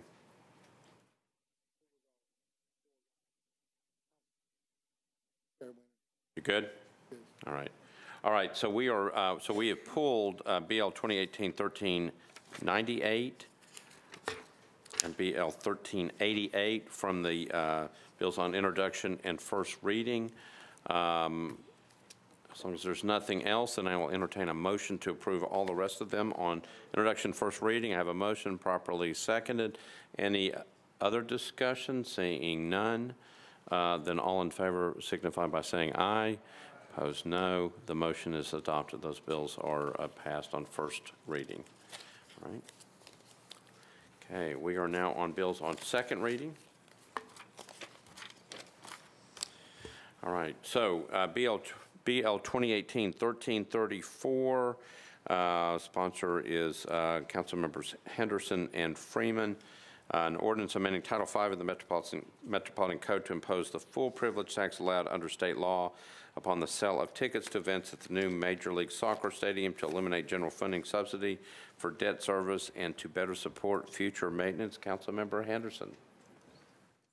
Uh, Thank you, Vice Mayor. Committee reports, please. All right, Councilmember Rhoten, Thank, budget. thank you, Mr. Vice Mayor. Uh, Budget and Finance voted 11 in favor, zero against to defer one meeting. Okay, Councilmember Swope, codes. Codes Fairs Farmers Market voted to defer one meeting per the sponsor's request, four for, zero against. All right, and Councilmember Hurt. Thank you, Mr. Vice Mayor. Conventions, tourism, and public entertainment facilities voted five, four, and zero against for a deferral. All right, thank you, Councilmember. Councilmember Henderson. Uh, Thank you, Vice Mayor. I think we had a, a good discussion in both Codes Committee and Convention in Tourism, and I appreciate the suggestions of my colleagues. Um, And uh, with that, I would move a one-meeting deferral, please. Right, so we have a, a motion to uh, defer one meeting, properly seconded. Any other discussion? Seeing none, all those in favor say aye. Opposed, no. The motion is adopted. All right. Uh, We are on BL 2018-1373, Council Members Murphy, Vercher, and Bedne. Uh, This is an ordinance declaring surplus and approving the disposition of a parcel of real property known as 3800 Charlotte Avenue. Um, I'm Trying to figure out who's got that bill. I've got Councilmember Bedne, or do we have Councilmember Rhoten who's got it? Got it. Councilmember Bedne? Yeah, I'm honored to carry all Council Lady Murphy's legislations today. All right. Councilmember Bedne recognized on the bill. I, uh, committee reports. All right, Councilmember Rhoten, budget. Thank you, Mr. Vice Mayor. Budget Finance approved, seven in favor, two against. All right, and back to you, Councilmember Bedne. The Planning Committee recommended approval, nine, four, zero against, and I move to approve on So second I have a motion for approval, properly seconded. Any discussion on this? Seeing none, all those in favor say aye. Opposed, no. Uh, The motion is adopted. BL 2018-1374, uh, Councilmembers Pulley, Vercher, Bedne, an ordinance declaring surplus and approving the disposition parcel of real property known as 2025 Richard Jones Road. Uh, Councilmember Pulley. Thank you, Mr. Vice Mayor. Move approval. All right, so I need committee reports. Uh, I need council member Rhoten on budget. Budget and Finance approved, six in favor, two against. All right, thank you. And Councilmember uh, Bedne on planning. Uh, The committee recommended approval, nine, four, zero against. All right, thank you, council member. Back to council member Pulley. Uh, Thank you, Mr. Vice Mayor. Move approval. All right, got a uh, motion to approve, properly seconded. Any discussion on this? Seeing none, all those in favor say aye. Opposed, no. The motion is adopted. BL 2018-1375, um, Councilmember Mendes is the sponsor, an ordinance amending Section 2.206.010 of the Metropolitan Code of Laws regarding compliance by the Metropolitan Government of Nashville and Davidson County. Councilmember Mendes. Committee report, please. All right, I've got uh, Councilmember Lee. Thank you, Mr. Vice Mayor. Mm. Uh, We, um, the committee approved this.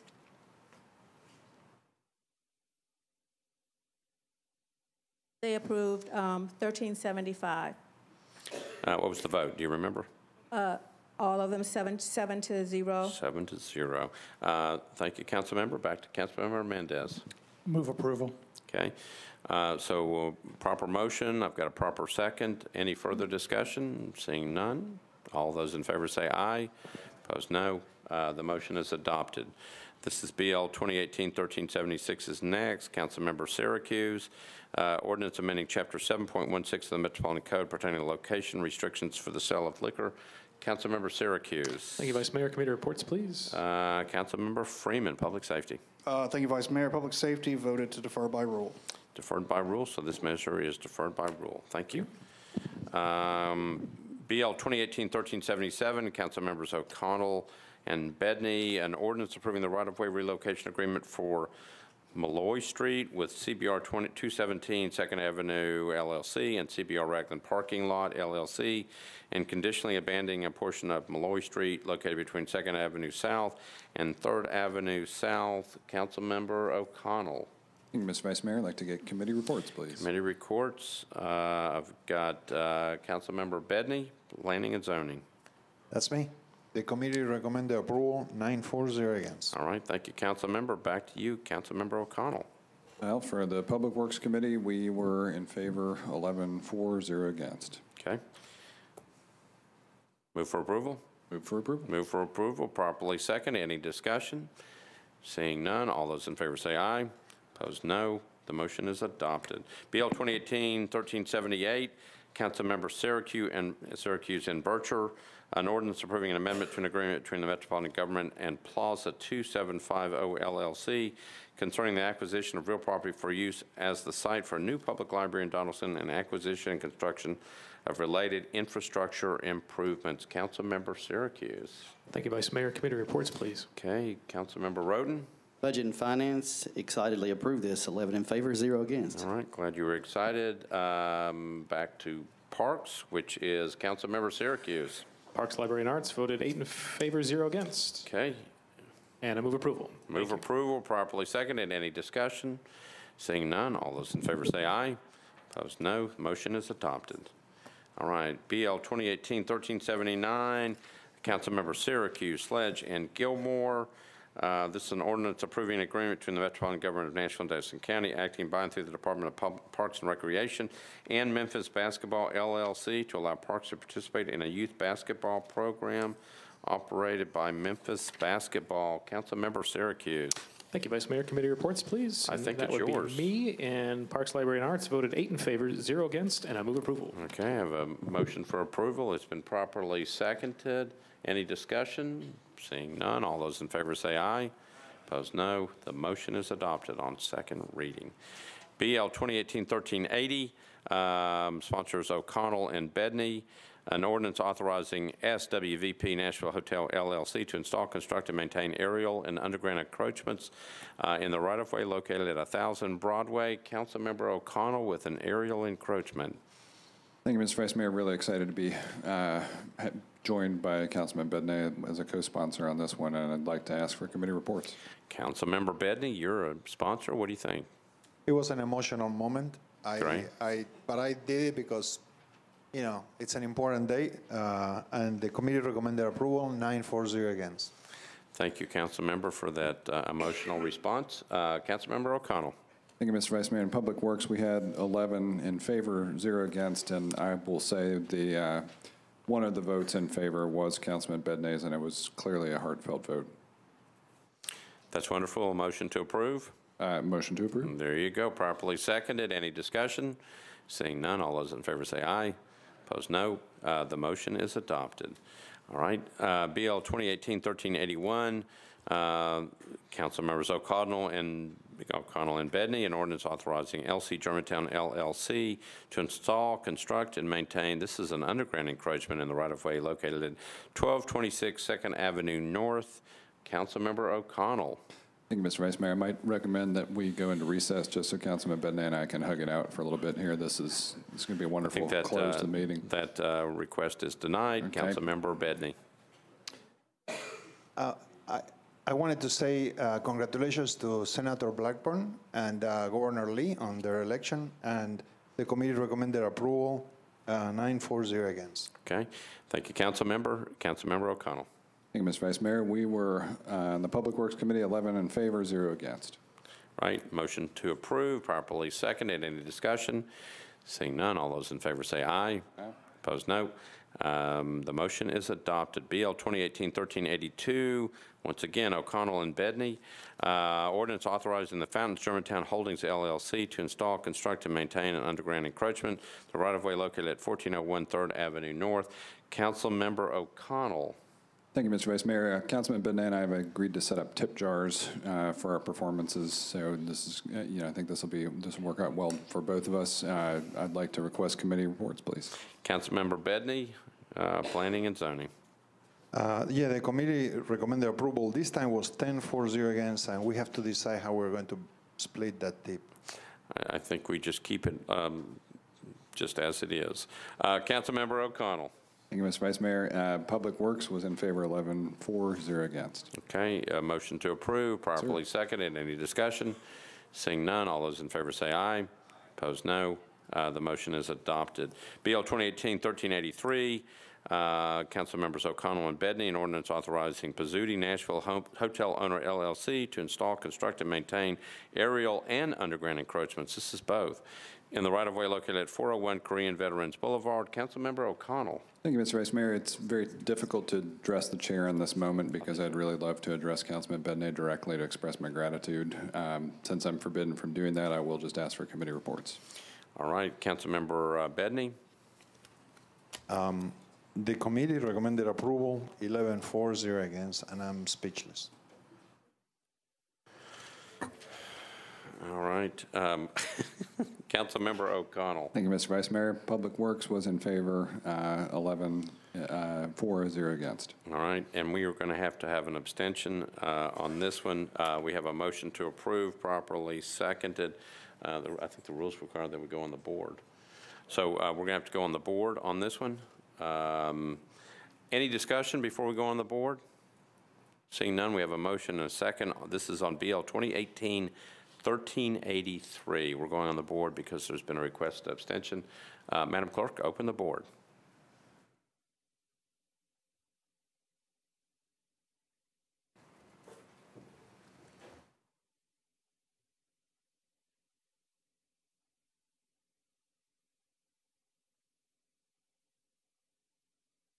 Councilmember Wazo? I think everybody's voted.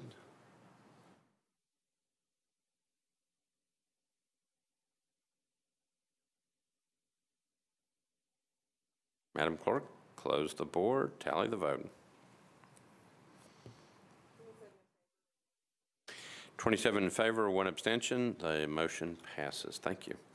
All right, we are now on bills on third reading. Um, BL 2018-1281 as amended. Uh, Council members Murphy, Henderson, Elrod, and Allen. Ordinance to amend Title II of the Metropolitan Code of Laws to codify a sexual harassment awareness and training requirement for employees and certain contractors. Uh, Councilmember Henderson. Uh, Thank you, Vice Mayor. With uh, committee reports in, uh, I would move to approve the bill as amended with a brief comment, please. All right, so we have a motion to approve as amended, properly seconded. Councilmember Henderson. Uh, Thank you, Vice Mayor. I wanted to thank uh, Council Lady Murphy uh, for her work on this. Uh, It was my uh, pleasure to join in co-sponsoring uh, with her. Um, She and I uh, filed this bill and engaged in this discussion uh, in response to corroborated allega- allegations of uh, harassment of a Metro employee um, by a Collier contractor. Um, And so uh, we hope that this ordinance, in some small way, um, will protect our employees um, as it relates to uh, contractors who are embedded in our departments um, as if, you know, they were Metro employees. Um, uh, And we, uh, Councilor Murphy and I would both encourage employees to please uh, not be quiet um, about harassment. Um, Don't be discouraged, and please uh, do come forward. Um, And with that, uh, I renew my motion uh, to approve. All right, so we have a motion to approve 2018-1281 as amended, It's been properly seconded. Any discussion? Seeing none, all those in favor say aye. Opposed, no. The bill is adopted uh, on third reading. Um, We have substitute bill 2018-1316. Um, This is uh, sponsored by uh, Councilmembers Dow and Allen. Ordinance to amend Section 17.24.060 of the Metropolitan Code of Laws pertaining to special screening requirements for dumpsters and other trash receptacles. Uh, It's been approved with a substitute by the Planning Commission. Uh, Councilmember Dow, Thank you. Committee reports.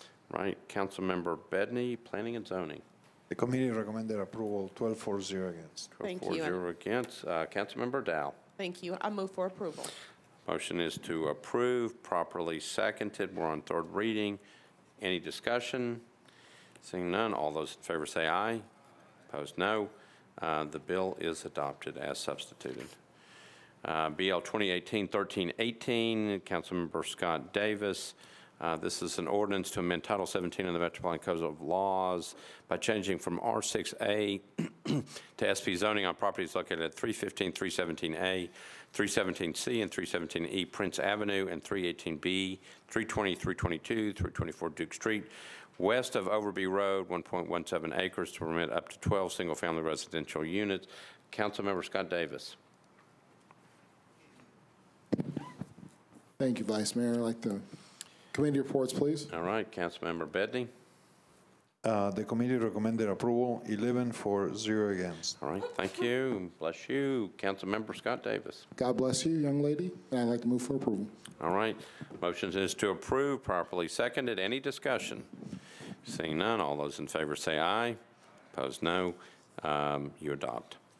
BL 2018-1324 uh, by Councilmember Scott Davis. Is an ordinance to amend Title 17 of the Metropolitan Code um, by changing from MUNA to CN zoning on properties located at 722 and 726 McFerrin Avenue at the southwest corner of McFerrin Avenue and Cleveland Street within the Maxwell Heights Neighborhood Conservation District. Councilmember Scott Davis.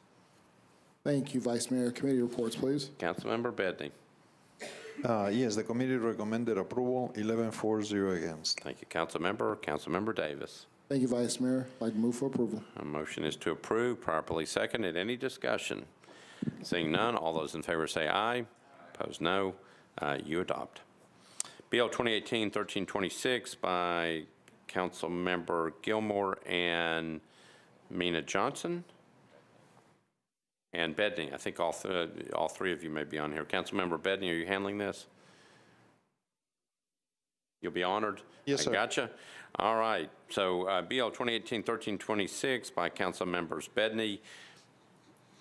I'll just leave it at that. An ordinance to amend Title 17 of the Metropolitan Code of Laws by changing from CS to SP zoning on properties located at 1601 57 Avenue- 57th Avenue North and 5700 California Avenue at the northwest corner of California Avenue and 57th Avenue North, 4.15 acres to permit 18 multifamily residential units. Councilmember Bedne. Yeah, I'm moving this legislation at the request of Council Lady Gilmore. Uh, Committee reports. All right, you've got the committee report. The committee recommended approval, 11 for, 0 against. Okay, and uh, back to you on the bill. Uh, And I move to approve. Move for approval, uh, properly seconded. Any discussion? Councilmember Roberts. I would like to be recused, please. Okay, uh, we have a recusal on that. Um, All right, so we have a motion and a second to approve. On the board. Okay, so we're going to have to go on the board. Uh, So we are now on, um, let's make sure we know where we are. We are on um, BL 2018-1326. There's nobody else in the queue. The motion, and there's a motion, a second to approve. Um, We're going to open up the board, so we are now voting on the measure. Madam Clerk, if you will open up the board.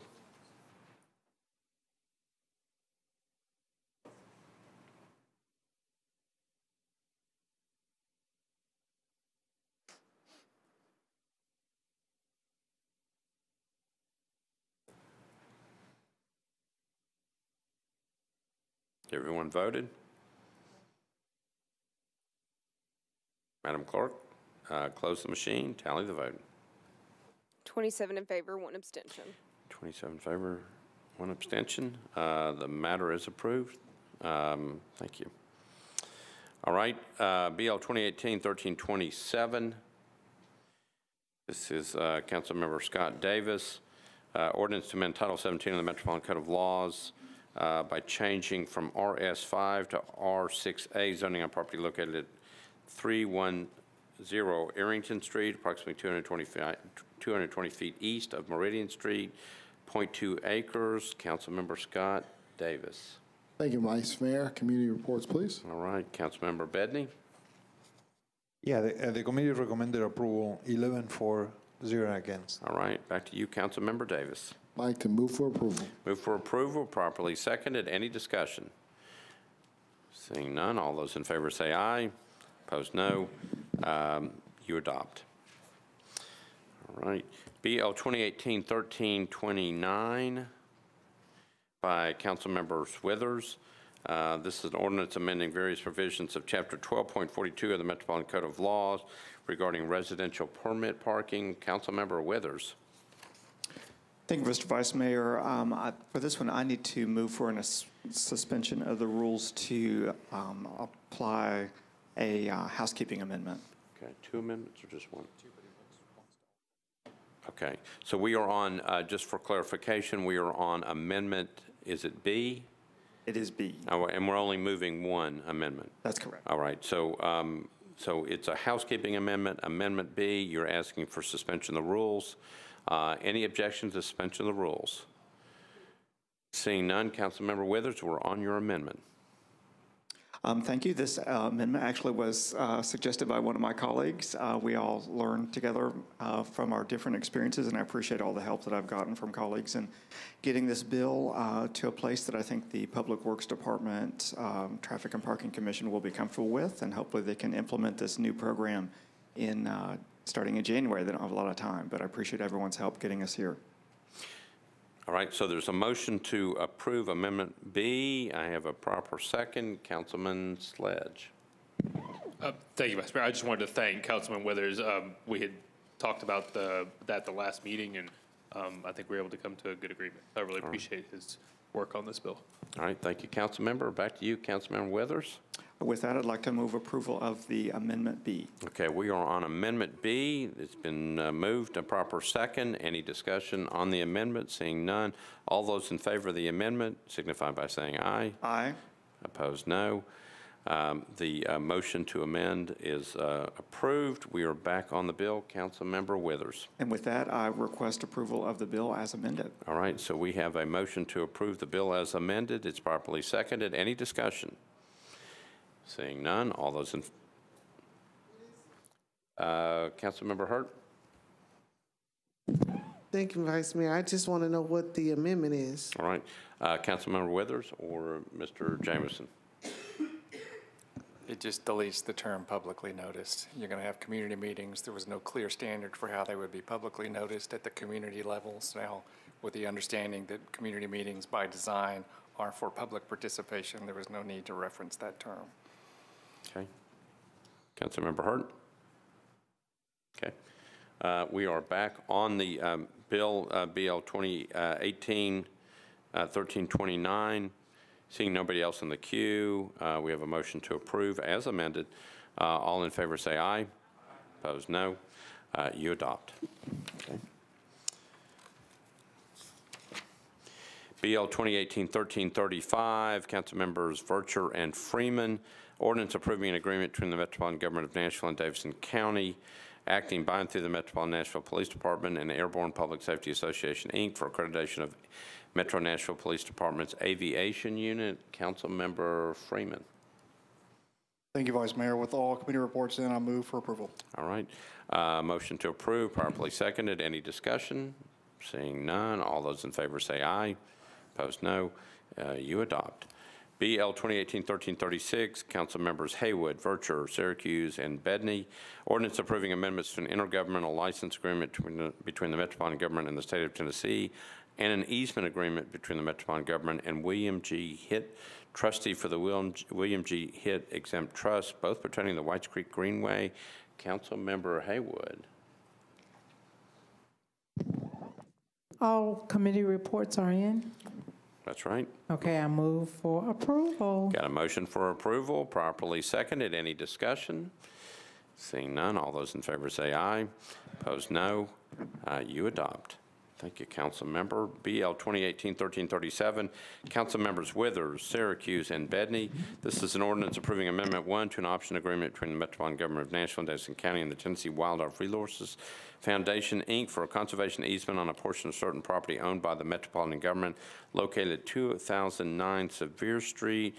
Council Member Withers.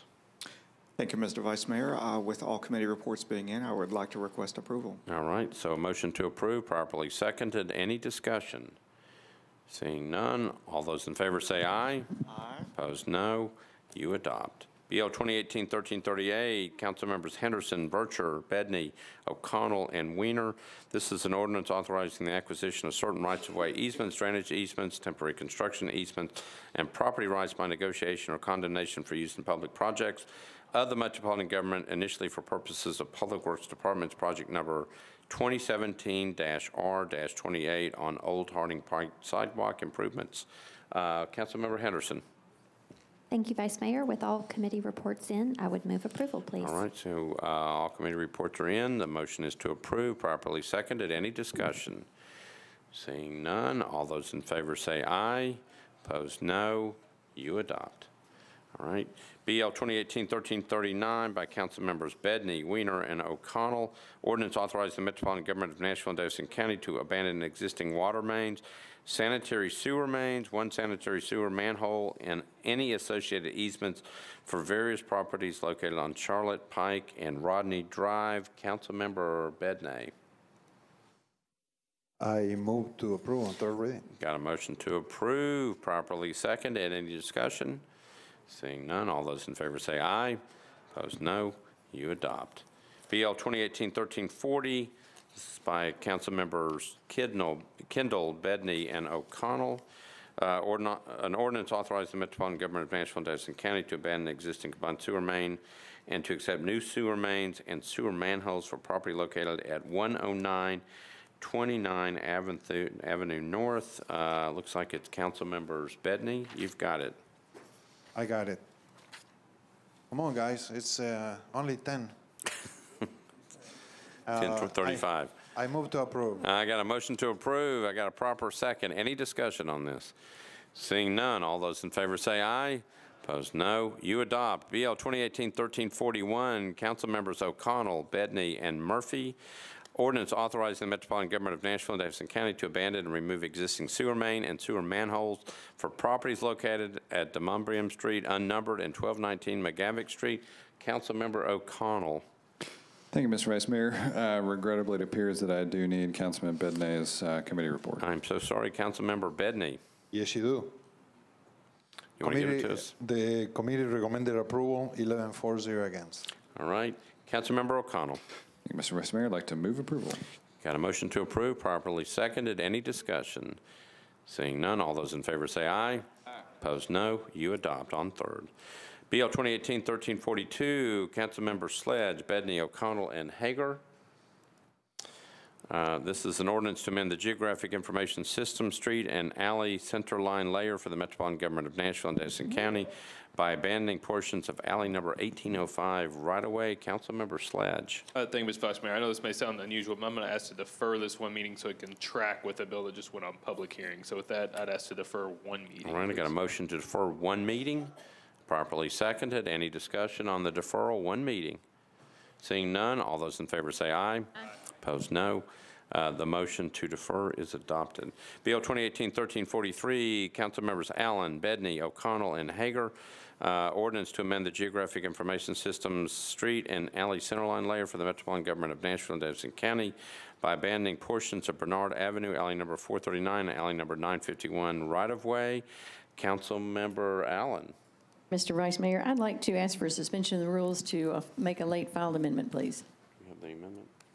All right, so um, we have an amendment to this. Um, I guess maybe it would be easier, can we define what the amendment is before we ask for the Certainly, suspension of this the rules? is um, a s- a housekeeping amendment to add some language about needing to um, dedicate, construct the, an additional alley before they um, close the, the current alley that's being reclosed. So this was, some of the design was changed along the way, and we changed most of the language, but, but um, no one noticed that that, that clause wasn't inserted in one place where it needed to be. So this is a housekeeping amendment. Housekeeping, am- housekeeping amendment, uh, it's, you can properly amend it on uh, third, but uh, I guess, do we, have- because, but it's late filed because it has to be, so it, so uh, we have to have a suspension of the rules. Is there an objection to the suspension of the rules? Seeing none, Councilmember Allen, you're Thank you. on your amendment. Thank you. I'd like to move the amendment, please. Okay, the motion is to move the amendment. It's properly seconded. Any discussion on the amendment? Seeing none, all those in favor of the amendment, say aye. Aye. Opposed, no. The amendment is adopted. You're back on your bill as amended. Thank you, Mr. Vice Mayor. I'd like to move the bill as amended. Okay, so the bill as amended is moved, properly seconded. Any discussion? Seeing none, all those in favor say aye. Opposed, no. Uh, The bill as amended is adopted. Um, We're on the last bill, BL 2018-1344 by Councilmember VanReece, an ordinance to amend the Geographic Information System Street and Alley Centerline layer for the Metropolitan Government of Nashville and Davidson County by changing the name of Douglas Street and an unnamed right-of-way to Madison Station Boulevard. Councilmember VanReece. With all committee reports in, I move approval. Uh, Motion to approve, properly seconded. Any discussion? Seeing none, all those in All favor say aye. Opposed, no. Opposed, no. You adopt um, BL 2018-1344. I will entertain a motion to adjourn. Properly seconded. Uh, Everybody in favor? We stand adjourned. Thank you.